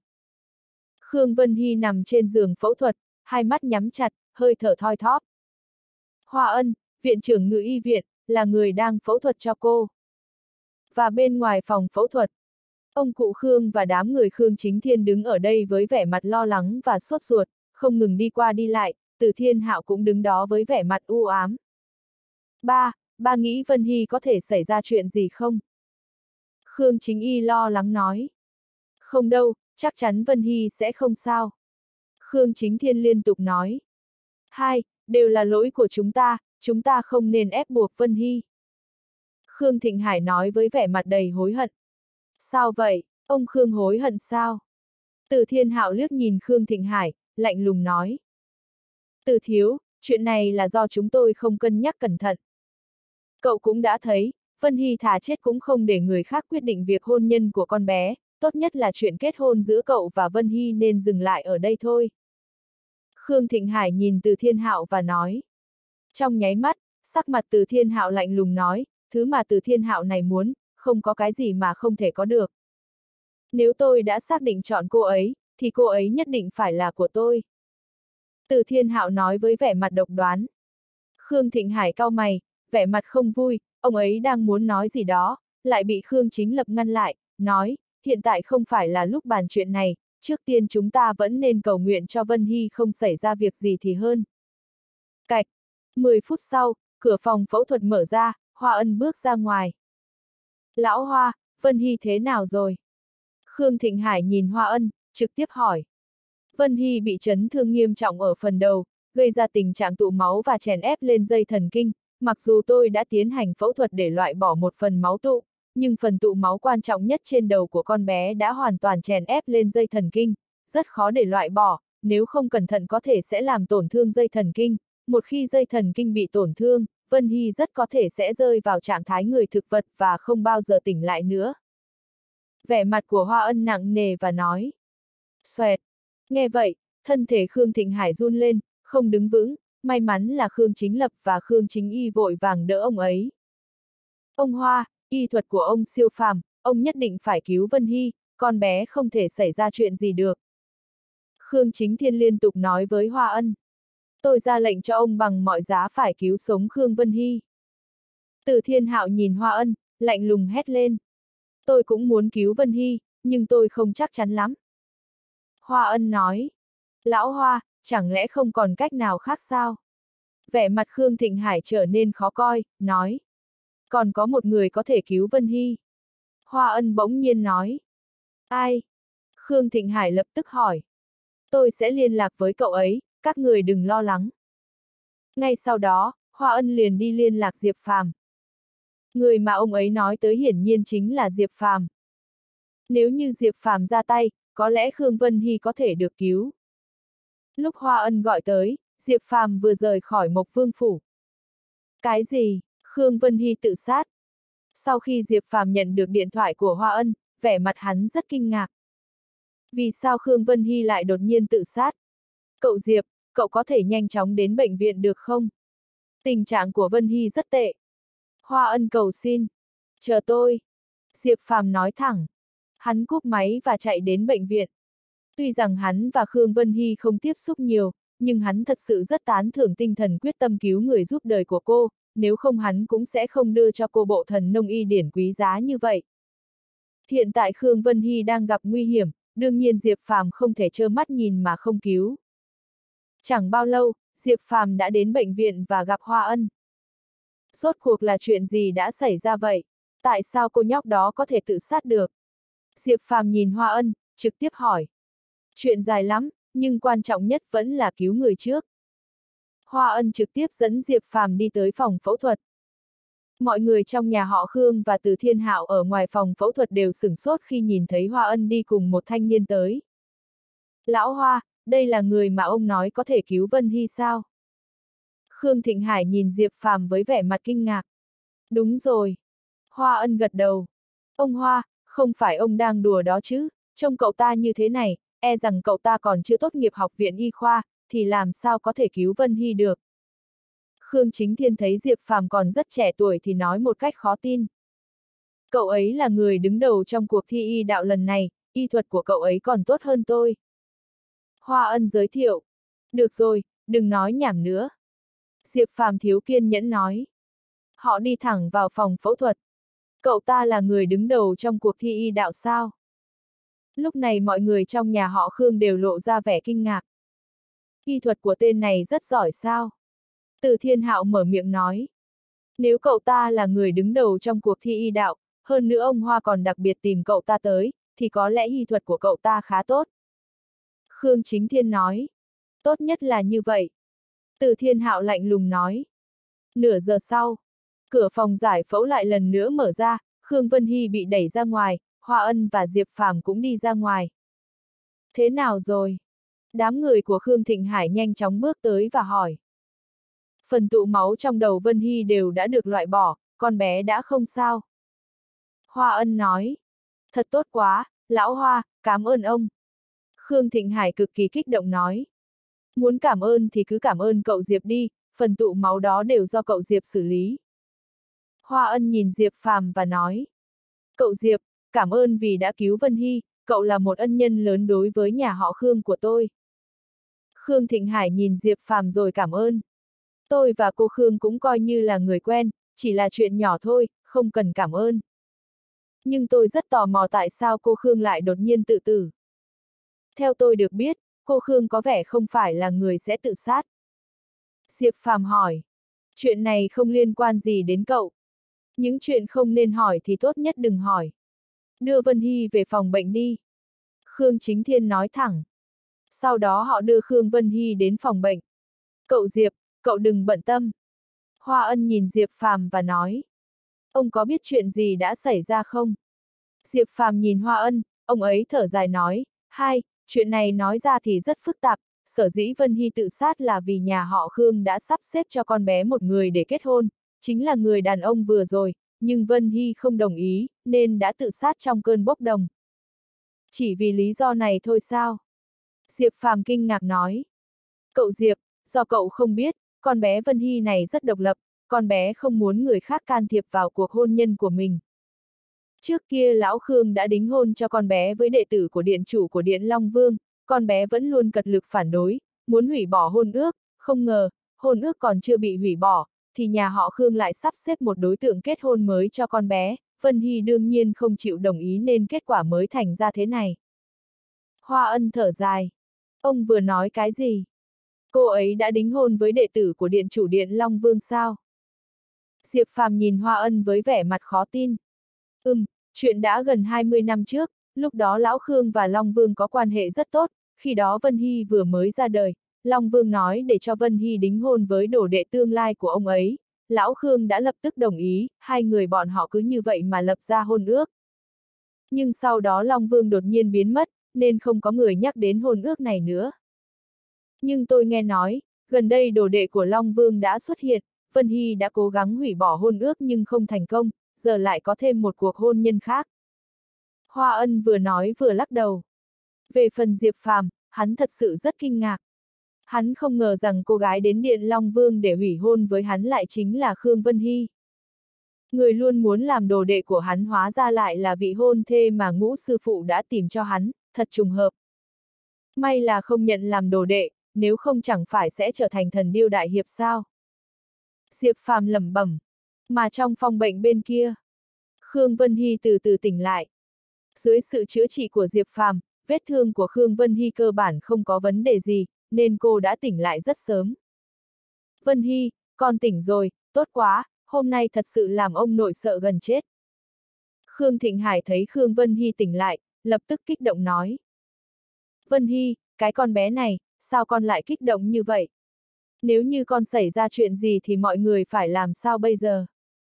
Khương Chính Thiên nhìn Khương Vân Hy và oán trách. Sự dũng cảm của cô Khương thực sự đã khiến tôi mở rộng tầm mắt. Nhưng hiện tại cô Khương không có việc gì, có nghĩa là duyên phận giữa tôi và cô Khương vẫn chưa cắt đứt, ông trời đã định cô phải trở thành người phụ nữ của tôi. Từ thiên hạo nhìn Khương Vân Hy, cười lạnh. Lúc này, sắc mặt Khương Vân Hy thay đổi, cô kiên quyết nói, tôi sẽ không gả cho anh. Cha mẹ đặt đâu con ngồi đấy, chuyện này cô không có quyền quyết định. Từ thiên hạo lạnh lùng nói, anh ta nhìn Khương Chính Thiên, Khương Đại Nhân thấy thế nào? Vân Hy, từ thiếu gia thật sự rất tốt, nếu con gả cho cậu ta, thì chắc chắn sẽ rất hạnh phúc. Khương Chính Thiên nói với Khương Vân Hy. Từ thiếu, hay là chúng ta dừng chuyện này ở đây đi, dù sao hôn ước giữa Vân Hy và thiếu chủ của Điện Long Vương vẫn chưa hủy bỏ, hay là đợi đến khi hôn ước này hủy bỏ mới nói tới chuyện giữa hai người được không? Khương Thịnh Hải nhìn từ thiên hạo và nói. Về chuyện hôn ước với thiếu chủ của Điện Long Vương, tôi sẽ sai người thông báo cho thiếu chủ của Điện Long Vương, yêu cầu anh ta lập tức hủy bỏ hôn ước. Từ thiên hạo nói với vẻ mặt lạnh lùng và kiêu ngạo. Không cần thông báo, tôi tới rồi đây. Đột nhiên, ngoài phòng bệnh truyền đến giọng nói của Diệp Phàm. Hắn trực tiếp bước vào. Bốp bốp bốp. Lúc này, từ thiên hạo và đám người nhà họ Khương đều nhìn chằm chằm Diệp Phàm. Tạo sao cậu lại đến đây? Từ thiên hạo liếc nhìn Diệp Phàm. Không phải anh muốn cử người đến Điện Long Vương thông báo cho thiếu chủ Điện Long Vương về việc hủy bỏ hôn ước à? Hiện tại không cần phải đi thông báo nữa, tôi đến rồi. Diệp Phàm nói thẳng. Hả? Ngay khi Diệp Phàm nói những lời này, cả nhà Khương Thịnh Hải và Từ Thiên Hạo đều sửng sốt. Ý cậu là sao? Từ Thiên Hạo nhìn chằm chằm vào Diệp Phàm. Tôi là thiếu chủ điện Long Vương. Diệp Phàm nói thẳng. Vừa nói xong, vẻ mặt của mọi người trong nhà họ Khương đều thay đổi, hết sức kinh ngạc. Người sốc nhất trong số đó là Khương Vân Hy, cô mở to mắt kinh ngạc nhìn Diệp Phàm. Cô không bao giờ ngờ rằng Diệp Phàm lại là vị hôn phu đã có hôn ước từ khi còn nhỏ của mình. Vào lúc này, trong lòng Khương Vân Hy dao động mạnh mẽ, lúc lên lúc xuống. Cậu là thiếu chủ của Điện Long Vương. Từ thiên hạo nhìn Diệp Phàm nhíu mày. Đúng vậy. Diệp Phàm nói. Không phải cậu đang lừa gạt chúng tôi chứ? Khương Chính Thiên nhìn chằm chằm vào Diệp Phàm, lạnh lùng nói. Có cần tôi mời tứ đại long quân của Điện Long Vương tới cho các người xem không? Diệp Phàm hừ lạnh nói. Không ngờ người anh em đây chính là đệ tử của Long Vương, xem ra cậu và Vân Hy thật sự có duyên. Khương Thịnh Hải nhìn Diệp Phàm thở dài nói. Nếu cậu là thiếu chủ điện Long Vương thì tốt quá, bây giờ tôi tuyên bố, hôn ước của cậu với Khương Tiểu Thư chính thức bị hủy bỏ, từ nay trở đi cậu sẽ không có quan hệ gì với Khương Tiểu Thư. Lúc này, Từ Thiên Hào nhìn Diệp Phàm, lạnh lùng nói. Hôn ước của chúng tôi, khi nào đến lượt anh hủy bỏ? Diệp Phàm nhìn thoáng qua Từ Thiên Hạo, khinh thường nói. Cậu! Ngay lập tức, vẻ mặt Từ Thiên Hạo lạnh lùng, nhìn chằm chằm Diệp Phàm với ánh mắt lạnh lẽo. Từ thiếu không thể hủy bỏ hôn ước của các người, vậy thì cha ruột của Vân Hy chắc là có thể hủy bỏ chứ. bây giờ tôi thông báo với cậu hôn ước của cậu và Vân Hy nhà chúng tôi chính thức bị hủy bỏ. Khương Chính Thiên nhìn Diệp Phàm, nói thẳng. Con không đồng ý. Diệp Phàm chưa kịp lên tiếng, Khương Vân Hy đột nhiên nói. Hả? Khương Vân Hy vừa nói xong, Khương Chính Thiên và những người khác có mặt đầu ngẩn ra. Lúc này, Khương Chính Thiên nhìn Khương Vân Hy nói, Vân Hy, con nói cái gì? Con không đồng ý hủy bỏ hôn ước. Khương Vân Hy nói từng chữ một. Tại sao, không phải con luôn muốn hủy bỏ hôn ước với thiếu chủ của Điện Long Vương sao? Về vấn đề này, Khương Chính Thiên khó hiểu hỏi. Hủy bỏ hôn ước này rồi sau đó gả cho hắn ta theo sự sắp xếp của cha à? Vậy thì con thà gả cho hắn. Đầu tiên Khương Vân Hy nhìn thoáng qua từ thiên hạo, sau đó nhìn chằm chằm vào Diệp Phàm, trong mắt hiện lên một tia lạ lùng. Đối với từ thiên hạo, lời nói của Khương Vân Hy chứa đầy sự nhục nhã. Hắn ta là con trai hộ quốc trí tôn, còn không bằng một thiếu chủ của Điện Long Vương sao. Đối với hắn ta mà nói, đây là một sự sỉ nhục. Cô nói cái gì? Vẻ mặt từ thiên hạo lạnh lùng nhìn chằm chằm Khương Vân Hy. Từ thiếu, ngài đừng tức giận, Vân Hy nó. Khương Chính Thiên nhìn từ thiên hạo vội vàng giải thích, nhưng trước khi ông ta nói xong, Khương Vân Hy đã nhìn từ thiên hạo nói, tôi nói tôi muốn gả cho thiếu chủ của Điện Long Vương, không phải anh. Cô! Từ thiên hạo lập tức sụ mặt xuống. Vân Hy, im ngay. Mau xin lỗi từ thiếu đi. Khương Chính Thiên trách mắng Khương Vân Hy, ông ta đang muốn xin lỗi từ thiên hạo, đối phương đã lạnh lùng nói, được, được lắm, nếu cô muốn gả cho hắn, vậy tôi sẽ cho cô thấy hắn chết trước mặt cô, để tôi xem cô có còn muốn gả cho một thi thể hay không. Sau khi từ thiên hạo nói xong, một cỗ sát ý kinh khủng bộc phát, bao trùm lấy Diệp Phàm. Hắn ta đánh ra một trường, đánh thẳng về phía Diệp Phàm, chuẩn bị làm hắn nổ tung. Thực lực của con trai hộ quốc trí tôn này cũng cực kỳ đáng sợ, đạt đến thiên cảnh nhất trọng. Trong số những thế hệ trẻ mà từ khi Diệp Phàm xuống núi đã gặp thì thực lực của Từ Thiên Hạo chắc chắn thuộc hàng đầu. Không. Nhìn thấy Từ Thiên Hạo muốn giết Diệp Phàm, vẻ mặt của Khương Vân Hy thay đổi, cô hét lên. ầm. Um. Giây tiếp theo, một tiếng gầm vang lên. Một bóng người trực tiếp bay ra, đập vào bức tường của phòng bệnh, làm thủng một lỗ trên tường. Người này không ai khác chính là Từ Thiên Hạo. Phụt. Sau khi Từ Thiên Hạo va vào tường, hắn ta ngã xuống đất, nôn ra máu. Cảnh tượng này khiến mọi người trong nhà họ Khương đều bị sốc. Từ thiếu. Khương chính thiên phản ứng lại, lao tới bên cạnh từ thiên hạo để giúp hắn ta đứng dậy. Khụ khụ khụ. Từ thiên hạo ho khan một lúc, máu không ngừng chảy ra từ miệng, toàn thân bị thương nặng. Chỉ bằng anh, mà cũng muốn giết tôi. Diệp phàm liếc nhìn từ thiên hạo, khinh thường nói. Phụt. Khi từ thiên hạo nghe Diệp Phàm nói vậy, hắn ta tức giận đến mức lại nôn ra máu. Cậu có biết thân phận của Từ thiếu không? Cậu còn dám ra tay với Từ thiếu, cậu có biết hậu quả là gì không? Khương Chính Thiên tức giận nhìn Diệp Phàm nói. Tôi không quan tâm thân phận của hắn ta là gì. Diệp Phàm bĩu môi xem thường. Cậu dám làm tôi bị thương, tôi sẽ làm cho cậu chết không có chỗ chôn. Từ Thiên Hạo nhìn Diệp Phàm, vẻ mặt đầy sát khí hét lên. Từ thiếu, tôi và hắn đã có hôn ước từ trước, chuyện xảy ra ngày hôm nay chỉ là hiểu lầm. Mong anh đừng quấy rầy chúng tôi nữa, tôi sẽ không hủy bỏ hôn ước với hắn. Khương Vân Hy đứng dậy, nói thẳng với Từ Thiên Hạo. Nói xong cô kéo Diệp Phàm rời khỏi phòng bệnh. Vân Hy. Khương Thịnh Hải không nhịn được hét lên. Từ. Bốp. Khương Chính Thiên nhìn Từ Thiên Hạo, vừa định mở miệng đã bị tát vào mặt. Tôi nhớ kỹ chuyện ngày hôm nay. Từ thiên hạo hừ lạnh với Khương Chính Thiên, che người lại rồi trực tiếp rời đi. Chính Thiên, nhìn việc tốt con đã làm đi, bây giờ lại thành ra thế này. Khương Thịnh Hải tức giận mắng Khương Chính Thiên. Cha, tất cả những chuyện này đều là do tên Điện Long Vương kia gây ra. Nếu không có hắn thì những chuyện này đã không xảy ra, chúng ta cũng sẽ không đắc tội với tử thiếu. Vào lúc này, Khương Chính Thiên rất không cam tâm. Anh hai, chúng ta nên làm gì bây giờ? Từ thiếu sẽ không giận cá chém thất lên chúng ta chứ? Khương Chính Y lo lắng nói. Dù sao thì thằng nhóc đó cũng chết chắc, hắn dám đánh con trai của hộ quốc trí tôn, e rằng toàn bộ điện Long Vương sẽ phải chôn theo hắn. Về phần nhà họ Khương, bây giờ chỉ có thể dựa vào việc Vân Hy cầu xin từ thiếu. Cha, Vân Hy luôn nghe lời người nhất, người phải lập tức thuyết phục nó, chuyện này có liên quan đến toàn bộ sự sống chết của người nhà họ Khương. Khương Chính Thiên không ngừng nói chuyện với Khương Thịnh Hải, khi nói câu sau ánh mắt còn lóe lên. Lúc này, trên hành lang của bệnh viện nào đó, Diệp Phàm và Khương Vân Hy đang đứng ở đây, người sau nắm tay hắn với vẻ mặt lo lắng. Anh! Cô! Giây tiếp theo, cả hai người cùng nói. Nói trước đi. Diệp Phàm nói. Hôm nay cảm ơn anh đã cứu tôi. Nhưng tôi không ngờ anh lại là, là vị hôn phu của tôi. Khương Vân Hy nói với vẻ mặt đỏ bừng, lộ ra chút ngượng ngùng. Tôi cũng không ngờ người đến Điện Long Vương nói muốn hủy bỏ hôn ước trước đó lại là cô. Diệp Phàm mỉm cười, tiếp tục nói, nhưng cô đừng lo lắng, bất cứ lúc nào cô cũng có thể hủy bỏ hôn ước.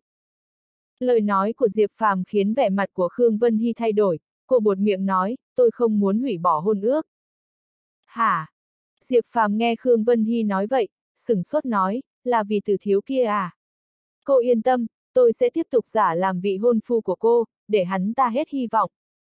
Không, không phải vì hắn ta mà là tôi không muốn hủy bỏ hôn ước. Khương Vân Hy vội vàng giải thích. Tại sao? Diệp Phàm tò mò hỏi.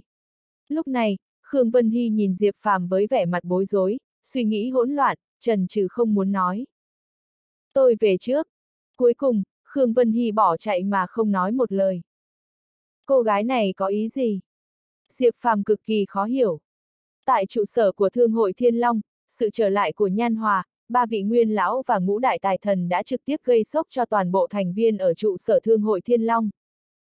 Trước đó bọn họ nhận được tin tức, mấy vị nguyên lão và ngũ đại tài thần đều đã thiệt mạng trong vụ nổ ở biệt thự, tại sao bây giờ lại đột nhiên xuất hiện? Sao các người có thể? Lúc này, vẻ mặt của hai vị nguyên lão cùng hứa thế thiên, còn có ba vị tài thần bao gồm Trịnh Tứ Hải thấy đám người trở về đều rất khó coi. Bây giờ hứa thế thiên đã chết, âm mưu của các người đã bị lộ. Ngoan ngoãn buông tay đầu hàng đi, chờ thiếu chủ định tội. Nhan hòa lạnh lùng nói. Thiếu chủ. Thiếu chủ ở đâu ra? Trịnh Tứ Hải lạnh lùng nói. Con trai của chủ nhân đã trở về, đã đến lúc những kẻ phản bội như các người phải chết. Tiền hữu tài nhìn nhóm người này nói. Sau khi nghe những gì tiền hữu tài nói, vẻ mặt của hai vị nguyên lão và trịnh tứ hải thay đổi, lộ ra vẻ mặt kinh ngạc. Chủ nhân đã mất tích nhiều năm, làm sao có thể có con trai? Các người đừng nói bậy nữa. Trịnh tứ hải hừ lạnh. Ông còn nói nhảm với bọn họ làm gì, mau bắt lấy bọn họ. Nhan hòa lạnh lùng nói với một nguyên lão bên cạnh, ông ta vọt ra ngoài.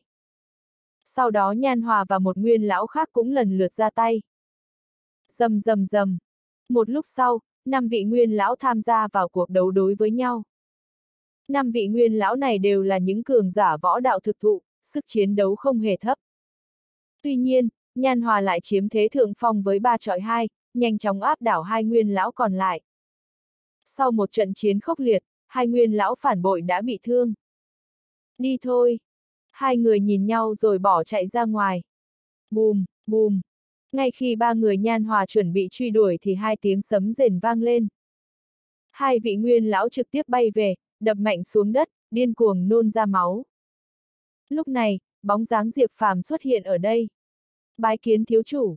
Đám người nhan hòa thấy Diệp Phàm thì vội vàng hô to. Trịnh Tứ Hải và hai vị tài thần còn lại, còn có các thành viên của Thương hội Thiên Long có mặt ở đó nhìn Diệp Phàm với vẻ kinh ngạc. Đây là thiếu chủ của Thương hội Thiên Long. Thiếu chủ. Hai vị nguyên lão bị đánh ngã xuống đất nhìn Diệp Phàm, trong mắt có chút sợ hãi. Các người chính là kẻ phản bội Thương hội Thiên Long. Diệp Phàm nhìn hai vị nguyên lão, lạnh lùng nói. Còn ba người này nữa. Tiền hữu tài chỉ vào Trịnh Tứ Hải và ba vị tài thần. Thiếu chủ, thực xin lỗi, chúng tôi biết sai rồi, cầu xin ngài. Lúc này, hai vị nguyên lão cầu xin Diệp Phàm tha thứ. Vừa rồi, Diệp Phàm hoàn toàn có thực lực giết chết bọn họ trong nháy mắt, đã hoàn toàn đánh bại phòng ngự trong lòng của bọn họ, buộc bọn họ phải đầu hàng. Nhưng bọn họ còn chưa kịp cầu xin tha thứ xong, Diệp Phàm đã vung kiếm giết chết hai người bọn họ. Kẻ phản bội phải chết. Diệp Phàm lạnh lùng nói. Nhìn thấy hai vị nguyên lão mở to mắt ngã xuống đất, Trịnh Tứ Hải và hai vị tài thần còn lại tái mặt, cơ thể run rẩy không ngừng. Thiếu chủ, là hứa Thế Thiên và Trịnh Tứ Hải đã ép chúng tôi phải làm như vậy. Không liên quan đến chúng tôi. Đột nhiên, hai vị tài thần quỳ xuống nói với Diệp Phàm, đồng thời còn chỉ vào Trịnh Tứ Hải bên cạnh họ. Các người. Trịnh Tứ Hải tức gần chết. Ông là Trịnh Tứ Hải. Ông có một đứa con trai tên là Trịnh Vinh. Diệp Phàm liếc nhìn Trịnh Tứ Hải nói. Đúng vậy, sao cậu biết? Trịnh Tứ Hải nhíu mày. Con trai của ông bị người của tôi giết, đương nhiên là tôi biết. Diệp Phàm lạnh lùng nói. Nghe vậy, Trịnh Tứ Hải tức giận nhìn chằm chằm vào Diệp Phàm, thì ra là cậu. Phụt. Trịnh Tứ Hải còn chưa nói xong, cổ ông ta đã bị Diệp Phàm dùng kiếm chém đứt. Nếu ông là cha của hắn ta, vậy thì đi cùng con trai ông đi. Diệp Phàm lạnh lùng nói. Hắn tiếp tục ra tay, giết chết cả hai vị tài thần đang quỷ gối. Diệp Phàm không bao giờ nương tay với những kẻ phản bội. Còn ai dám phản bội Thương hội Thiên Long, làm bất cứ điều gì bất lợi cho Thương hội Thiên Long sẽ bị giết không thương tiếc. Diệp Phàm liếc nhìn những quản lý cấp cao của Thương hội Thiên Long cảnh báo. Đối mặt với cảnh cáo của Diệp Phàm, nhóm cường giả trong giới kinh doanh ở Long Quốc này không dám nói một lời nào, chỉ có thể gật đầu. Cha già, đúng là cha chưa chết, tốt quá rồi. Lúc này, tiền đa đa xuất hiện ở đây, nhìn cha mình tiền hữu tài rồi hét lên đầy phấn khích. Con trai, đã mấy ngày không gặp, sao con lại ốm đi vậy? Kể từ khi nghe tin cha qua đời, con không muốn ăn gì nên cũng gầy đi. Tiền đa đa nói với vẻ mặt đau khổ. Con trai yêu quý của cha, thấy con gầy như vậy, nhanh chóng bồi bổ nhiều vào. Tiền hữu tài đau khổ nói. Khi Diệp Phàm nghe được cuộc trò chuyện giữa hai cha con, hắn không khỏi cười ra tiếng. N nhân, sao ngài cũng đến đây? Nụ cười của Diệp Phàm khiến tiền đa đa chú ý tới hắn, anh ta nhanh chóng bước tới nói. Con trai, không được vô lễ với thiếu chủ. Tiền hữu tài nhanh chóng hét lên. Thiếu chủ. Tiền đa đa sừng sốt. Đây là con trai của người sáng lập thương hội của chúng ta, cũng là thiếu chủ của chúng ta. Chính thiếu chủ đã cứu chúng ta. Tiền hữu tài nói. Anh thực sự là thiếu chủ của thương hội Thiên Long. Ngay lập tức, tiền đa đa kinh ngạc nhìn Diệp Phàm. Thiếu chủ, ngài thật tuyệt vời. Giây tiếp theo, tiền đa đa hưng phấn nói, đưa tay ôm lấy Diệp Phàm. Tránh xa tôi ra. Diệp Phàm nhanh chóng lùi lại. Hắn sợ mình sẽ bị một người nặng hơn 100kg đè chết. Thiếu chủ, anh không chỉ cứu tôi, anh còn cứu cha tôi, anh chính là thần tượng của tôi. Tôi đã quyết định từ nay trở đi tôi sẽ là người hầu trung thành nhất của anh. Tiền đa đa nhìn Diệp Phàm cười tinh nghịch. Cậu vẫn nên về nhà ăn nhiều một chút đi. Diệp Phàm nhếch môi. Sau đó, Diệp Phàm theo Nhan Hòa đến tầng hầm của trụ sở thương mại Thiên Long. Ở đây có một cánh cửa kim loại khổng lồ. Thiếu chủ, đây là hầm bí mật. Nhan Hòa nói, lấy ra năm chiếc chìa khóa, bước tới mở cửa hầm bí mật. Diệp Phàm trực tiếp bước vào hầm bí mật. Không gian trong hầm bí mật này không lớn lắm nhưng ở đây có rất nhiều kệ, trên đó đặt nhiều loại vũ khí khác nhau. Diệp Phàm chọn ngẫu nhiên một thanh kiếm rồi vung lên, cảm nhận được một luồng khí tức sắc bén. Tiếp theo, Diệp Phàm thử hết những vũ khí này, chúng đều không phải vũ khí bình thường. Có hàng trăm loại vũ khí trong hầm bí mật này, tất cả đều là thần binh lợi khí. Ngoài ra, ở đây còn có rất nhiều đan dược và công pháp để có thể nâng cao thực lực. Thậm chí còn có nhiều bảo vật quý hiếm khác, tất cả đều vô giá. Ngọc rồng. Lúc này, Diệp Phàm phát hiện một khối ngọc trong hầm bí mật, là ngọc rồng. Diệp Phàm đã lấy được bốn khối ngọc rồng, nhưng không ngờ ở đây cũng có một khối ngọc rồng. Không ngờ chủ nhân lại để lại nhiều bảo vật như vậy. Nhan Hòa cảm thán khi nhìn những thứ này. Bát trận đồ. Không ngờ bát trận đồ trong truyền thuyết lại ở đây. Đột nhiên Nhan Hòa nhìn thấy một cuốn sách đã ố vàng kinh ngạc nói. Bát trận đồ là gì? Diệp Phàm liếc nhìn Nhan Hòa. Thiếu chủ, bát trận đồ này là một trận pháp được Gia Cát Vũ Hầu, một mưu sĩ hàng đầu thời cổ đại tạo ra. Người ta nói uy lực của trận pháp này cực kỳ mạnh mẽ, đặc biệt là khi sử dụng trong các trận chiến quân sự, có thể tăng sức chiến đấu của một đội quân lên gấp trăm lần. Theo ghi chép cổ xưa, quân thục nơi Gia Cát Vũ Hầu đóng quân đã dựa vào trận pháp này, dựa vào một đội quân dưới 10.000 người đã tiêu diệt 500.000 quân địch. Nhan Hòa giới thiệu, lợi hại như vậy sao? Ánh mắt Diệp Phàm lóe lên sự kinh ngạc, cầm lấy bát trận đồ này xem xét tỉ mỉ. Bát trận đồ này không chỉ có thể tăng sức chiến đấu của quân đội mà nếu người tập võ luyện tập, còn có thể tăng sức chiến đấu lên rất nhiều. Vì vậy, bát trận đồ này chắc chắn là một bảo bối vô song, nếu lan truyền ra ngoài, đủ để gây chấn động.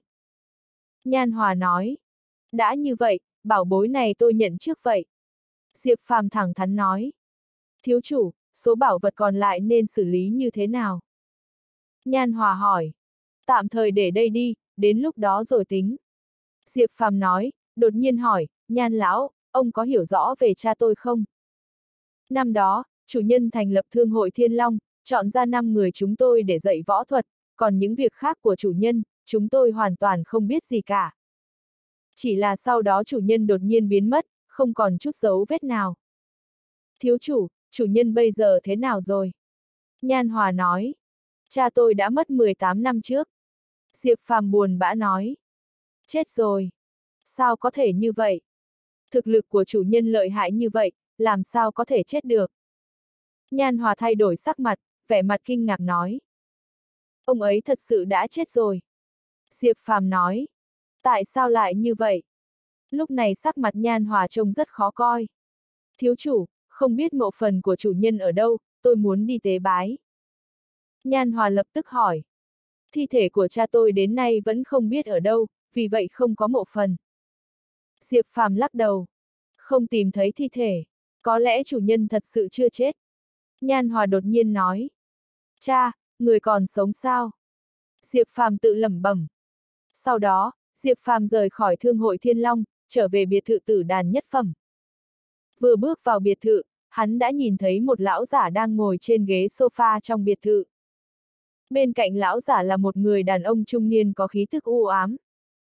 Đường sở sở vào huyết cơ ngồi ở một bên, huyết phu, đám người miểu đứng bên cạnh hai người phụ nữ, nhìn chằm chằm vào lão giả với vẻ mặt căng thẳng. Anh Tiểu Phàm, anh về rồi.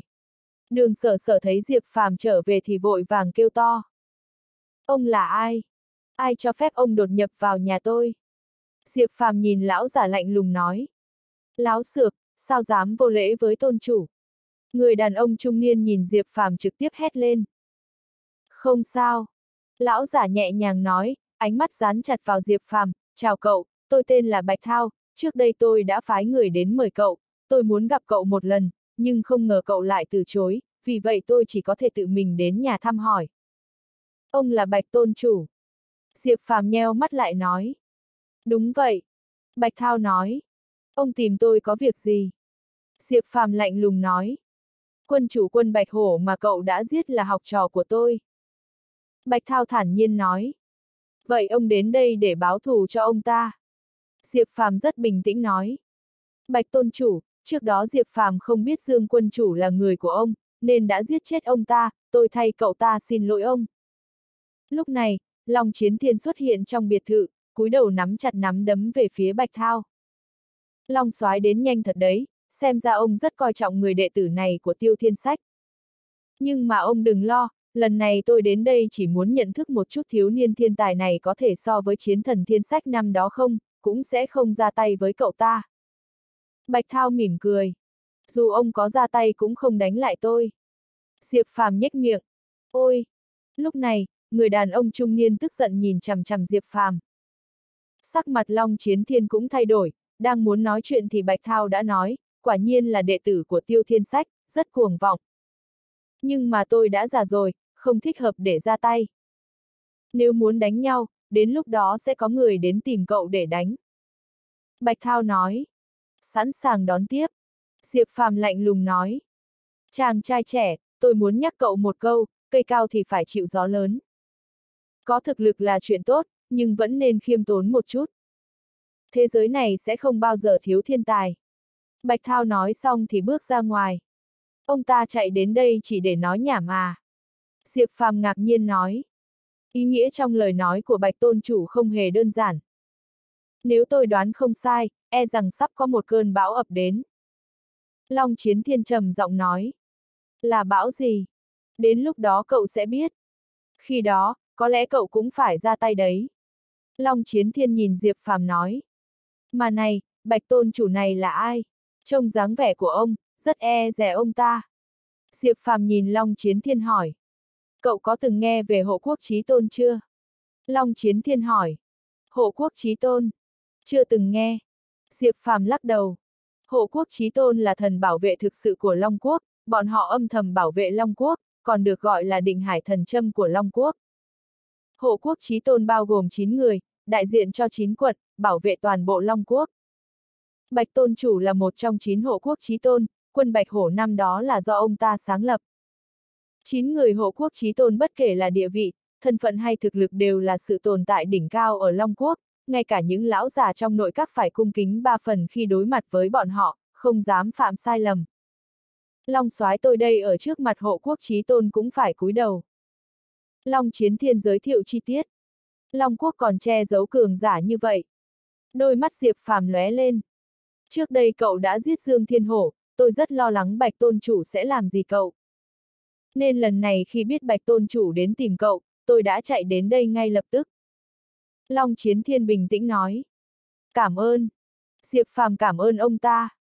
Cậu không cần cảm ơn tôi, chỉ cần cậu đừng đắc tội Bạch Tôn Chủ nữa là được, đương nhiên những hộ quốc trí tôn khác cậu cũng không được đắc tội, nếu không ngay cả tôi cũng không cứu được cậu. Long Chiến Thiên nhìn Diệp Phàm dặn dò. Chỉ cần bọn họ không khiêu khích tôi, đương nhiên tôi sẽ không đắc tội với bọn họ. Diệp Phàm thản nhiên nói. Tốt nhất là như vậy. Long Chiến Thiên nói. Audio điện tử võ tấn bền. Hết tập 15